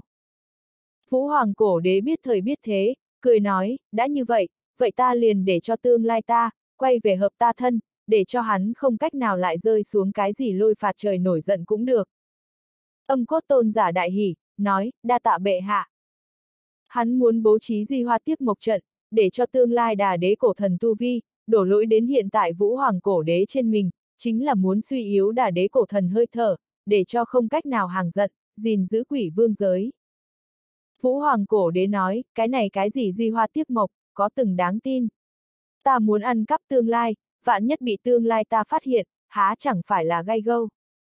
Đà đế cổ thần uy nghiêm, vũ hoàng cổ đế là chính mắt thấy qua, hắn bây giờ, tự nhiên không địch lại tương lai hắn. Âm cốt tôn giả nói, bệ hạ mời yên tâm, chỉ có thực tế, mới là vĩnh hằng, chỉ có bây giờ ngươi, mới thật sự là ngươi, ngươi ý chí, mới thật sự là trí cao, coi như là tương lai ngươi, cảnh giới tu vi cao hơn, nhưng cũng không cách nào chống lại ngươi hôm nay ý chí. Lời nói này nói được 10 phần bẻ miệng, Vũ Hoàng cổ đế cái hiểu cái không, tự đi bấm ngón tay tính toán, nhưng cảm thấy thiên cơ quang minh, cũng không có nửa điểm hung hiểm hơi thở, nhất thời trong lòng đại định. Rất tốt, rất tốt, vậy thì bày trận đi, ta muốn để tương lai trước thời hạn đến, ta Vũ Hoàng cổ đế, mới thật sự là nắm giữ. Bỏ mặc hiện thế thời không, vẫn là không không lúc nào không, ta đều là duy nhất vĩnh hằng bá chủ. Vũ Hoàng cổ đế ha ha cười một tiếng, nội tâm lại cũng không có nửa điểm sợ hãi sợ hãi, chỉ có nóng rực ý chí chiến đấu. Hắn muốn di hoa tiếp mộc, đem tương lai tu vi, chuyển tới trên người mình. Hắn muốn để cái này thế gian, chỉ có một cái mình, vĩnh hằng duy nhất. Âm cốt tôn giả kêu, dạ, bệ hạ. Lập tức móc ra một quyển trận đồ, giao cho Vũ Hoàng cổ đế. Đây cũng là di hoa tiếp một trận trận đồ, mời bệ hạ vui vẻ nhận. Vũ Hoàng cổ đế gật đầu một cái, nhận lấy trận đồ, cũng không vội vã mở ra bày trận, mà là cẩn thận lặp đi lặp lại suy diễn, xem bói rất nhiều thiên cơ cắt hung, lại cho đòi tới Hồng Xuân Thu, Huyền Thiên Kiêu, Lâm Khiếu không các người, chung nhau xem bói tính toán. Cuối cùng, ước chừng diễn toán ba ngày, đang lúc mọi người hợp lực xem bói hạ, Vũ Hoàng Cổ Đế có thể xác nhận, cái này di hoa tiếp một kế hoạch, một phiến quang minh, cũng không bất kỳ cản trở chỗ. Thậm chí Vũ Hoàng Cổ Đế cả đời này, cũng chưa từng gặp qua như thế thuận lợi sự việc. Quả nhiên, tương lai ta, và bây giờ ta, định trước hợp làm một thể, ta mới thật sự là nắm giữ. Vũ Hoàng cổ đế trong mắt chiến ý sôi trào, liền ở vạn khư thần điện sau núi trên, lấy thiên hoàng cổ trung làm trận mắt, mở ra trận đồ, bố trí di hoa tiếp mộc trận. Hắn đặc biệt cẩn thận, thậm chí điều động thiên hoàng cổ trung, như vậy thứ nhất, coi như di hoa tiếp mộc xảy ra điều gì bất ngờ, dựa vào thiên hoàng cổ trung che chở, chí ít có thể giữ được tánh mạng. Vù vù. Trận đồ vừa mở ra, từng cái trận văn, thuận tiện lấy vũ hoàng cổ đế là trung tâm, nhanh chóng bày, cuối cùng lại hình thành một cái bánh răng xe hình vẽ, rắc rắc rắc rắc chuyển động. Vũ hoàng cổ đế nhìn vậy bánh răng xe vậy quái dị hình vẽ, cũng là khẽ gật đầu, điều này hiển nhiên là xuất xứ từ không không thời không trận pháp, liền trận văn hình vẽ cấu tạo, cũng cùng giống vậy ngũ hành thất tinh, cửu cung bát quái đổ dọn ra, rất không cùng. Huyền Thiên Kiêu, Lâm Khiếu Không, Hồng Xuân Thu, âm cốt tôn giả các người, khẩn trương ở bên cạnh quan sát. Lấy ta khí huyết, tiếp đón tương lai, di hoa tiếp mộc, bách xuyên quay về lưu. Vũ Hoàng cổ đế phát ra thật lớn ngâm sướng, đỉnh đầu có một tia khí máu, giống như một cái dây nhỏ, phóng lên cao, xuyên qua vô số tầng không gian. Rắc rắc, rắc rắc. Ở rất xa thời không chỗ sâu, vậy truyền đến bánh răng xe chuyển động thanh âm. Hình như là tương lai bánh răng xe, vận mạng bánh răng xe, bắt đầu chuyển động. Hai cái bánh răng xe, liền bị vũ hoàng cổ đế khí huyết dây nhỏ nối liền. Hô hô hô! Bầu trời bên trong, nổi lên mãnh liệt gió bão, mây đen bạo dũng. Ngay sau đó, mưa to như chút nước, tung bay xuống. Thiên địa đổi được hắc ám, hình như là có ngày tận thế mưa gió hạ xuống, tiếng sấm ầm ầm.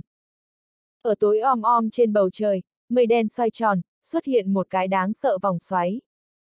Cuối cùng, hắc ám tầng mây vòng xoáy bên trong, hiện ra một gương mặt người chết. Đó là một tấm trắng bệch, dữ tợn, bài trí thi ban, tản ra hôi thối người chết mặt. Gương mặt người chết kia, giờ phút này thật giống như sống lại, phát ra rên rỉ thống khổ, không cam lòng gầm thét. Vậy chết mặt người ngũ quan, đang kịch liệt vặn vẹo, thống khổ vặn vẹo, thật giống như thừa nhận thế gian lớn nhất hành hạ vậy.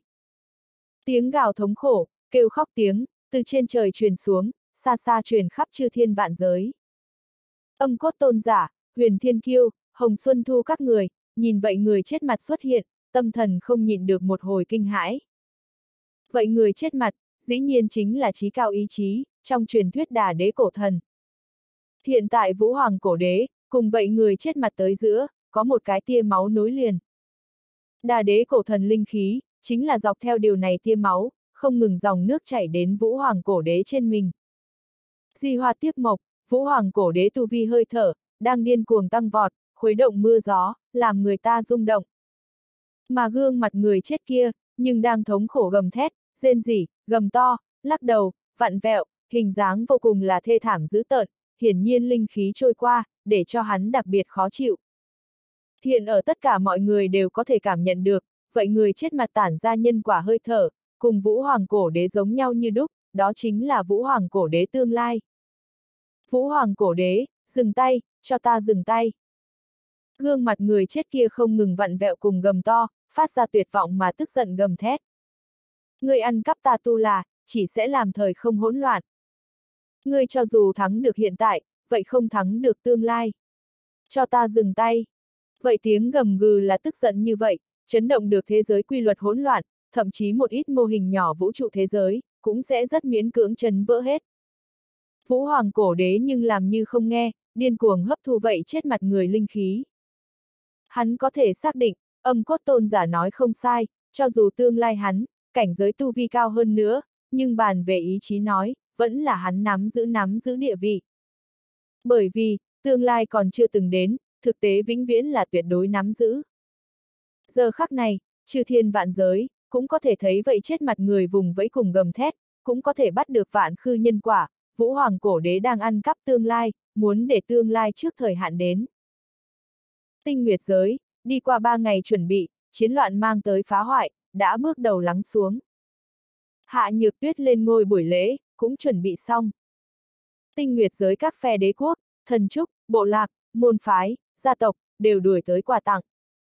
Nhâm phi phàm và diệp tà thần, còn có sinh tử điện sinh tuyệt thiên, đan thanh tiên tông lão tổ cùng tôn nữ, cũng nên mời tới, bầu không khí một phiến náo nhiệt. Chỉ là thiên nữ còn chưa tới, thân độ uyển nhi lại càng không nghe tiếng tức, để cho diệp thần có chút lo âu. Hạ nhược tuyết đổi lại cả người trắng như tuyết cao nhã quần áo, đầu đội ánh trăng vương miệt, liền chuẩn bị lên ngôi, nhưng vũ hoàng cổ đế di hoa tiếp một trận khí tượng, vậy trương đáng sợ người chết mặt, khí tượng nhưng truyền đến tinh nguyệt giới. Vốn là bầu trời xanh thẳm, bị mây đen cùng mưa xối xả bao phủ, gương mặt người chết kia chiếm cứ trên bầu trời, tản mát ra hôi thối cùng kêu thê lương thảm thiết, làm người ta rợn cả tóc gáy. Ở bạo gió lay động hạ, thậm chí liền hạ nhược tuyết giáo chủ ngai vàng, đều bị thổi lật, rất nhiều đèn lồng đỏ liên, bàn rượu tiệc rượu, toàn bộ bị thổi lật, tình cảnh một mảnh hỗn độn. Đây là... Diệp thần nhìn hắc ám trên bầu trời người chết mặt, hoàn toàn kinh hãi. Vậy người chết mặt ở gào khóc, gầm thét, ngũ quan đều ở đây vặn vẹo, tức giận mà tuyệt vọng, đặc biệt dữ tợn. Nhâm phi phàm và diệp tà thần, thấy vậy người chết mặt, cũng là một hồi kinh hãi dị. Cơ hồ là ngay lập tức, tại chỗ tất cả người, cũng bắt được cực kỳ kinh khủng nhân quả. Vũ Hoàng cổ đế, đang mượn dùng di hoa tiếp mộc trận, ăn cắp tương lai. Hắn tương lai, chính là trong truyền thuyết đà đế cổ thần.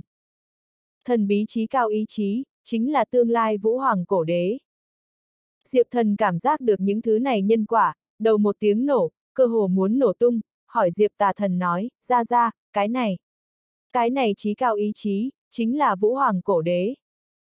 Diệp tà thần cũng là cả người sợ hãi, nói ta cũng không biết, ta vẫn luôn đang điều tra, nhưng nào nghĩ tới, nào nghĩ tới.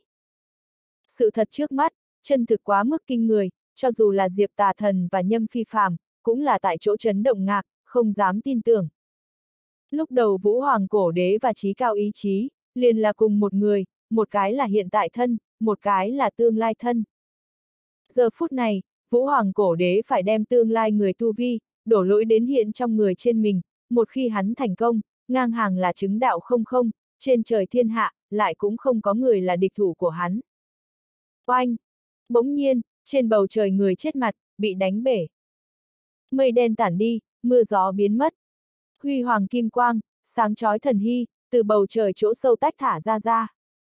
Trùng trùng vạn khư thần điện thế giới hư ảnh, trôi lơ lửng ở trên trời trên tầng mây, giống như thiên đường thế giới.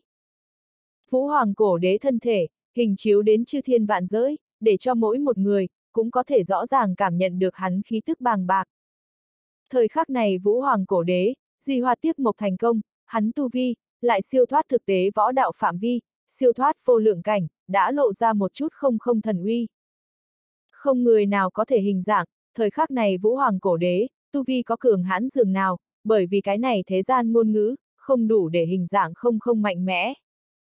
Vũ Hoàng cổ đế, hắn ăn cắp tương lai, đã chứng đạo không không sao. Nhâm phi phàm sắc mặt trầm xuống, thật sâu cảm thấy nguy cơ cùng uy hiếp.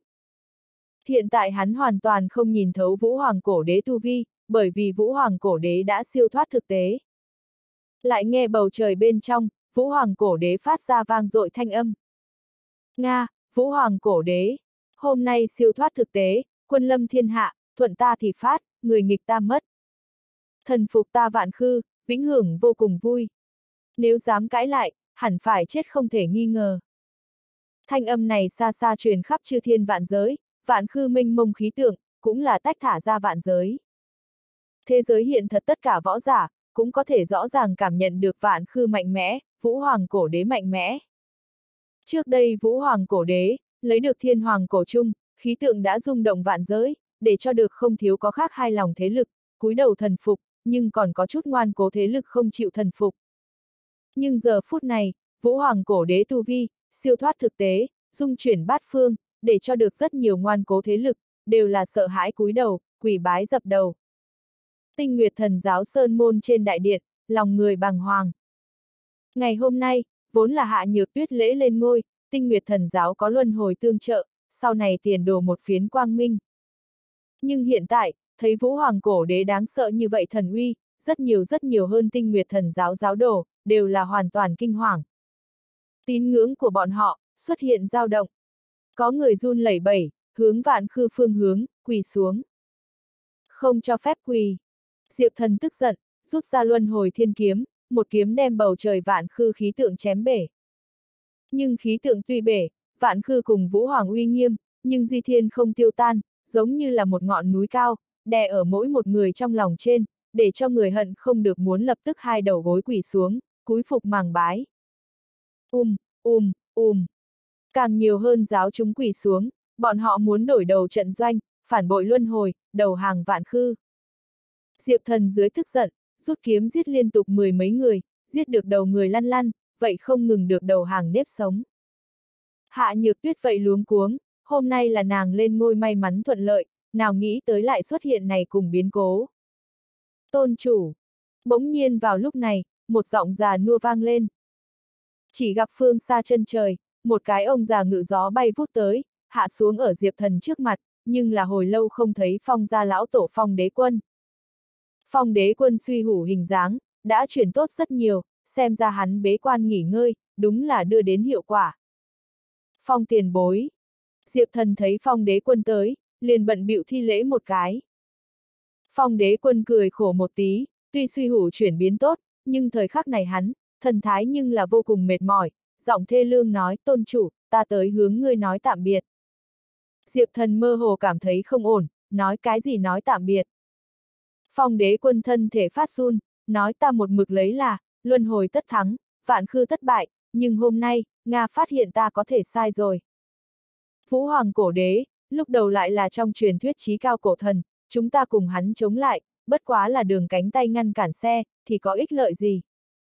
Diệp thần vội vàng nói, tiền bối, đừng nói cái loại này tiêu nghỉu nói.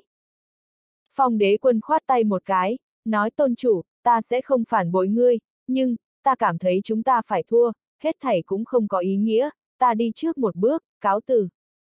Lời nói này nói xong, phong đế quân đột nhiên trở tay một trường, hung hăng đánh vào mình trên thiên linh cái. Rắc rắc một tiếng, hắn đầu lâu vỡ vụn, óc chảy ra, thần hồn vậy cùng nhau băng diệt, thân thể mềm từ từ ngã xuống đất, lúc này chết đi. Tiền bối. Diệp thần kinh hãi thất sắc, nào nghĩ tới phong đế quân lại sẽ tự vận. Nhâm phi phàm và Diệp tà thần tiến lên trước một bước, à đích một tiếng, lại dừng lại ở bước chân. Bọn họ có thể nhìn ra, phong đế quân tín ngưỡng đã sụp đổ, hắn chết đi, ngược lại là một loại giải thoát. Thấy phong đế quân tự vận mà chết, tinh nguyệt thần giáo các giáo đồ, một phiến xôn xao, có người khóc quát lên, càng nhiều người hơn hướng vạn khư quỷ bái. Diệp thần nhất thời cảm thấy đại thế đã qua, lạnh cả người mồ hôi nhễ nhại. Suy suy suy. Lúc này, bầu trời phương xa bên trong, từng đạo lưu quang, bắn nhanh tới, nhưng là phong thần sẽ các đệ tử. Phong thần sẽ, là phong đế quân sáng lập tổ chức, giao cho Diệp thần trông coi. Giờ phút này, phong đế quân chết đi, tất cả phong thần sẽ các đệ tử, đồng loạt hạ xuống xuống, có chừng vạn người. Phong thần trong buổi họp vạn đệ tử, thấy phong đế quân bỏ mình, một hồi ảm đạm bi thương. Một người học trò đứng dậy, hướng Diệp thần nói, luân hồi chi chủ, xin lỗi, xin thứ cho ta không thể tiếp tục vì ngươi cống hiến. Vừa nói rút kiếm ra khỏi vỏ, tự vận chết. Lại có đệ tử đứng ra, nói, luân hồi nhất định thất bại, phí công vùng vẫy, cũng là vô ích, ta cũng đi. Vậy rút kiếm tự vận mà chết. Quanh mình rất nhiều phong thần sẽ đệ tử, cùng nói, luân hồi chi chủ, cáo từ. Đều là rút kiếm tự vận, hơn 10.000 người đồng loạt chết ở Diệp Thần trước mặt. Tín ngưỡng của bọn họ đã sụp đổ, lại không muốn đầu hàng vạn khư, cho nên tự vận chết đi, cất giữ trong sạch. Diệp Thần nhìn hơn 10.000 người ở trước mặt mình tự vận, chỉ cảm thấy ngày nay muốn sụp, cả người phát run, gương mặt trắng bệch, môi vù vù động, không biết như thế nào cho phải. Nếu như không phải là lòng hắn gông xiềng đã chặt đứt, đạo tâm bền bỉ, chỉ là trước mắt tình cảnh, liền để cho hắn tinh thần hỏng mất. Trước kia vạn khư cùng luân hồi tranh đấu, ai thắng ai thua, ngoại giới còn có suy đoán, cũng có rất nhiều người đứng ở luân hồi bên này. Nhưng hiện tại, Vũ Hoàng cổ đế thân thế hiển lộ, hắn chính là tương lai trí cao ý chí, cổ thần chủ, đã không người lại cho rằng Diệp thần có thể thắng. Hạ Nhược Tuyết, Ngụy Dĩnh, Kỳ Tư Thanh, Ma Đế, võ giao các người, cũng là lo sợ không yên bất an. Bọn họ dĩ nhiên là đứng ở Diệp thần bên này, tuyệt sẽ không ruồng bỏ, nhưng trên đời đều là phản bội, sau này làm như thế nào? Cũng như thế vẻ mặt đưa đám làm gì, có ta ở đây, luân hồi chưa chắc sẽ bại. Vừa lúc đó, một đạo trong trẻo uyển chuyển thanh âm, ở chân trời vang lên. Chỉ gặp một cái phong tư tuyệt lệ cô gái, khỏa gió mang tuyết, từ trên trời hạ xuống, chính là nhâm thiên nữ. Thiên nữ tỷ tỷ. Diệp thần thấy nhâm thiên nữ hạ xuống, nhất thời đại hỉ. Thiên nữ hạ xuống Diệp thần bên người, ôm Diệp thần, để cho Diệp thần đầu, chôn ở ngực mình bên trong, nói, xin lỗi, ta tới trễ. Thiên nữ tỷ tỷ. Diệp thần chỉ cảm thấy một hồi mềm mại ấm áp, nội tâm rất nhiều khói mù, lại là ngay tức thì tiêu tán mà vô ích. Nhâm thiên nữ mở ra địa hoàng thần thư, lại thả ra cầu nguyện hồ tiên, cuồn cuộn huy hoàng tiên quang, chính là nghiền nát vạn khư lưu lại ý chí, để cho thiên địa nếp sống khôi phục nhẹ nhàng khoan khoái. Đám người cảm nhận được thiên nữ uy nghiêm, đều là một hồi rung động. Rất nhiều quỳ bái vạn khư giáo chúng, lại đứng lên, ngơ ngác nhìn nhâm thiên nữ. Nhâm thiên nữ nói, quỳ bái vạn khư, thì có ích lợi gì?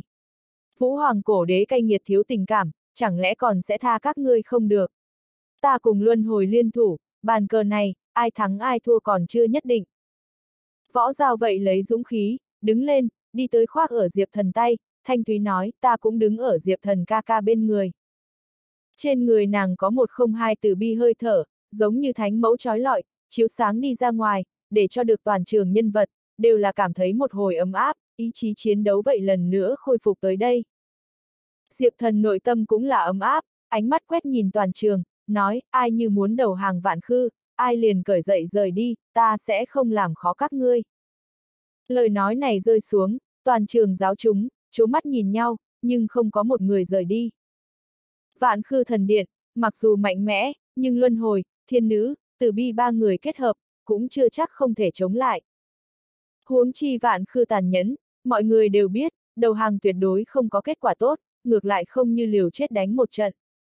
Chúng ta nguyện đi theo luân hồi, thề không tiếc. Sốt cuộc, có người cao giọng hô hoán lên, tỏ rõ quyết tâm. Nguyện đi theo luân hồi, thề không tiếc.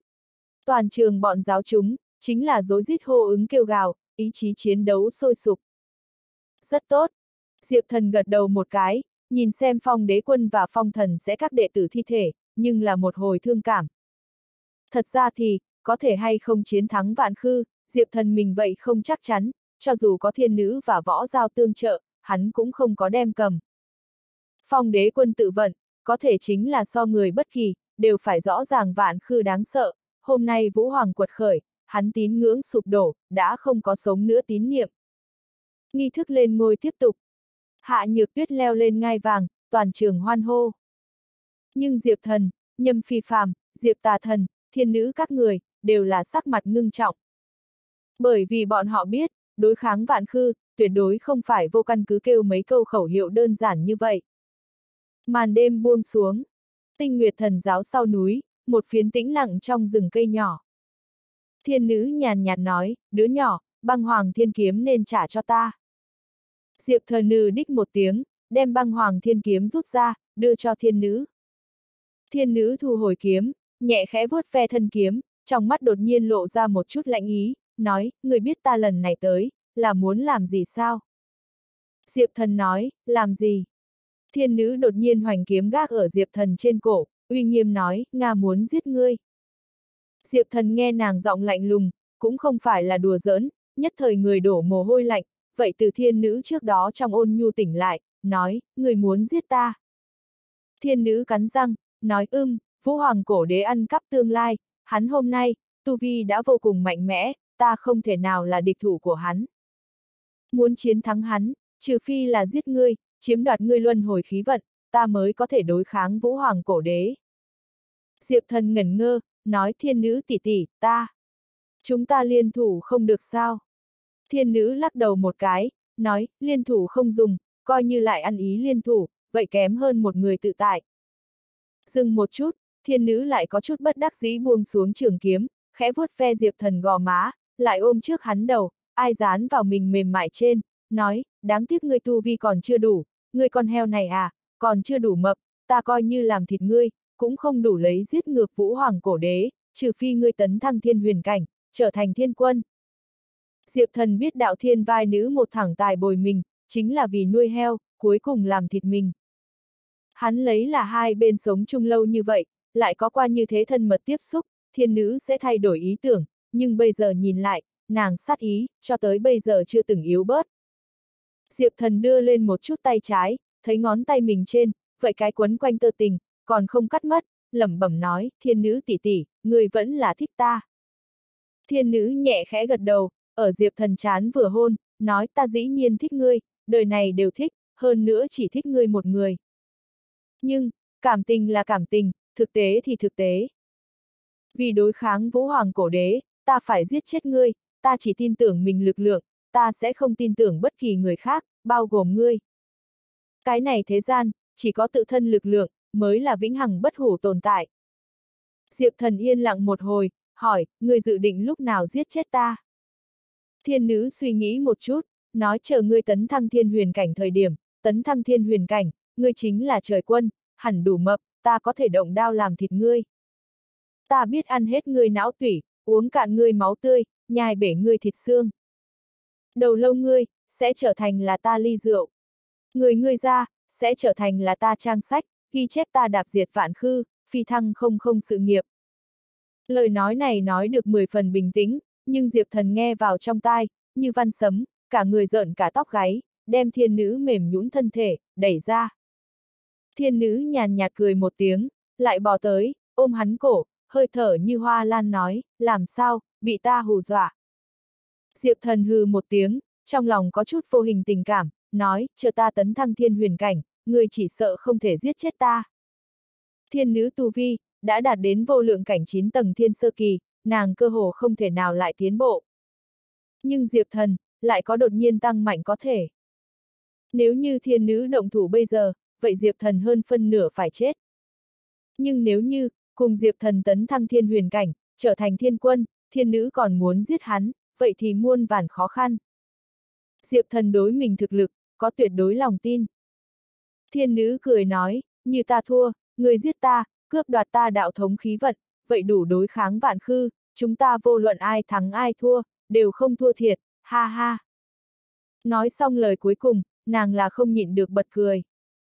Ở trước mặt người ngoài, nàng là tuyệt đối sẽ không có thần thái như thế, nhưng ở Diệp Thần trước mặt, tan mất tất cả ngụy trang, buồn cười liền cười, cũng không cần cố kỵ cái gì. Diệp Thần khẽ cắn răng, nói, như ta thắng, ta sẽ không giết ngươi. Thiên nữ nói, vậy ngươi muốn như thế nào? Diệp Thần hung hăng bóp một tí thiên nữ gò má, nói ta phải đem ngươi làm ta tiểu thiếp, miễn cưỡng đời đời hành hạ ngươi, giày xéo ngươi. Thiên nữ xì cười một tiếng, nói, ngươi như thế trừng phạt tỷ tỷ, tỷ tỷ ta nhưng cầu không được. Một đêm yên lặng, trời vừa sáng, vạn khư áp lực, vũ hoàng cổ đế áp lực, tinh nguyệt thần giáo phía sau núi đứng sừng sững hơn 10.000 cái mộ bia, phong đế quân mộ bia, lại để cho Diệp thần cảm thấy vô cùng ngưng trọng. Cùng nhâm phi phàm, Diệp tà thần các người thương nghị, vậy không có kết quả gì tốt. Cuối cùng đám người quyết định, vũ hoàng cổ đế nghịch thiên quật khởi, không thích hợp đối kháng, nhất định phải tạm lánh mũi nhọn. Nhâm phi phàm, diệp tà thần, thiên nữ các người, liền liên thủ phong tỏa tinh nguyệt giới không gian, che giấu tọa độ, lấy né tránh vạn khư theo dõi, là diệp thần tranh thủ tu luyện tiến bộ thời gian cùng cơ hội. Bây giờ đối với kháng vạn khư, mấu chốt nhất chính là diệp thần. Cũng không phải là nói, diệp thần tu vi cường hãn nhất, mà là bởi vì, diệp thần khí vận cường đại nhất. Ở sáng sớm hội đàm sau khi kết thúc, sinh tuyệt thiên hướng Diệp Thần nói, tôn chủ, đối kháng vạn khư, ta sinh tử điện vậy nguyện ra một phần lực, ta muốn mang ngươi đi sinh tử vực, gặp gặp điện chủ, bàn đối kháng vạn khư chuyện quan trọng, hắn cũng muốn gặp ngươi một chút.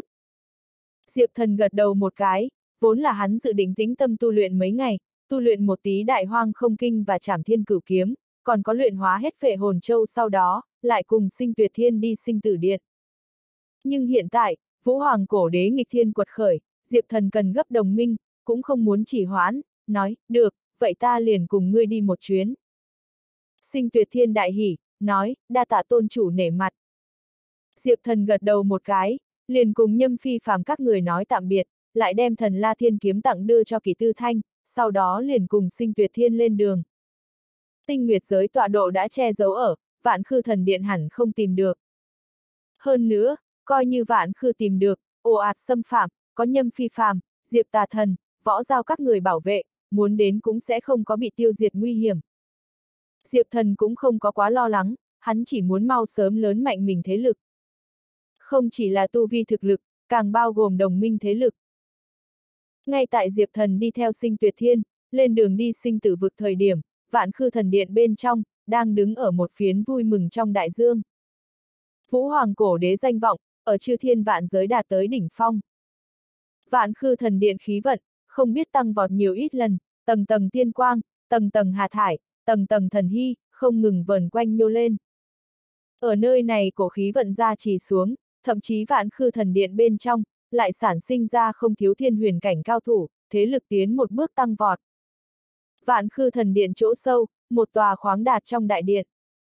Thiên hoàng cổ trung chấn thủ ở trung ương đại điện, thỉnh thoảng phát ra một đạo cổ xưa tiếng chuông, để cho vạn khư khí vận, đổi được vững chắc hơn. Vũ hoàng cổ đế ngồi ngay ngắn ở đại điện trên ghế, hào hùng tu vi hơi thở tràn ngập, tạo thành tinh không minh mông vũ trụ thế giới, còn quấn hắn thân thể, vô số trời trăng sao lóng lánh. Mà vũ hoàng cổ đế hơi thở, so với chư thiên trời trăng sao, đều phải trói mắt.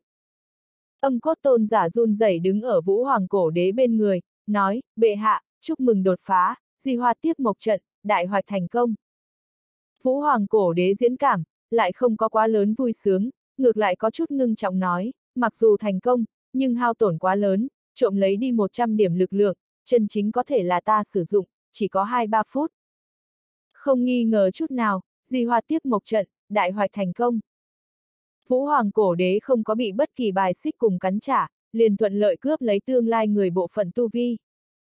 Đáng tiếc phần này tu vi, chân chính có thể đổi thành là hắn sử dụng, chỉ có 2-3 phút. 100 điểm 2-3 phút. Còn lại phần lớn tu vi linh khí, cũng bởi vì không không lúc nào không cùng hiện thế thời không hồng câu, mà lưu tán biến mất. Tuy nói một ly nước nóng, rót vào một ly nước lạnh bên trong đi, nhiệt lượng tất nhiên sẽ có chạy mất, nhưng chạy mất như thế nghiêm trọng, quả thực để cho Vũ Hoàng cổ đế, vô cùng đau lòng. Đây chính là tương lai mình tu vi à.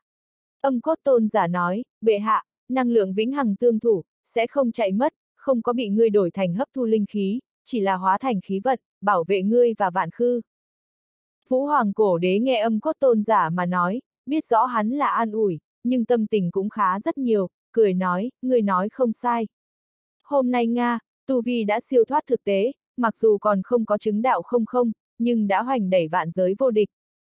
Chứng đạo không không, cực kỳ khó khăn, cần đạo tâm cảm ngộ đột phá. Thật ra thì Vũ Hoàng cổ đế, còn mở khải di hoa tiếp một trận sau đó, cũng có thể mượn dùng tương lai, cảm ngộ đạo tâm, thậm chí có chứng đạo không không có thể. Nhưng, hắn cố ý tránh ra. Bởi vì, một khi chứng đạo không không, thì phải phi thăng đi không không lúc nào không. Thế giới hiện thật quy luật, căn bản không cách nào chứa không không cấp cường giả, chỉ cần chứng đạo, phải phi thăng, nhân gian không giữ được. Vũ Hoàng cổ đế còn không muốn phi thăng, hắn ở thế giới hiện thật, còn thật nhiều sự việc không có giải quyết, nơi nào bỏ được rời đi. Huống chi, không không lúc nào không, rốt cuộc là một cái như thế nào thế giới, hắn cũng không biết, tùy tiện phi thăng, chỉ sợ một con đường chết. Đơn giản nhất, chính là tương lai hắn, khẳng định sẽ không bỏ qua hắn. Hiện tại đà đế cổ thần, tu vi bị hắn ăn cắp một phần chia, nhưng cũng không phải là toàn bộ. Đà đế cổ thần thực lực, như cũ vô cùng là cường hãn, tùy tiện phi thăng đi không không lúc nào không, vũ hoàng cổ đế không có nắm chắc chống lại. Chỉ ít, vậy muốn giết chết Diệp thần, chiếm đoạt luân hồi nói sau. Chỉ tiếc, Diệp thần vậy tiểu tử, không biết chạy tới chỗ nào, bọn họ ẩn nặc thiên cơ hơi thở, thật là thật là thủ đoạn, lại liền ta cũng theo dõi không tới. Vũ Hoàng cổ đế trao mày, không ngừng bấm ngón tay suy diễn, nhưng không có theo dõi đến Diệp Thần, nhâm phi phàm đám người hơi thở, chỉ có thấy được một đoàn từ bi quang. Võ giao ở Diệp Thần bên người, thể bảo vệ Diệp Thần, nàng từ bi ánh sáng, vậy che giấu thiên cơ, làm cho không người nào có thể theo dõi luân hồi chân thực. Âm cốt tôn giả chắp tay nói, bệ hạ, ta gần đây nhận được tin tức, Diệp Thần vậy tiểu tử, và sinh tử điện đi rất gần. Vậy sinh tử điện, là ta man hoang thánh điện địch thủ cũ, năm đó bị bọn họ trốn ra quỷ vương giới, vẫn là ta man hoang thánh điện đại họa tâm phúc. Sinh tử điện bên kia, có lẽ có người biết thằng nhóc kia rơi xuống, lão nô có thể đi điều tra. Vũ Hoàng cổ đế gật đầu một cái, nói, vậy thì cha đi, ta ăn cắp tương lai, tu vi tiến bộ rất nhiều, nhưng hơi thở có chút phù phiếm, cần bế quan củng cố. Những thứ này tu vi, cuối cùng không phải mình chân đạp mặt đất tu luyện tới, đặc biệt phù phiếm, Vũ Hoàng cổ đế vậy cần thời gian củng cố. Âm cốt tôn giả nói, ưm, lão nô sẽ ở bệ hạ xuất quan trước, hết sức mang luân hồi chi chủ đầu người trở về. Vũ Hoàng cổ đế cười ha ha một tiếng, nói, Diệp thần vậy tiểu tử, không như vậy dễ dàng bị giết chết, tóm lại, ngươi hết sức đi, nếu như ngươi thật thành công, ta sẽ nâng đỡ ngươi làm quỷ vương giới thần vũ trụ. Âm cốt tôn giả nghe một hồi kích động, nói, đa tạ bệ hạ. Lúc này, Diệp thần đi theo sinh tuyệt thiên, đi tới sinh tử vực ra. Sinh tử vực, chính là sinh tử điện ẩn cư địa phương. Sinh tử điện ở chỗ này, ước chừng ẩn cư triệu năm, cho tới bây giờ không có ai theo dõi qua. Một tầng thật dày tinh bích cấm chế, bao phủ ở toàn bộ sinh tử vực, ngăn cách ngoại giới theo dõi. Diệp thần sờ một tí, phát hiện tầng này tinh bích cấm chế, lại có thể không thể so với sử thi thế giới kém nhiều ít, cực kỳ vững chắc. Tôn chủ, chúng ta vào đi thôi. Sinh tuyệt thiên thanh âm cung kính, liền muốn mở ra tinh bích cấm chế, mang Diệp Thần đi vào. Chậm! Ngay tại lúc này, một đạo uy nghiêm vang dội thanh âm vang lên. Chỉ gặp một đầu hỏa kỳ lân thần thú, từ bầu trời phương xa bay tới. Kỳ lân thần quân. Sinh tuyệt thiên chắp tay thi lễ, vậy hỏa kỳ lân thần thú, ở sinh tử vực bên trong, địa vị hiển nhiên không thấp. Hỏa kỳ lân khẽ vuốt cằm, ánh mắt nhìn chằm chằm Diệp Thần, nói, vị này chính là luân hồi chi chủ sao? Diệp Thần nói, không dám làm, tại hạ Diệp Thần, chính là đời này luân hồi người thừa kế. Hỏa kỳ lân nói, rất tốt, người muốn tiến vào ta sinh tử điện, trước luyện thành cửa này sinh tử ấn nói sau. Vừa nói, nó sử dụng một phiến ngọc giản, rơi xuống Diệp Thần trên tay. Ngọc giản kia trên, in sinh tử ấn ba chữ. Diệp Thần nói, đây là cái gì? Hỏa Kỳ Lân nói, cửa này sinh tử ấn, là Nga sinh tử điện tuyệt học, người như muốn vào, bên trong ba ngày, luyện thành này ấn, chứng minh ngươi thiên phú, ta mới khá cho phép ngươi đi vào. Sinh tuyệt thiên khẩn trương, nói, Kỳ Lân thần quân, luân hồi chi chủ chém hết trăm gia, thiên phú tuyệt đỉnh, còn cần chứng minh sao? Vậy Hỏa Kỳ Lân nói, đây là điện chủ ý, hắn muốn chính mắt xem xem trong truyền thuyết luân hồi chi chủ, thiên phú như thế nào, rốt cuộc có hay không đối kháng vạn khư tư cách. ngươi phải biết, Vũ Hoàng cổ đế hôm nay nghịch thiên quật khởi, ta sinh tử điện cũng là lòng người bàng hoàng, có rất nhiều người cũng muốn đổi đầu trận doanh, điện chủ cũng là ăn ngủ không yên. Sinh tuyệt thiên mồ hôi lạnh cũng nhô ra, ở sinh tử điện bên trong, 90% đều là luân hồi tín đồ, nhưng vậy có một số người, không thờ phượng luân hồi, thậm chí cho rằng sinh tử điện bị trục xuất quỷ vương giới, là luân hồi sai. Ở mời Diệp Thần lúc tới, sinh tuyệt thiên đã làm xong thu xếp, tuyên minh Diệp Thần chấp trưởng thiên võ ngọa Long Kinh, lấy được cựu nhật bảo tàng, nhân hoàng thánh đao thần uy vô địch, bộ phận kia ý kiến khác người, có rất nhiều cũng quy thuận. Nhưng hôm nay, Vũ Hoàng cổ đế nghịch thiên quật khởi, chỉ sợ những cái kia ý kiến khác người, lại có làm loạn. Hơn nữa vạn khư kiêu căng, hừng hực đến như vậy bước, sợ rằng ý kiến khác người sẽ càng nhiều. Sinh tuyệt thiên nội tâm bên trong, dĩ nhiên là tràn đầy lo âu. Hắn cái này lão xương, vốn là đã suy hủ, nhưng Diệp thần sắc phong hắn là lục huyết thiên quân, để cho hắn lần nữa khôi phục thiên huyền cảnh thực lực, hắn trong lòng vô cùng cảm kích, tự nhiên không muốn nhìn thấy người khác phản bội luân hồi. Nhưng hiện tại, nghe hỏa kỳ lân giọng, sinh tử điện bên trong, tình huống chỉ sợ kham yêu. Đừng nói người bình thường phản bội, liền liền điện chủ, tín ngưỡng cũng đã có dao động, muốn Diệp Thần ở bên trong ba ngày, luyện thành sinh tử ấn, mới khá cho phép hắn đi vào. Diệp Thần không hề trách tội người ngoài, hắn vậy rõ ràng vạn khư cường thế, nhìn vậy hỏa kỳ lân, cười nói, chỉ cần ta luyện thành sinh tử ấn, ngươi liền thả ta đi vào. Vậy hỏa kỳ lân nói, đúng vậy. Diệp Thần bóp vỡ ngọc giản, nói, tốt lắm, ta đã luyện thành, người dẫn ta vào đi thôi. Lời này rơi xuống, sinh tuyệt thiên và hỏa kỳ lân, đều là sợ hết hồn. Hỏa kỳ lân cả kinh nói, người nói gì sao? Diệp thần cười nói, ta nói, cái gì đó sinh tử ấn, ta đã luyện thành. Thật ra thì, ở bắt được sinh tử ấn tu luyện ngọc giản ngay tức thì, Diệp thần tinh thần thấm vào, cũng đã toàn bộ lĩnh ngộ. Vậy sinh tử ấn, chính là sinh tử điện tuyệt học, khá là tuyệt diệu thâm ảo, nhưng cùng đại hoang không kinh, thần tượng băng thiên tràng, trảm thiên cửu kiếm cùng võ học so sánh, tranh lệch vẫn có chút lớn. Diệp thần đạt được thiên võ ngọa long kinh sau đó, tự thân tiềm năng lớn đại bạo phát, võ đạo năng lực lĩnh ngộ, cũng là đột nhiên tăng mạnh, chính là một môn sinh tử ấn, dĩ nhiên là ngay tức thì lĩnh ngộ, không phí nhiều sức. Chớ có nói đùa, cái này không thể nào. Vậy hỏa kỳ lân lắc đầu liên tục, chỉ lấy là diệp thần ở tiêu khiển nó. Vậy mà nói, người bình thường muốn luyện thành sinh tử ấn, cần mấy ngàn năm thời gian. Sinh tử điện điện chủ, chỉ cho Diệp Thần ba ngày thời gian, thật ra thì đã là đặc biệt khảo nghiệm nghiêm trọng. Nhưng nào nghĩ tới, Diệp Thần trong chớp mắt, liền nói đã lĩnh ngộ luyện thành. Điều này thật sự là quá không thể tưởng tượng nổi, vô luận là sinh tuyệt thiên, vẫn là vậy hỏa kỳ lân, cũng không dám tin tưởng. Diệp thần vậy lắc đầu một cái, nói có cái gì không thể nào, các người cái này cái gì sinh tử ấn, quá đơn giản, cùng ta nắm giữ võ đạo so sánh, không đáng giá để ra. Dứt lời, Diệp Thần hai tay kết ấn, một cổ hắc khí, một cổ bạch khí, từ hắn hai tay gian tràn ngập ra, giống như sống chết âm dương, thấm ra hùng hồn khí tức thần bí. Rồi sau đó, Diệp Thần hung hăng một trường, ấn ở trước mặt tinh bích cấm chế trên. phịch Vậy thật dày tinh bích, ở Diệp Thần một trường này hạ, cũng là rắc rắc sát vang dội, xuất hiện từng tia kẽ hở. Sinh tuyệt thiên và vậy hỏa kỳ lân, thấy một màn này, đều là sợ ngây người. Diệp thần sử võ học, chính là sinh tử ấn không sai. Hắn quả nhiên là ở ngắn nháy mắt tới giữa, liền đem sinh tử ấn luyện thành. Hiện tại, ta có tư cách vào đi sao? Diệp thần thu bàn tay về, cười một tiếng nói. Có, có, có. Vậy hỏa kỳ lân thanh âm phát run, thái độ 180 độ thay đổi, lập tức tự mình mở ra cấm chế, mời Diệp thần đi vào, thậm chí hèn mọn khuất hạ đầu gối.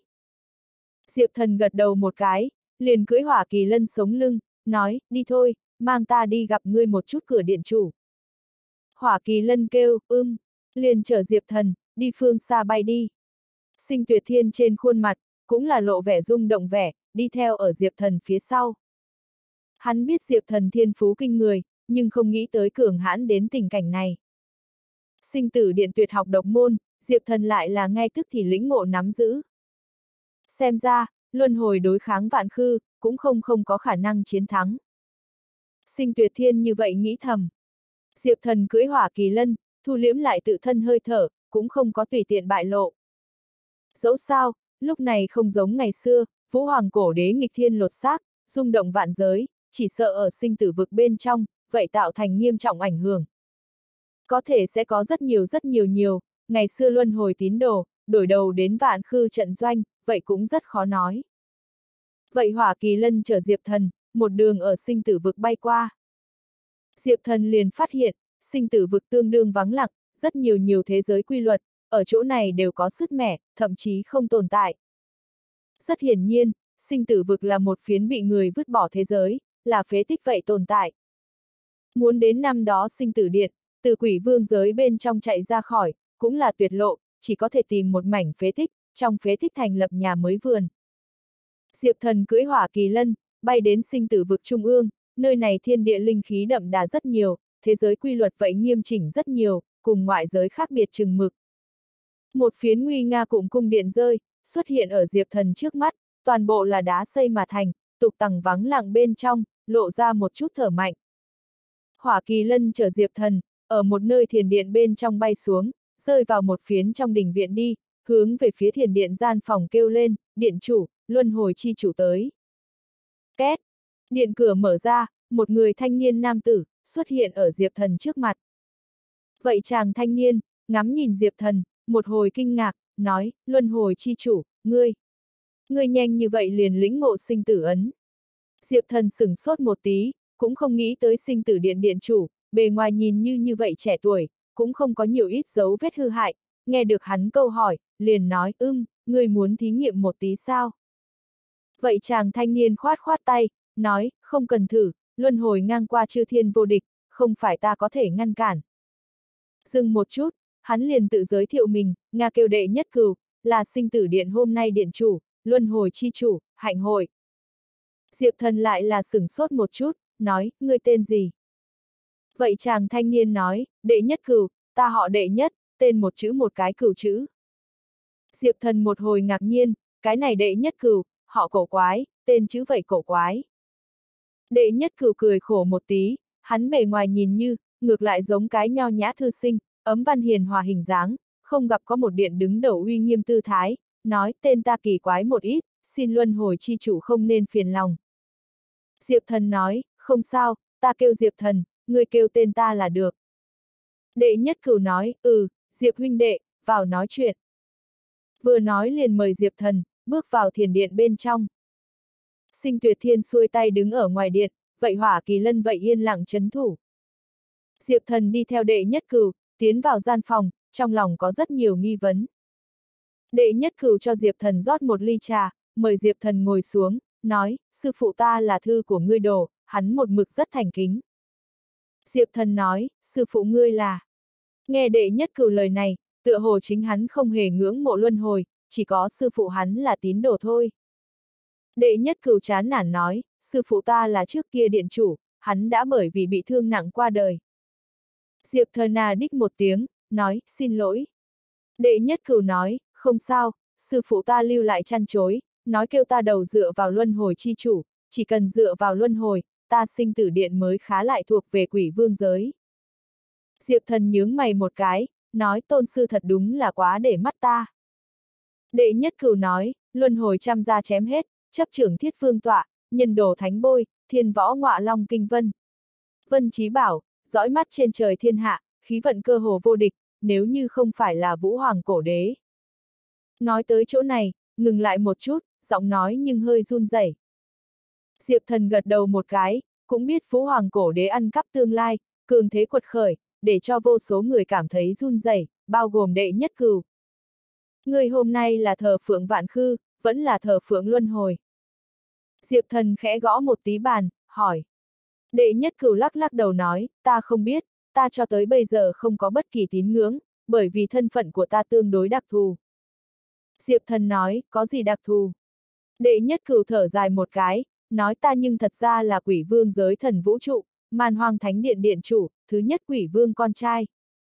Hắn phụ thân, chính là họ thứ nhất, tên quỷ vương, hắn nói hắn trời xanh vì nắm giữ quỷ vương giới mà sống.